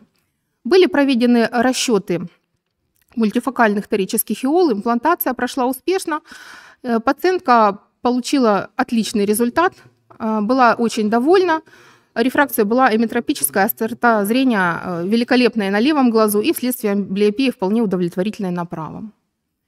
А следующая пациентка уже с катарактой, но также претендовала на имплантацию мультифокальной торической иол. Женщине 75 лет – а при расчетах заметили, что поверхность роговицы нерегулярная, и во время расчетов ИОЛ наблюдалась флюктуация данных, что делало невозможный точный расчет линзы. А также назначили увлажняющие капли на 6 раз в день на 5 дней. После контроля пациентки были проведены измерения, данные были вполне повторяемы, кератопография показала более регулярную поверхность роговицы. Также провели расчеты линзы, имплантировали э, хрусталики, ну, рефракционный результат был единица на каждый глаз э, с эметропией. Третий клинический случай – это уже случай пациентки с лазерной рефракционной хирургией. Пациентка 39 лет с миопией средней степени, носила контактные линзы, обратилась с целью проведения лазерной коррекции зрения. Пациентка достаточно известный в городе архитектор, а, работала, э, рабочий день был э, практически ненормированный, она носила контактные линзы, жаловалась на покраснение глаз после длительной работы за компьютером. А, ощущение сухости и трудности при ношении контактных линз. Обследование выявило небольшое окрашивание роговицы флюоресциином. Время разрыва э, слезной пленки было умеренно снижено. 8 секунд для правого и 7 секунд для левого глаза. Тест Ширмера составил 12 мм для обоих глаз. Была проведена э, лазерная коррекция по методу лосек, так как роговица у пациентки была достаточно тонкая. После коррекции пациентка отмечала значительное улучшение зрения, но жаловалась на нарушение зрения по утрам после работы за компьютером, сухость глаз. Рефракция была метропическая, но тем не менее некоррегированная острота зрения составляла 0,9, а э, левого глаза 0,8. Время разрыва слезной пленки для правого глаза было 5, для левого 3 секунды, тест Ширмера 8,7 мм соответственно. Пациентке на 3 месяца был назначен теолоз до, э, и через уже через полтора месяца лечения пациентка пришла, и мы заметили, что ее топографическая карта стала регулярнее, что отражалось в нормализации индексов, э, индексов кератометрических. Это ICV индекс, он из 34 стал 31, а в левом глазу из 36 стал 29. При этом а, пациентка имела по-прежнему метротрата зрения, у нее уже составила единицу на оба глаза, и она была уже наконец-то вполне удовлетворена полученным результатом. Таким образом, мы видим, что передняя поверхность, покрытая слезной пленкой, играет важнейшую роль в преломляющей способности глаза. Ухудшение структуры этой пленки, вызванное заболеванием сухих глаз, может привести к образованию нерегулярностей на передней поверхности роговицы. Топография роговицы может обнаружить тонкие неровности поверхности глаза и является отличным инструментом для обнаружения сухости глаз. Отсутствующая или неоднозначная информация на топографической карте часто является показателем раннего время разрыва слезной пленки. Плохая повторяемость данных, красные, горячие, конусовидные пятна из-за заострения эпителия вследствие дегидратации также являются частым результатом сухости глаз. Топографические индексы позволяют нам проводить более количественный анализ топографических данных. Индекс ICV, это индекс дисперсии или вариативности поверхности, отражает неравномерность кривизны передней поверхности роговицы. Высокие значения этого индекса наблюдаются в случае нерегулярного астигматизма. Аномальное значение – это желтый, больше 37, а патологическое значение – красный, больше 41. Изменение значений индекса характеризует изменение регулярности поверхности роговицы.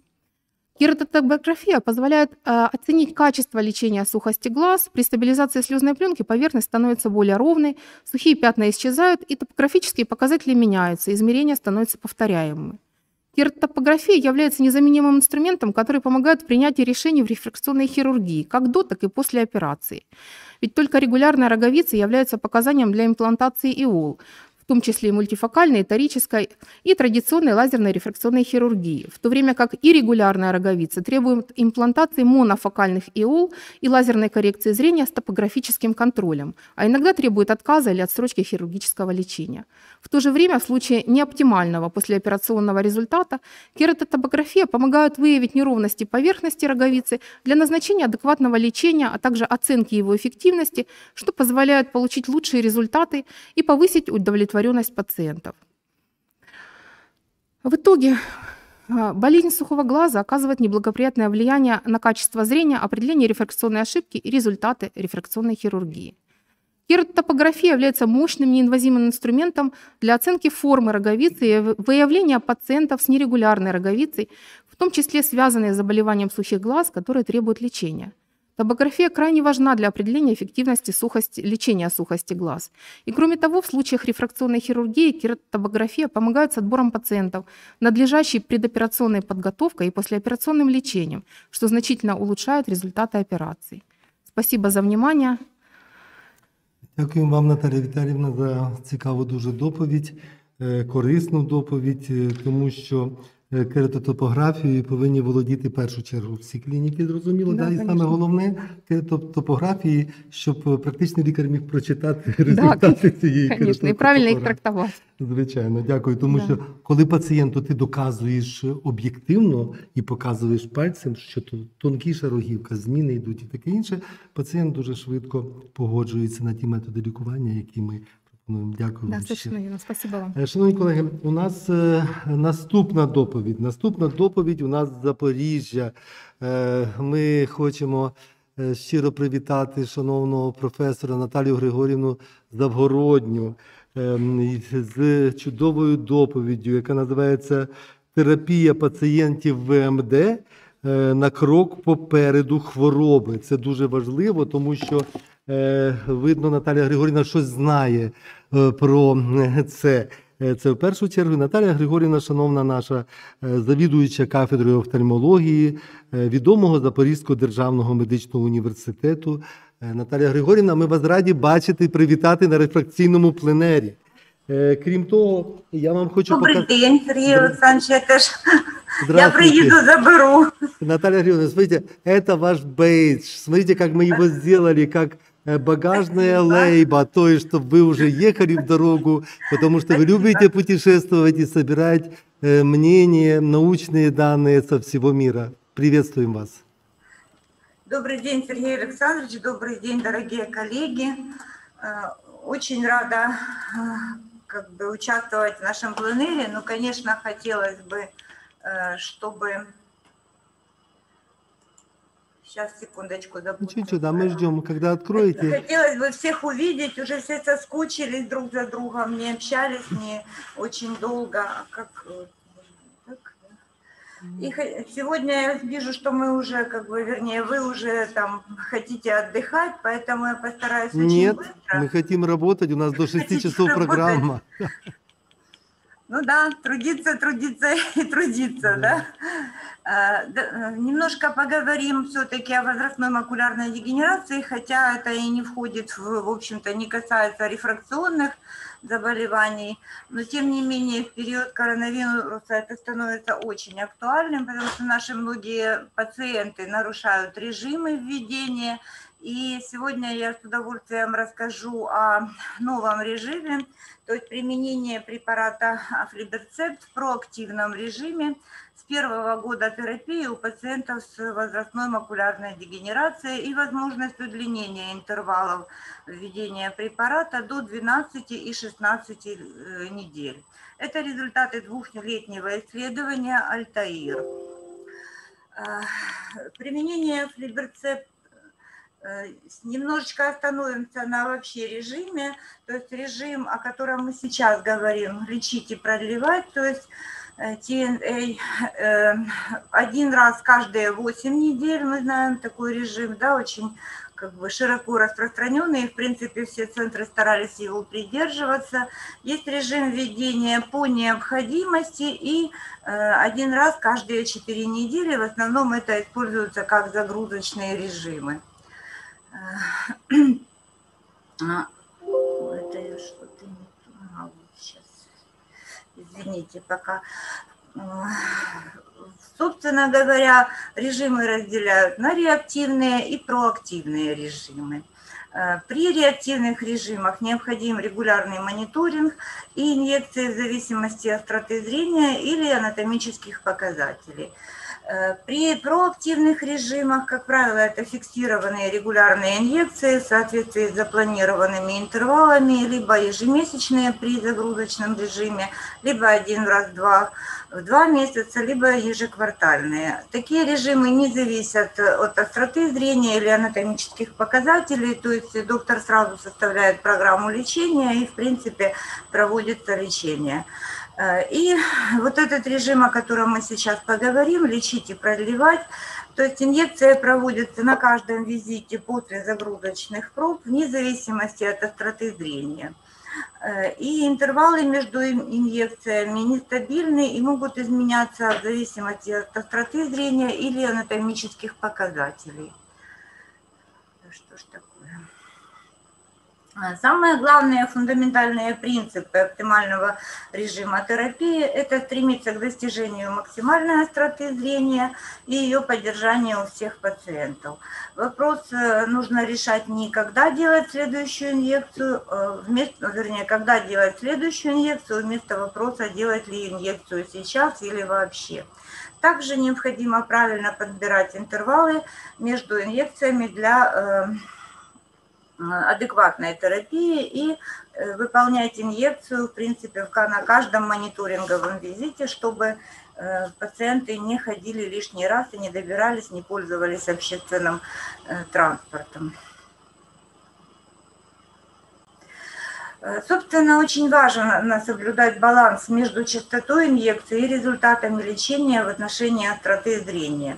Э, Если мы слишком часто вводим препараты, э, когда пациент этого не требует, то, э, как правило, это избыточное лечение, как правило, это излишние расходы пациентов и систем здравоохранения. Пациент не понимает, почему он так часто должен вводить, и зачастую может в последующем вообще отказываться от лечения, что приводит, в общем-то, к э, негативному результату, к ухудшению остроты зрения. А, Кроме того, недостаточное лечение также не обеспечивает оптимальную остроту зрения. Также человек живет с плохим зрением, собственно, не получает положительного эффекта, естественно, тоже может не захотеть лечиться дальше. А, Что значит режим лечить и продлевать? Как правило, лечение э, э, начинают с загрузочных инъекций, которые э, выполняют до стабилизации состояния. Пациент получает инъекцию на каждом визите, каждый э, месяц при загрузочных инъекциях, 5 или 3 инъекции. И э, интервал между инъекциями после окончания загрузочных инъекций постепенно увеличиваются либо до появления жидкости, э, либо до снижения остроты зрения. То есть оптическая когерентная томография и острота зрения являются критериями, когда, собственно, нужно вводить э, дополнительный препарат э, интравитреально. Но а, самое главное, что это не может быть такой как бы неопределенный период, да.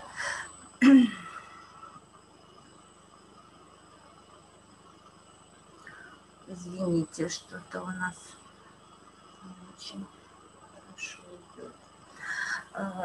Режим лечить и продлевать очень проактивный, прак- э, практичный режим, э, который, собственно, с одной стороны индивидуализирует э, лечение, с другой стороны все равно оставляет его в графике, который и дисциплинирует пациента. Но э, кроме этого он, естественно, уменьшает нагрузку на клинику, улучшает поток пациентов, потому что пациенты не несут такое финансовое бремя, а, они не, вы- ну, не привязаны так часто к визитам в клинике, дает уверенность в том, что лечение будет своевременным и э, уменьшает страх перед рецидивом заболевания, ну, уже я сказала, уменьшает количество поездок в клинику. А, Вот э, было проведено исследование Альтаир, которое вот, э, где изучалось, собственно говоря, новый режим э, ведения у японских пациентов с неоваскулярной возрастной макулярной дегенерацией. Это было рандомизированное интервенционное, проводимое в рамках зарегистрированных показаний в параллельных группах, исследование четвертой фазы по лечению вновь выявленной э, э, возрастной макулярной дегенерации. Э, Проводилось 4 загрузочные инъекции в виде афлиберцептом на 1, 4, 8 и 16 неделе, то есть ежемесячно. Затем проводилась рандомизация, и пациенты делились на две группы на 16 неделе. То есть у части пациента удлинялся или сокращался интервал в зависимости от данных сети и остроты зрения на две недели, и у второй группы этот интервал либо удлинялся, либо сокращался, ну, чаще удлинялся, конечно, на, на 4 недели. Первичная точка была это среднее изменение по шкале э, остроты зрения э, от базового значения до 52 недели. Вторичная точка – это доля пациентов, не утративших 15 букв по таблице э, на 52 неделе, и доля пациентов, прибавивших более 15 букв по таблице для определения остроты зрения. На 96 неделе было окончание исследования. И вот исследование показало такие результаты. А, то есть вот оно было проведено таким, таким образом. То есть фактически два года длилось исследование, исследование с применением двух вариантов режима. Видите, здесь была загрузочная, загру- загрузочная, потом на 16 неделе рандомизация, и вот на 52 неделе разделение на э, две группы.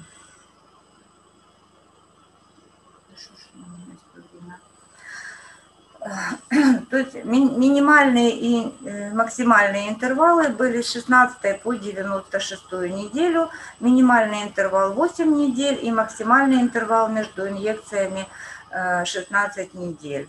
Что важно, что решение базируется, как я уже сказала, на остроте зрения и на данных оптической когерентной э, томографии. То есть решение об удлинении интервала принималась, если вот э, прибавка была больше или равно 5 буквам в сочетании э, с возвратом жидкости, если, вернее, потеря же была больше, чем 5 э, букв и возврат жидкости, тогда принималось решение о введении, дополнительном введении в соответствии с предыдущим показателем.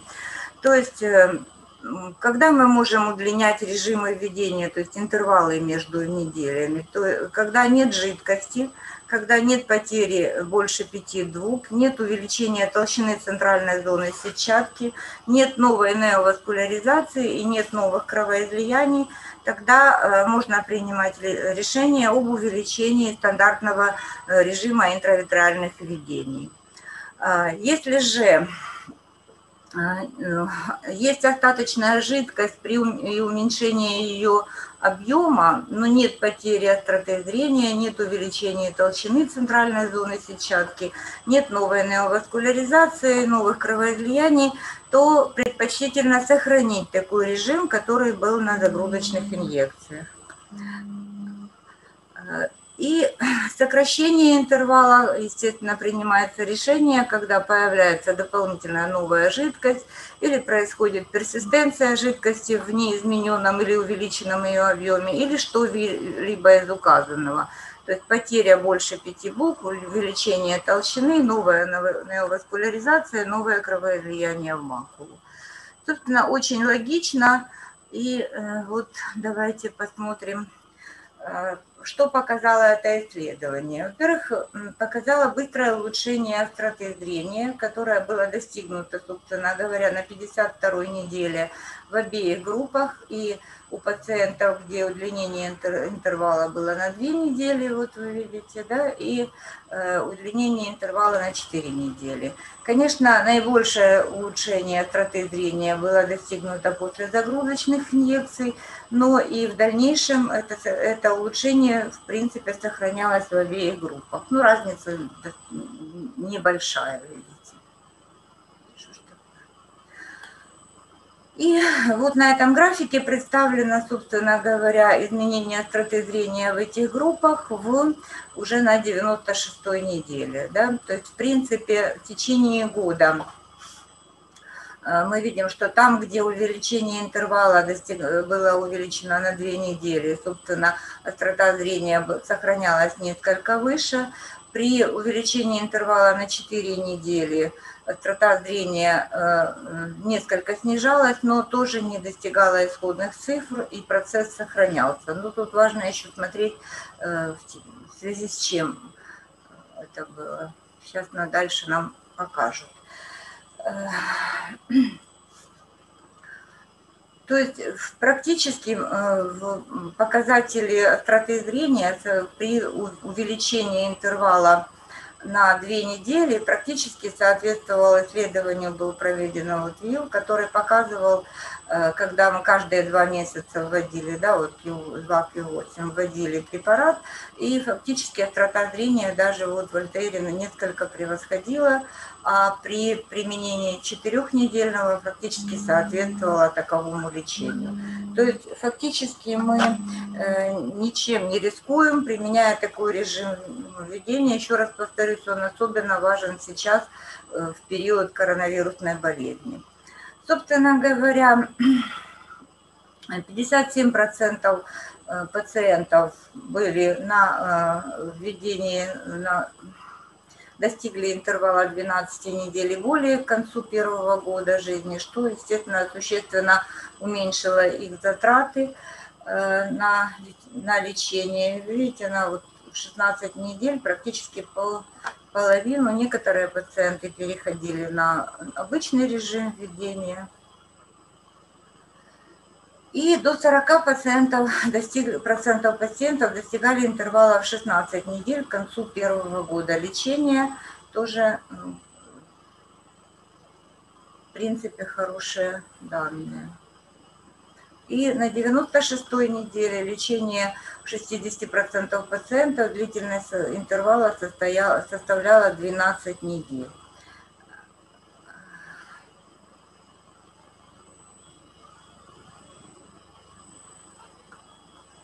извините, не очень получается. Хочу отметить, что э, данный способ введения внесен в инструкцию для медичного застосування лікарського засобу. Вы видите, что здесь различные режимы, и вот интервал между инъекциями, э, что, що становить 2 місяці, можна підтримувати або подовжувати із використанням режиму терапії, лікування та подовження зі збільшенням інтервалів між введенням доз лікарського засобу на 2 або 4 тижні. И еще один вопрос, вот э, длительная терапия, э, прекращать или не прекращать. Э, вы знаете, что очень часто пациент лечится там и год, и два, и три, и, и говорит, а сколько же я буду вводить, да, и очень часто такие вопросы, я знаю, вот и за рубежом возникают, там есть вот там же лечение по страховке, поэтому есть возможность переводить на другие препараты пациентов, пробовать.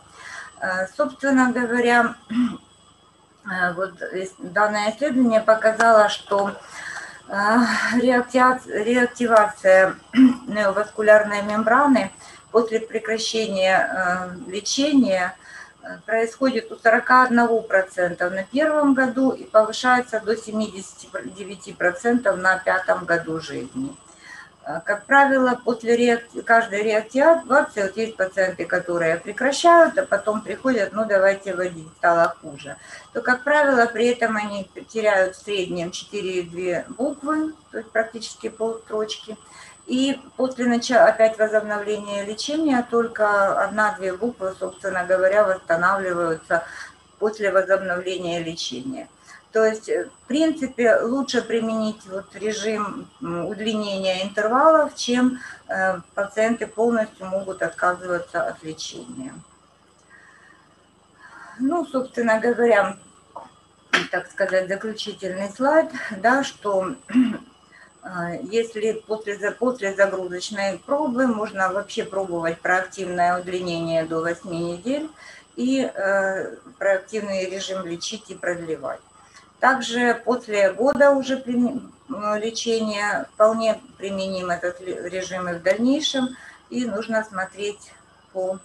Хочу привести вот такой пример. Собственно говоря, это пациентка наша давняя, 42 э, -го года рождения с возрастной макулярной дегенерацией влажной формы, артифакии на левом глазу.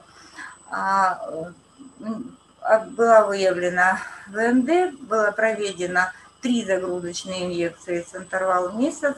Э, потом пациентка не смогла или, или заболела, или ну, по какой-то причине не, не могла выполнять ежемесячные инъекции и выполняла еще две инъекции с интервалом э, 2 месяца. Э, с интервалом 2 месяца.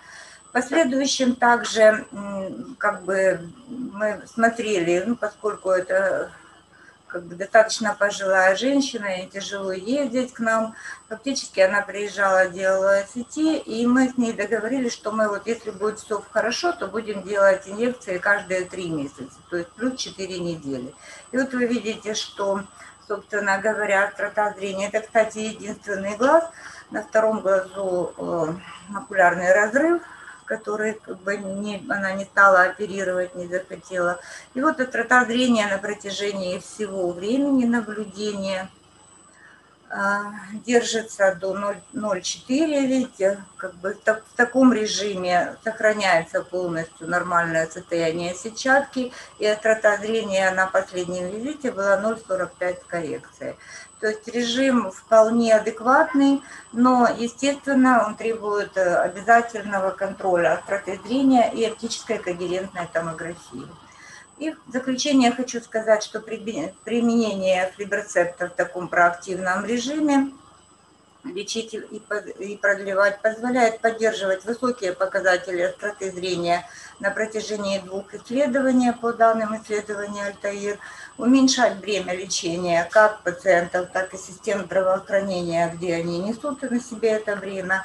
И на последнем визите в конце первого года лечения у 57% пациентов следующая инъекция была назначена через 12 недель и более. То есть дальше такой режим продолжался. Конце второго года лечения у 60% пациентов длительность интервала составила также более 12 недель, а у 40% даже 16 недель.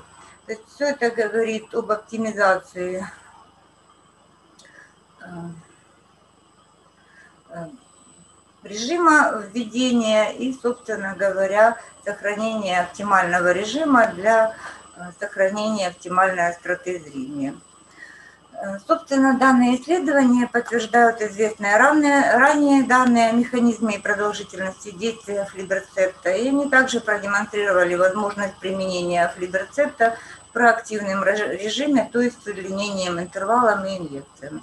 И очень хорошо, что компания Bayer внесла такой режим в инъекции, что наши пациенты в инструкцию, потому что наши пациенты сейчас все читают, очень грамотные, и во многом э, могут сами отказаться от введения инъекции в обычном режиме, а потом предъявлять доктору претензии, что почему вы мне не кололи, почему вы не настояли.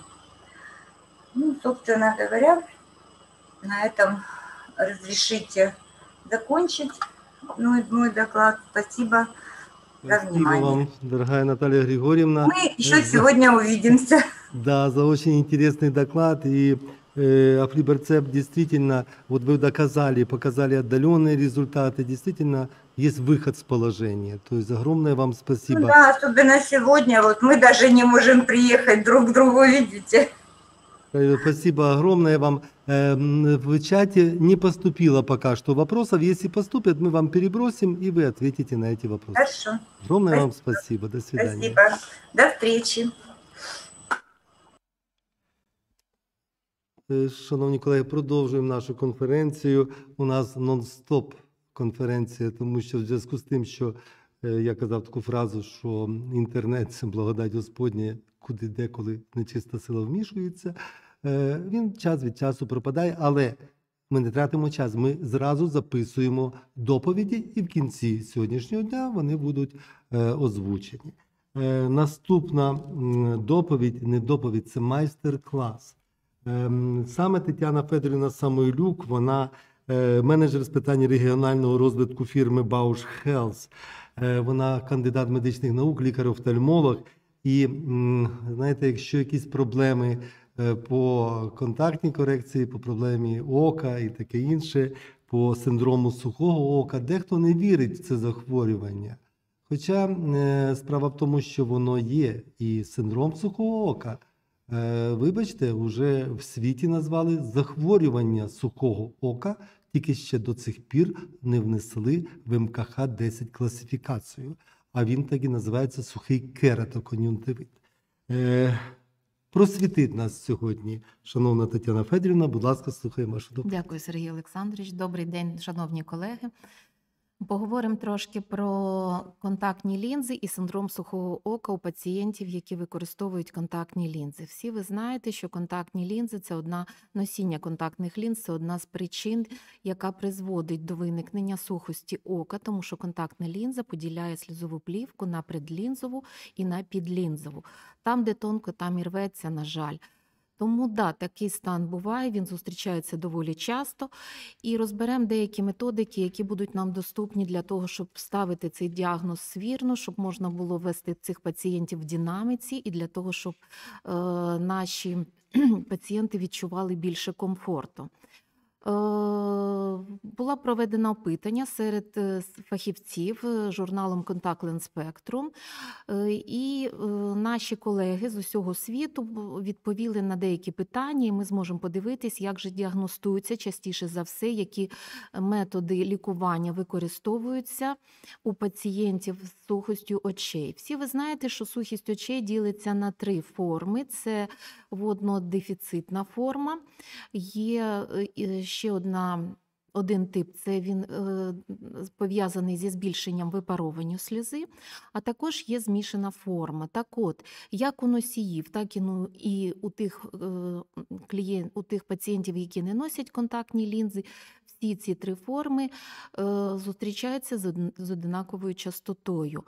Е, Збільшення випаровування наблюдається у 44%, як у носіїв контактних лінз, так і у тих осіб, що не носять. І змішана форма це 34%, воднодефіцитна зустрічається рідше, це всього 24%. Методи діагностики сухості очей дуже різні, і це залежить від того, в якій країні працює спеціаліст, які доступні йому засоби для діагностики сухості очей. Но найбільш частіше у тих, хто не носить контактні лінзи, сухість очей діагностується на е, наявності скарг. Це 19%, це порівняно менше з- в цьому році, з, е, якщо зрівнювати з 2018 роком і з 2016. Також дуже часто використовують спеціалісти тест на розрив на час розриву сльозової плівки. Це також приблизно 19% із тих, хто відповів серед опитувальних. І це теж трошки зменшується кількість порівняно з 2018 роком. Но треба відмітити, що збільшується спеціалістів, які оцінюють стан мейбомових залоз у пацієнтів, які мають скарги на сухість ока або які мають признаки сухості ока. Також збільшилось е, е, спеціалістів, які Фарбують рогівки, фарбують кон'юнктиву. Рогівки на фарбування рогівки звертають увагу до 15% спеціалістів. Ну, також оцінюють стан краю повіки, стан якості сльози, е, роблять е, експресію мейбомових залоз, щоб оцінити якість секрету і оцінити кількість е, мейбомових залоз, які працюють, визначають осмолярність і визначають і фарбують кон'юнктиву. Е, Набагато рідше визначають е, ММП3 і майже не використовують тест Ширмера і тест червоної нитки з фенолом.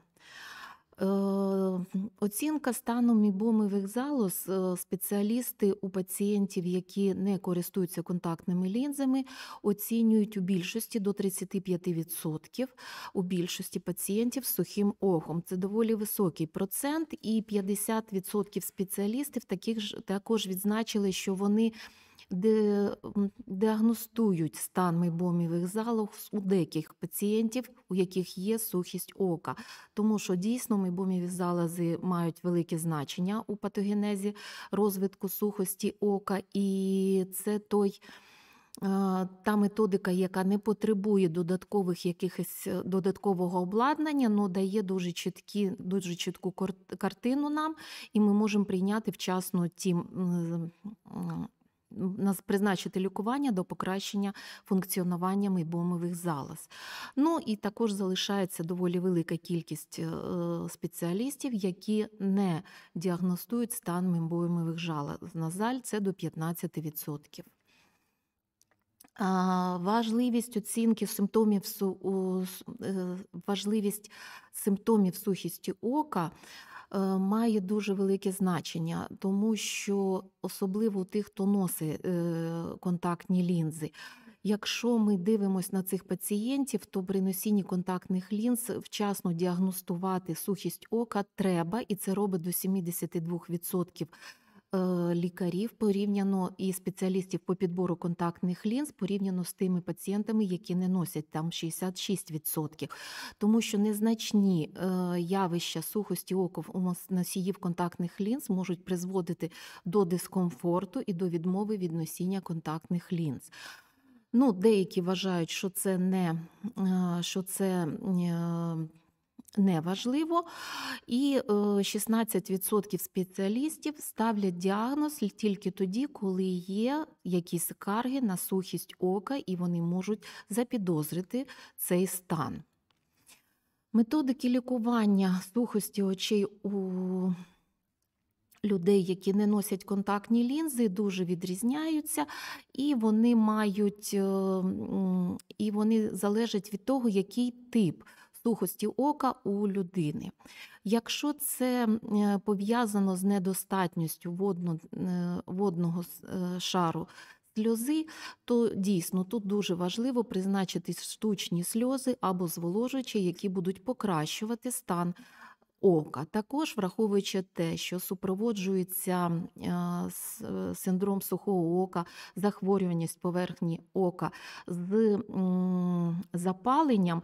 Призначаються і циклоспорини місцево, призначаються ліфетеграсти е, місцево і призначаються стероїдні краплі. Це всі ліки, які направлені на те, щоб зменшити явище е, запалення поверхні ока, і штучна сльоза, яка додає водної фази і покращує стан цих пацієнтів. А в тих пацієнтів, які від яких е, є тип, е, де підвищення випаровування сльози, де погіршен ліпідний, ліпідний шар сльозної плівки, тим призначається обов'язково на рівні з, зі штучними сльозами, зі зволожуючими краплями, теплі компреси і обов'язково гігієна повік. Це доволі неважкі, неважкі методи лікування, це доволі доступні методи лікування, але вони дійсно дуже ефективні. Також на рівні зі штучними сльозами, компресами, гігієною повік цим пацієнтам дають також краплі з додаванням ліпідів. Ну і якщо всі ці методики неефективні, тоді ще додатково дають е, оклюдари сльозових точок для того, щоб збільшувати кількість сльози. Ну і на рівні з цим ще дається е, перос, обов'язково призначаються омега-3 жирні кислоти для поліпшення стану е, наших, наших мейбомових залоз. Е, Синдром сухого ока у носіїв контактних лінз призводить до явлення дискомфорту. А дискомфорт, ви знаєте, це основна причина, при якій відмовлюються від носіння контактних лінз. Назавжди відмовились від носіння контактних лінз по дослідженням Даблтон і співавторів у 2013 році, яке було проведене. Це 23% носіїв контактних лінз. Частково припиняли носити лінзи, це 40%. Так от, е, треба визначати обов'язково ступінь сухісті ока у наших носіїв. І е, дуже багато спеціалістів кажуть, що 60% носіїв контактних лінз мають легкий ступень, а от тяжкий це 12. Тяжкий ступень це той вже ступень, коли пацієнти відмовляться від носіння контактних лінз. Середній ступень зустрічається у 28%, і це на межі, коли пацієнт може припиняти частично носити, періодично носити контактні лінзи, але він вже буде готовий відмовитись від носіння. Тому треба враховувати ступінь сухості ока у наших пацієнтів для того, щоб е, покращити їм комфорт, покращити стан поверхні ока і дати можливість пацієнту користуватись зручним засобом корекції аномалій рефракції. Методи діагностики сухості очей у носівих контактних лінз такі ж самі, як і у тих, хто не користується контактними лінзами. Основна методика це оцінювання скарг у пацієнтів сухостю очей. Е, Оцінку симптомів відмічають 32% спеціалістів. Це трошки менше, ніж в 2018 році, але достатньо високий рівень, на який звертають увагу при повторних оглядах пацієнтів носіїв контактних лінз.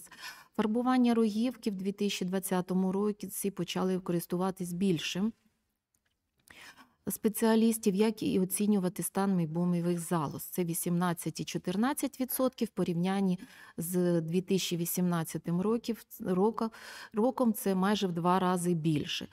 Так, на тому ж рівні залишається оцінка. Оцінка в часу розриву сльози 14%. Ну, інші методики також е, використовуються майже в тих же відсотках, які використовувались раніше.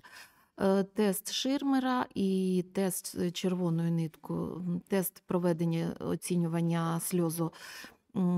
Сльозопродукції з червоною ниткою з фенолом майже не використовуються у спеціалістів по роботі з контактними лінзами.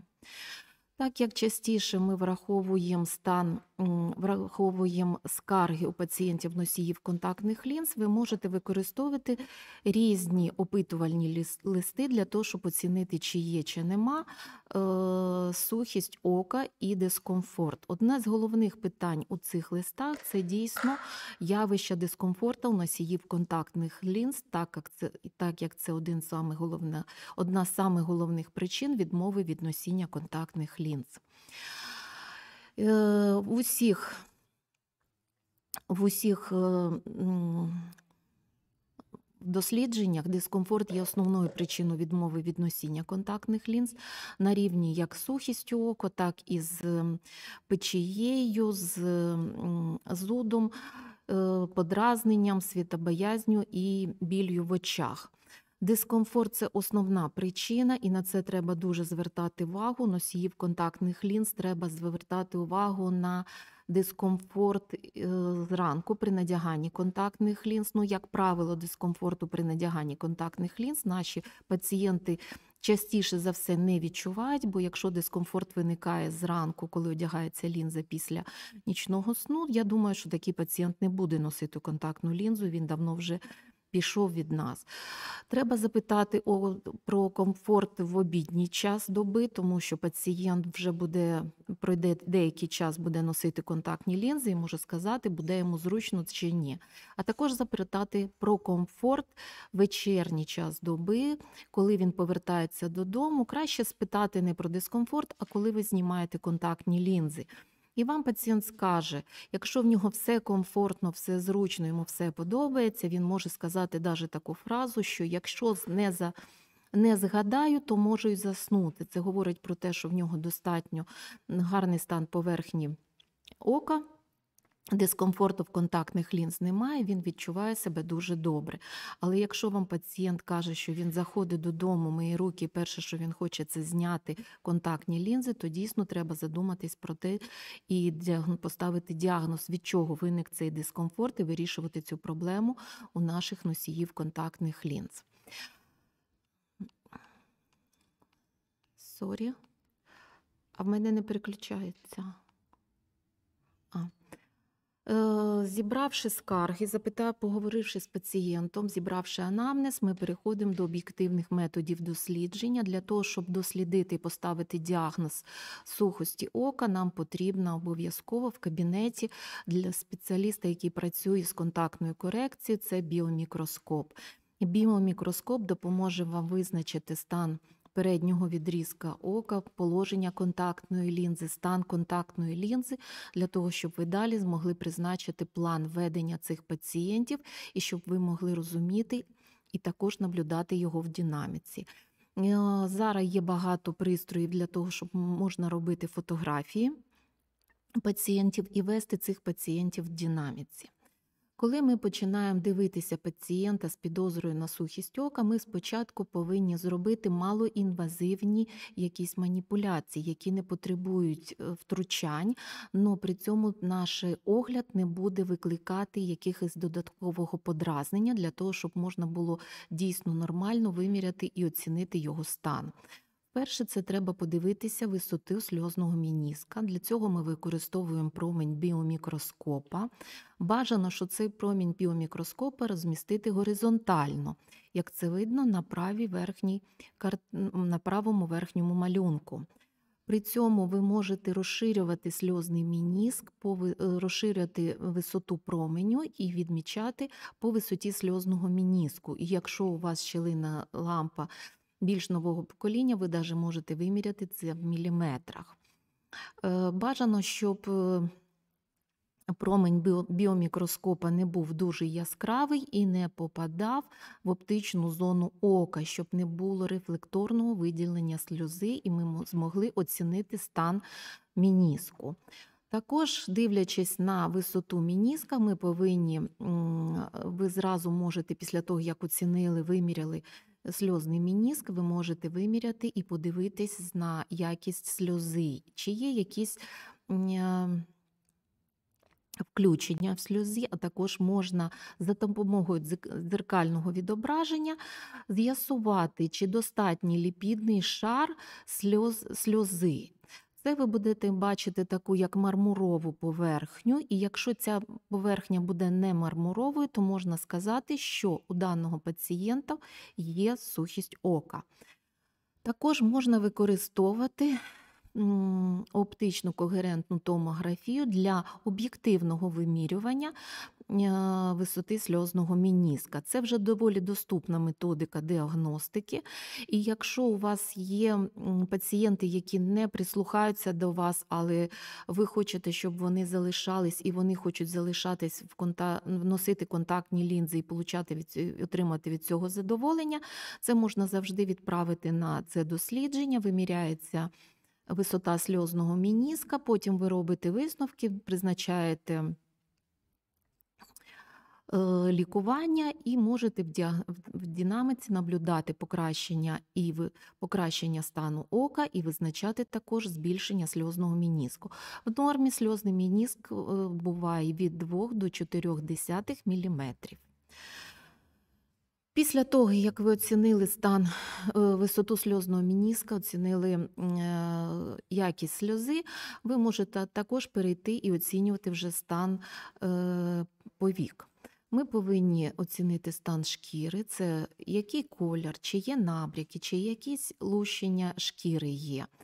Також оцінюйте край повік, розположення вій, чи вони ростуть правильно або вони зліпаються, невірний, неправильний ріст е, вій. Потім ви можете оцінити мійбові залози, ви можете край повік оцінити, чи- він потовщений, чи він нормальний. Ну і наявність на повіках якихось м, лусочок, муфт або корочок. Якщо ви бачите наявність муфт у прикореневій зоні повік, це говорить про те, що цей пацієнт може мати демодекс і направити його на дослідження з постановою діагноза демодикоз. Оцінка краю повік. При синдромі сухого ока ви зможете побачити, що є розширення, потовщення краю повік. Ви бачите, що вії ростуть неравномірно, вони можуть злипатися, вони ростуть неправильно, є участки, де нема повій. Також ви можете бачити телеангіектазії, тобто, і можете бачити е, пінне такі е, пінь, пінне відділяємо з поверхні ока. Якщо подивитися на е, задній край повіку, повіки, то при сухості ока ви можете побачити поглиблення, а також можна побачити так званий епітальний гребінь, що буде простягатись між непрозорими отворами мійбомових залоз. Це все буде ознаки захворювання краю повік і буде ознаками сухості ока. Мейбоміві залози ми повинні оцінювати. Це не, до, не потребує якогось додаткового облаштування. Щілинної лампи достатньо в умовах оптичних кабінетів, е, кабінетів по підбору контактних лінз в оптиках. Мейбоміві залози на верхньої повіки е, в нормі є до 30-40 штук, нижня повіка має мейбомових залоз до 20-30 штук. Мейбоміві залози виробляють е, секрет, який є основою, е, складає е, ліпідну частину сльозової плівки. Ці ліпіди вони в нормі, вони стабілізують слізну плівку і вони поменшують, зменшують випаровування водної фази сльози, що робить більш стабільну слізну плівку і додає комфорту при носінні контактних лінз.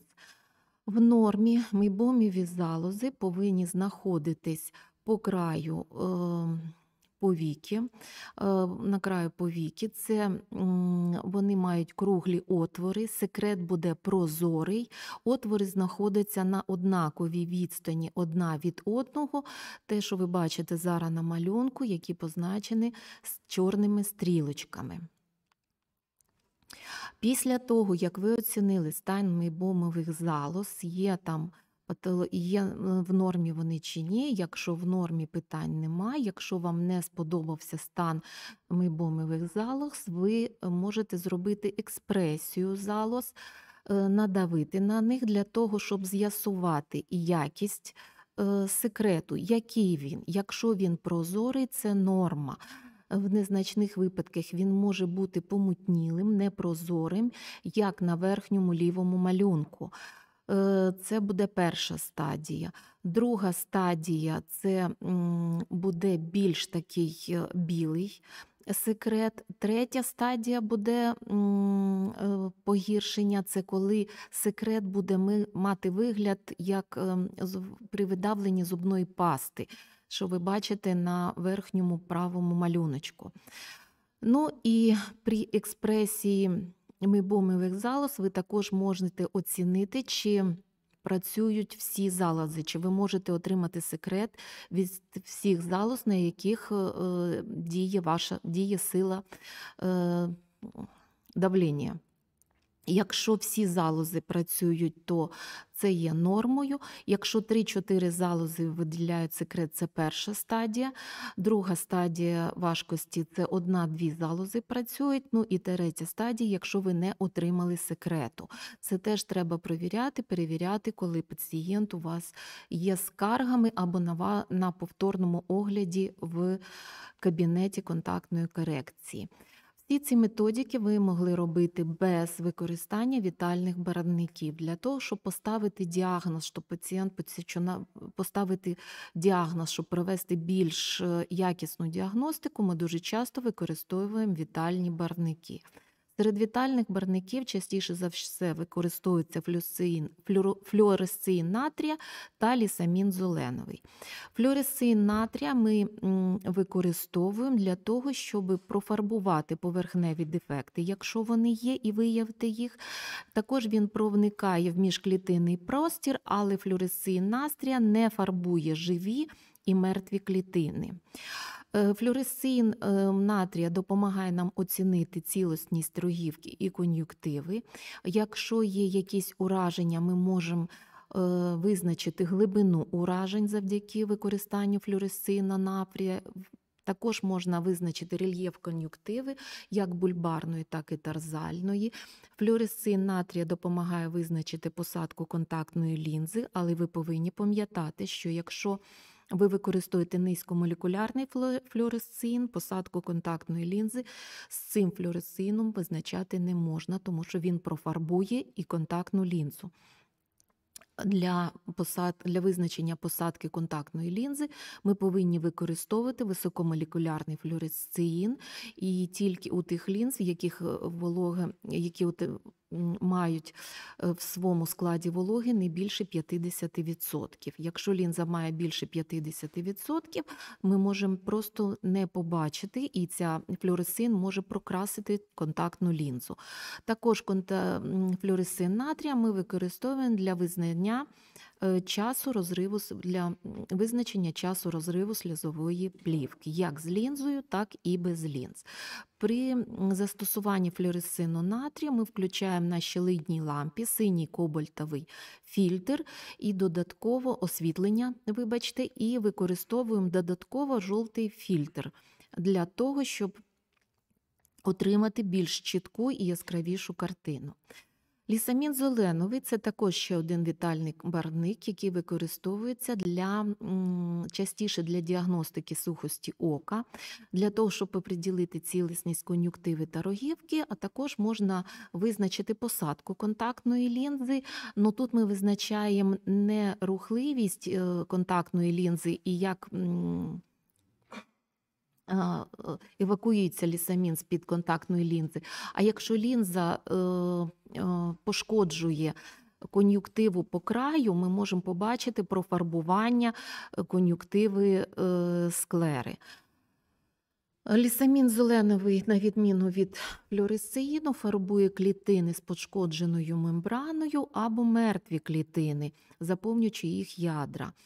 Е, При використанні лісамін зеленого ви включаєте біле світло і додатково для того, щоб отримати кращу картинку, ви включаєте червоний фільтр. Е, Фарбування рогівки використовують до 18% спеціалістів, які працюють з контактними лінзами. І коли ми ставимо діагноз і нас цікавить стан очей у носіїв контактних лінз. При сухості очей дуже часто фарбується рогівка в нижній половині віді так смайл маркера, як смайлику. Плюс ми завжди можемо подивитися стан е, стан кон'юктиви. Ви бачите на малюнку по краю лінзи була пошкоджена кон'юктива, кон'юктива склери, це теж профарбується лісамін зеленим. Ну і той же лісамін зелений дозволяє нам визначити, чи є у пацієнта епітеліопатія.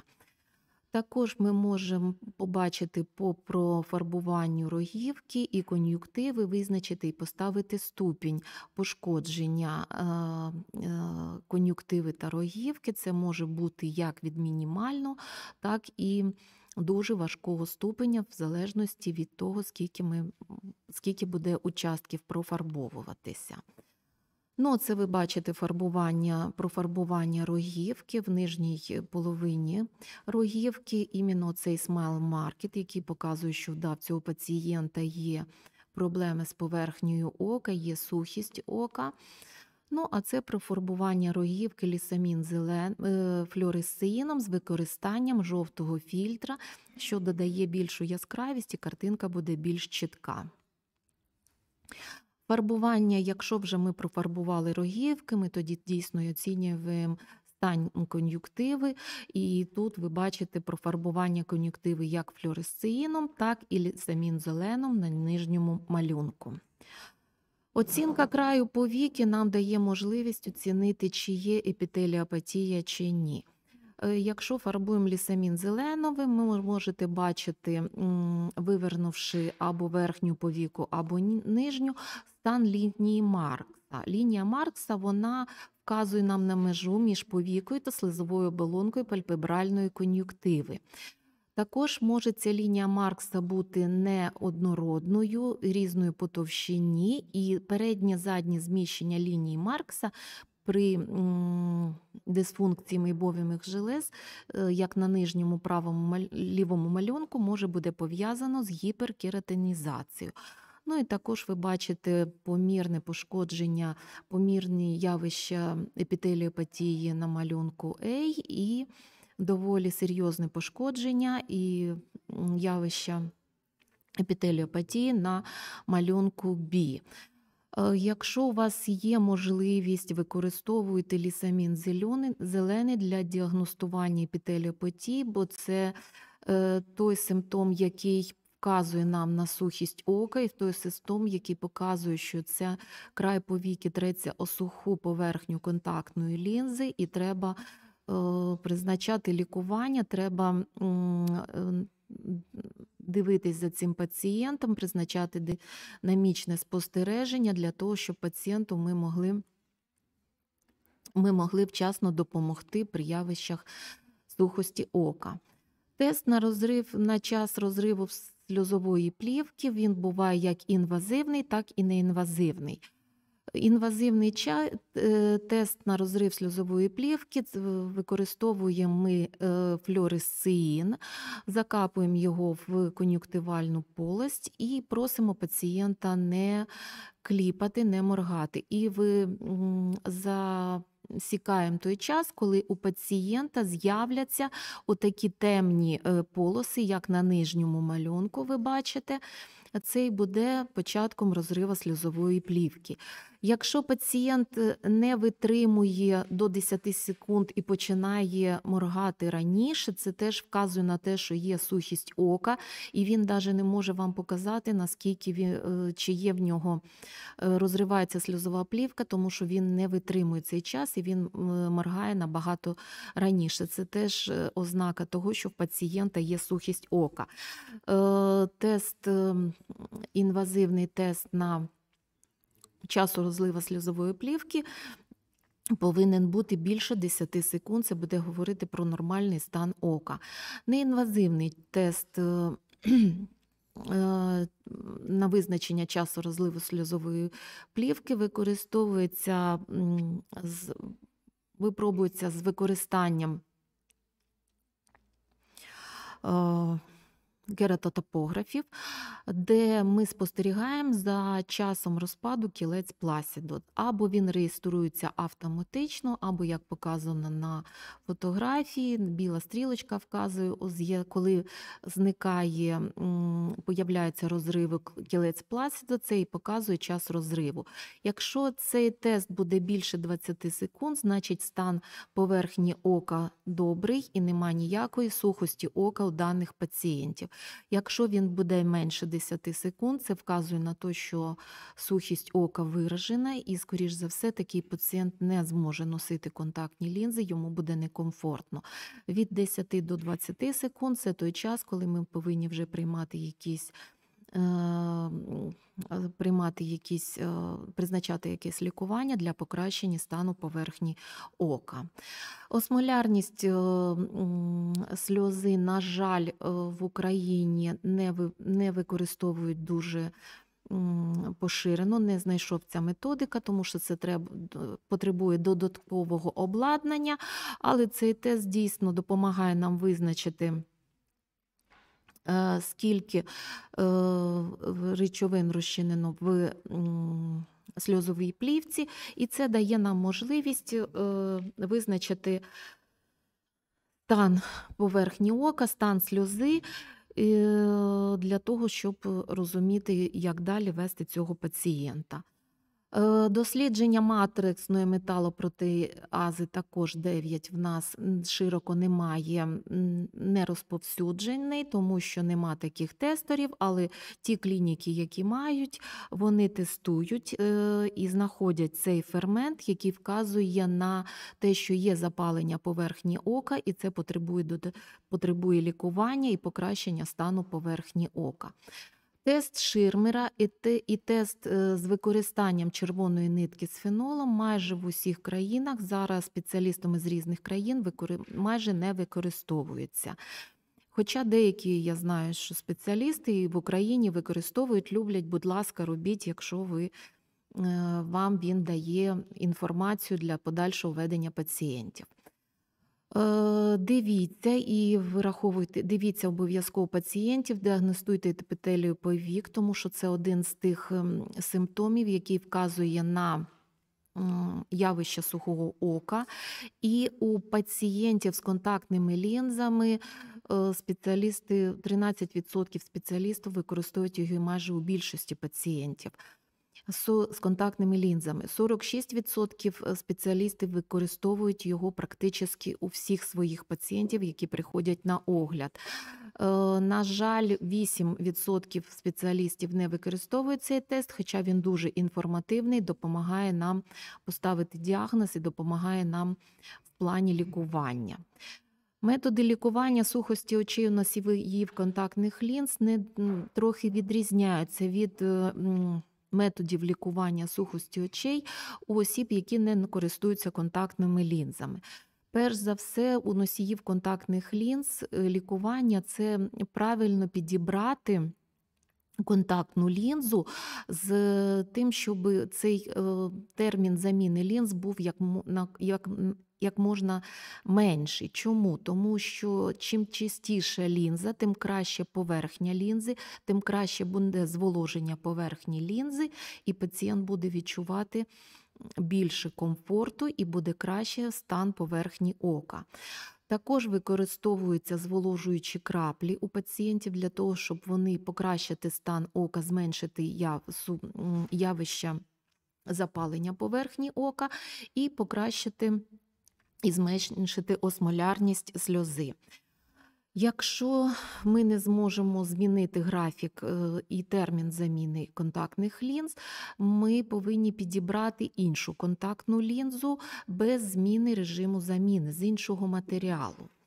Е, це може бути переход з однієї силікон-гідрогелевої лінзи на іншу силікон-гідрогелеву лінзу, враховуючи не тільки матеріал, а враховуючи і дизайн контактної лінзи, щоб край був більш тонкий, щоб лінза була більш тонка, щоб краще зволожувалась поверхня. Один з, один з методик е, лікування сухості очей це також заміна розчину. І я думаю, що не тільки заміна розчину, але й покращення догляду за контактними лінзами також впливає на якість е, носіння контактних лінз. Виписуються краплі, зволожуючи також з додаванням ліпідів. Додатково можемо призначати омега-3 жирні кислоти. Ну, якщо це буде потрібно на деякий час, можна скоротити час носіння контактних лінз для покращення поверхні ока і потім призначити той час, який буде комфортний для пацієнта. Іноді треба буде підібрати взагалі інший дизайн контактний лінз, перевести пацієнта з гідрогелевої на силікон гідрогелевої лінзи, або навпаки, або призначити даже жорсткі газопроникні контактні лінзи. Ну, також призначаються краплі, як стероїди, так і циклоспорини місцево.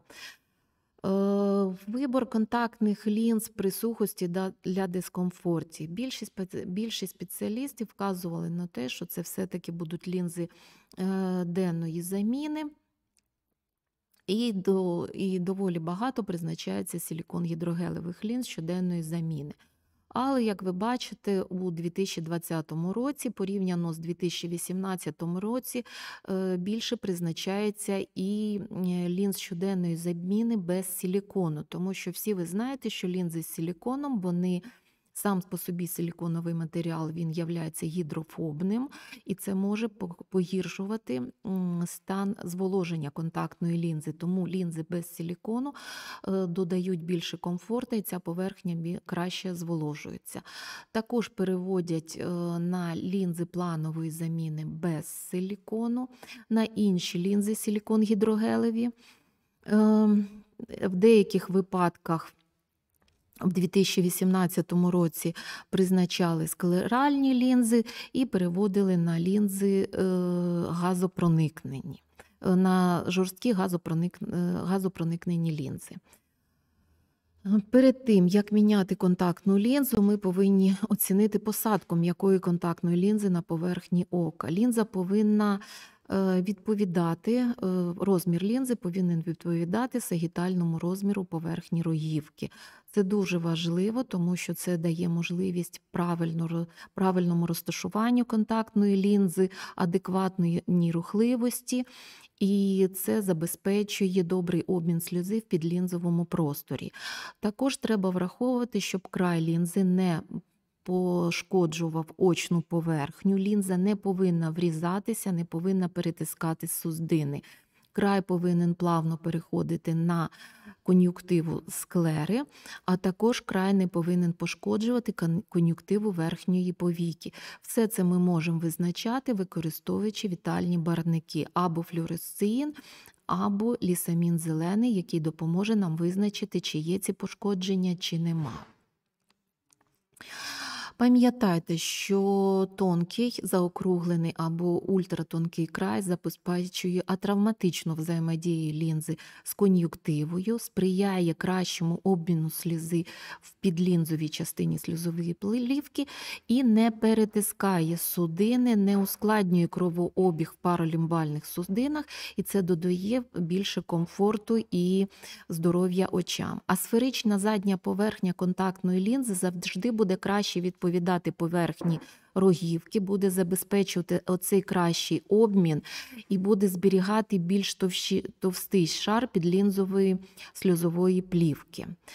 Проблема дискомфорту дуже велика у носіїв контактних лінз. Вона приводить до того, що 67 е, відсотків пацієнтів, які відмовились від контактних лінз, навіть не повідомляють своїм спеціалістам, що в них є скарги. Тому при кожному повторному огляді ваших пацієнтів задавайте питання, ставте ці питання, щоб вчасно діагностувати цей стан. Визначайте, прист- визначайте вчасно причину дискомфорту і правильно підбирайте, підбирайте контактні лінзи. Ну і, на жаль, це не часто так буває. І 68% пацієнтів, які відмовились від носіння контактних лінз, сказали, що їм навіть не запропонували інші лінзи при повторних оглядах, коли вони казали своєму спеціалісту, що в них є скарги. Компанія Bausch пропонує бренд BioTrue, який додає більше вологи і забезпечує більший комфорт у носіїв контактних лінз. Це і лінзи щоденної заміни One Day, це краплі з гіалуроновою кислотою BioTrue без консервантів, і це розчин BioTrue, це перший розчин, куди компанія вперше в світі, компанія Bausch додала гіалуронову кислоту для покращення зволоження контактних лінз. Лінзи One Day – це лінзи, які подібні тканям ока, вони містять 78% води. Це лінза без силікону, але вона має високий рівень проникнення кисненю, 42 одиниці. Це лінза з Низьким модулем пружності, і ця лінза забезпечує зволоження контактної лінзи навіть після 16 годин носіння. Е, лін, термін заміни цих лінз щоденний, режим носіння тільки денний. Ну і оптична сила від плюс 6 до мінус 12. Це біоміметичний матеріал, він повторює як склад рогівки, так і ця лінза імітує будову і склад сльозової плівки. Матеріал лінзи гіпергель. Е, верхній, зовнішня поверхня лінзи завдяки сурфактанту імітує ліпідний шар сльозової плівки і підтримує стабільність е, як оптичної системи, так і попереджає дегідратацію контактної лінзи. Е, рівень кисню, який пропускається лінза, забезпечує здоров'я і ясність зору очам, плюс додатково зволожувачі, який знаходиться в матеріалі контактній лінзі, він також утримує вологу. Лінза дуже, має дуже цікавий склад, тут 78% води, тільки 2% гідрогеля і 20% це сурфактант, який імітує е, ліпідний шар сльозової плівки на поверхні контактної лінзи, отримує вологу, і полівінілпіролідон – це зволожувачі, які отримує вологу всередині контактної лінзи. Е, лінза не пересихає, лінза дає якість зору за рахунок асферичної передньої поверхні, широкої оптичної зони. Із лінза підходить на всі радіуси кривизни рогівки завдяки задній осферики, а тонкий заокруглений край е, фізіологічно взаємодіє з поверхнею ока. Це все додає комфорту при носінні. Е, контактна лінза Біотру дає сурфактант у складі контактної лінзи біотру підвищує змочуваність поверхні, що доведено при е, оптичній когерентній томографії. Е, лінзи з матеріалу незофілкона дають найвищий. При носінні цих лінз сльозний мініск має найвищу висоту порівняні з іншими станами ока. Змочуваність поверхні, е, кут е, контакту, який характеризує змочуваність поверхні у лінзи біотру 8 градусів, що показує, що поверхня дійсно змочується. Цей матеріал е, не схильний до накопичень відкладень, і завдяки цьому зберігається гарна змочуваність поверхні як на початку носіння, так і після 16 годин носіння контактної лінзи. Контактну лінзу біотру ви можете призначати також для лікування стану е, ока. Е, тут ви бачите клінічний приклад. Пацієнтка 36 років е, використовувала силікон гідрогелеві лінзи планової заміни впродовж 5 років. Стан ока не дуже гарний, гіперемія кон'юктиви склери. Ви бачите нестабільність сльозного мініску, він різний по висоті, профарбування края повіки, профарбування лісамін зеленим е, кон'юктиви по кордонах знаходження лінзи, і е, висота сльозного мініску 215 0,215 мм. Після 4 тижнів носіння контактних лінз незофілкону А ви бачите, що покращилась стан ока. Е, Нема гіперемії кон'юктиви склери, сльозний мініск рівномірний по висоті. Е, фар- Фарба доходить і до внутрішнього кута ока, що говорить про стабільність сльози, Ну і покращився, покращилась висота сльозного мініску. Е, Гідрогель чи силікон гідрогель. Лінза Біотру е, е, взагалі вона показує, що це лінза без силікону, і е, вона не дає ніяких гіпоксичних ускладнень, тому що дікей на ті 42 цього достатньо для денного носіння. Ризик інфільтратів рогівки також виключається, тому що це не характерно для лінз без силікону, і відмова від носіння гідрогелевих лінз на 10% менше, ніж відмова від носіння контактних лінз силікон-гідрогелю. Е, Якщо у пацієнта нема гіпоксії, і ви вибираєте лінзу з досить високим е, показником проникнення кисню, при ознаках синдрому сухого ока краще вибирати гідрогель, тому що ці лінзи більш комфортні, вони гідрофільні. Цей матеріал є гідрофільним і забезпечить більше комфорта нашим носіям. Лінзи контактні біотру можна призначати і для біо- періодичного носіння, і при, і при сезонній алергії дітям, і підліткам, і новачкам, і для тих людей, які не готові доглядати за контактними лінзами. Лінза стійка е, до накопичення е, відкладень. Лінза добре зволожується, і ви бачите, що відкладення е, відкладень тут в 7 разів менше, ніж в інших контактних лінзах. Лінза Biotrue One Day – це лінза з мінімальним, е, з мінімальною дегідратацією. Процент дегідратації всього 1,5%. Вона стійка до гідратації, що забезпечує як високу гостроту зору, так і високий комфорт і здоров'я поверхності очей наших пацієнтів. Е, Вплив е, лінза протягом 20 хвилин може утримати вологу і не змінює своє, свою форму. Це ви бачите на цьому слайді. Чому це дуже важливо на, на теперішній час? Тому що пацієнти дуже часто проводять і багато часу при роботі за комп'ютером. При роботі за комп'ютером, за цифровими пристроями зменш- зменшується частота кліпань і скорочується час розриву сльозової плівки. Це приводить до того, що погіршується як якість зору, так і комфорт носіння контактних лінз. Лінза Біотру додає більше вологи, додає більше комфорту і забезпечує нашим пацієнтам е, і якість життя, і якість зору. Е, Ще одна контактна лінза в портфоліо компанії Bausch додає якість зору, якість комфорту. Це нова лінза Ультра, це силікон-гідрогелева лінза, е, в якій використовується силікон-гідрогель четвертого покоління. Вона стійка до гідратації. Е, Лінза має асферичну оптику, і це також забезпечує пацієнтам як високу якість зору, так і комфорт носіння.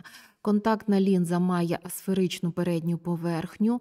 Е, Тут використовується нова технологія виробництва, яка і забезпечує як утримання вологи в матеріалі лінзи, так і краще зволоження поверхні, тому що технологія виготовлення Moisture Seal спочатку формується каркас контактної лінзи з силікон- силіконового матеріалу, потім додається зволожуючий, який покриває е, цей силікон, він якби його скриває, як і це робить лінзу більш гідрофільною, і додається вже тоді волога.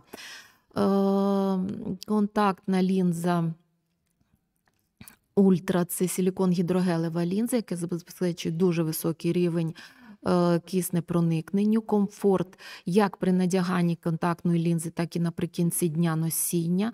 Вона м'ягка, це в неї самий низький модуль пружності серед всіх силікон-гідрогелевих лінз. Вона має ультратонкий край, який не пошкоджує як кон'юктиву склери, так і кон'юктиву верхньої повіки. І очі не втомлюються при використанні при носінні цих лінз, коли пацієнти використовують гаджети і проводять дуже багато часу за роботою або за е, якимись розвагами з використанням гаджетів. Лінза щомісячної заміни можна носити до 6 е, діб, не знімаючи. Лінза також е, в сімействі біотру, продуктів біотру є розчин біотру. Це перший розчин, куди було додано гіалуронову кислоту. Це єдиний розчин, який зволожує контактні лінзи до 20 годин і забезпечує комфорт. pH розчину е, відповідає pH здорових сліз. Він також має дуже високу дезінфекційну активність, але розчин біотчається ліфи коджує клітини епітелію рогівки, тому що дезінфіцируючих е, е, дезінфектанти тут е, два дезінфектанта, вони в мінімальній дозі, але вони покращують вони взаємодіють один з одним і підвищують дезінфекційні властивості. Також розчин біотру підтримує активно в активному стані після надягання лінз білки сльозин, не, не денатурує їх. А, Розчин біотру єдиний, який зволожує до 20 годин, тому що молекули сурфактанти, які, отриму- є- які має цей розчин, отримують на своїй поверхні гіалуронову кислоту. І за час інкубації лінз в розчині біотру е, оця сітка гіалуронової кислоти утворює однородну поверхню на контактній лінзі, і вона отримається до 20 годин. Гіалуронова кислота притягує до себе і на своїй поверхні утримує молекули води, що робить більш комфортним носіння контактних лінз. Е, Пацієнти, які користувалися е, розчином біотру, е, відмічали також, що це запобігає висиханню контактних лінз, забезпечує більш тривалий комфорт. Розчин біотру підходить і забезпечує більший комфорт як, з вик- як при носінні гідрогелевих, так і при використанні силікон-гідрогелевих лінз. Цей розчин підходить для усіх контактних лінз і абсолютно для всім контактним лінзам він забезпечує комфорт до 20 годин і зволоження. Е, Правильне призначення розчину допомагає уникнути відмову від контактних лінз. І пацієнти, 80% пацієнтів ем, серед тих, хто хотів відмовитись від контактних лінз, після того, як замінили розчин на біотру, залишились і продовжили носити контактні лінзи далі. Е, В журналі оптометрії було написано, було також проведено дослідження, і при поєднанні контактних лінз ультра з використанням розчину біотру це також е, додавало комфорт. І пацієнти відмічали 100% комфорт протягом всього дня, зволоження протягом всього дня. Пацієнти не відчували сухості наприкінці дні, і це давало більше відчуття якості зору покращувалось і менше втомлювались очі при використанні цифрових пристроїв. Також в портфоліо е, біотру у нас е, сімейства біотру є краплі біотру. Краплі біотру вмістять гіалуронову кислоту. Гіалуронова кислота це та речовина, яка присутня в організмі, тому вона добре переноситься в краплях е, тканями, тканями нашого організму. Е, Гіалуронова кислота вона зв'язує воду і це дозволяє краще змочувати очну поверхню. Вона має мукоадгезивні властивості. Вона стабілізує сльозну плівку, вона допомагає зберігати е, краще сльозну плівку на очній поверхні, а також має е, високоеластичні властивості. Вона утворює щі, нещільну сітку на поверхні лінзи, е, роз, знижує, знижує випаровування води, стабілізує сльозну плівку і білки сльози, зменшує зменшує тертя і захищає епітелій роївки. Е, випускається краплі біотру в об'ємі 10 мл і в об'ємі 0,5 мл. Вони не містять консервантів. Всі ви знаєте, що при лікуванні сухості ока призначаються сльозозамінники без консервантами. Вони містять гіалуронову кислоти в максимальній дозі, яку можливо використовувати разом з контактними лінзами. Термін придатності після першого закапування е, цього флакону до 6 місяців. Це дуже зручно для наших пацієнтів. Також, коли пацієнти приходять до вас і приходять е, на повторні огляди, обов'язково ви повинні пам'ятати і повинні ем, перевіряти, чи виконує пацієнт ваші рекомендації. Було б непогано, якби на огляді пацієнта ви попросили зняти лінзи чи одіти лінзи і проконтролювати, як він це робить, чи догля... чи правильно він. Е миє руки, чи витирає він їх насиха, чи правильно знімає лінзи і надягає. Пояснюйте пацієнта, для чого ви даєте ту чи іншу рекомендацію, що ви хочете мати від цього, і що буде мати від цього пацієнт, які відчуття. Можете фотографувати при огляді на щілинній лампі для того, щоб показувати динаміку лікування. Після того, як ви призначите лікування, динаміку стан очей. Ви повинні давати інструкції як письмові, так і усні. Не треба розраховувати на те, що якщо ви дали якісь письмові інструкції, пацієнт прочитає. Ні, це треба також все проговорити. І пам'ятайте, що не тільки первинні пацієнтам повинно, повинні ми все доносити, розповідати. Обов'язково треба все розповідати і тим пацієнтам, які вже користуються контактними лінзами, особливо тим, хто вже е, постійні ваші пацієнти, тому що дуже часто проходить час, вони щось. Е, Забувають, не роблять, не доглядають правильно, аби, або нехтують якимись правилами по догляду за контактними лінзами. Е, Ну і це, мабуть, все на сьогодні. Дякую вам за увагу. Бажаю вам всім е, пацієнтів з гарною гостротою зору. Бажаю вам всім пацієнтів з високим комфортом носіння контактних лінз і бажаю нам всім успіху в призначенні контактних лінз і в догляді за очами наших пацієнтів. Дякую, шановна Тетяна Федорівна. Е, скажіть, чи є запитання в чаті? Немає запитань в чаті. Е, що стосується ваших пацієнтів, немає.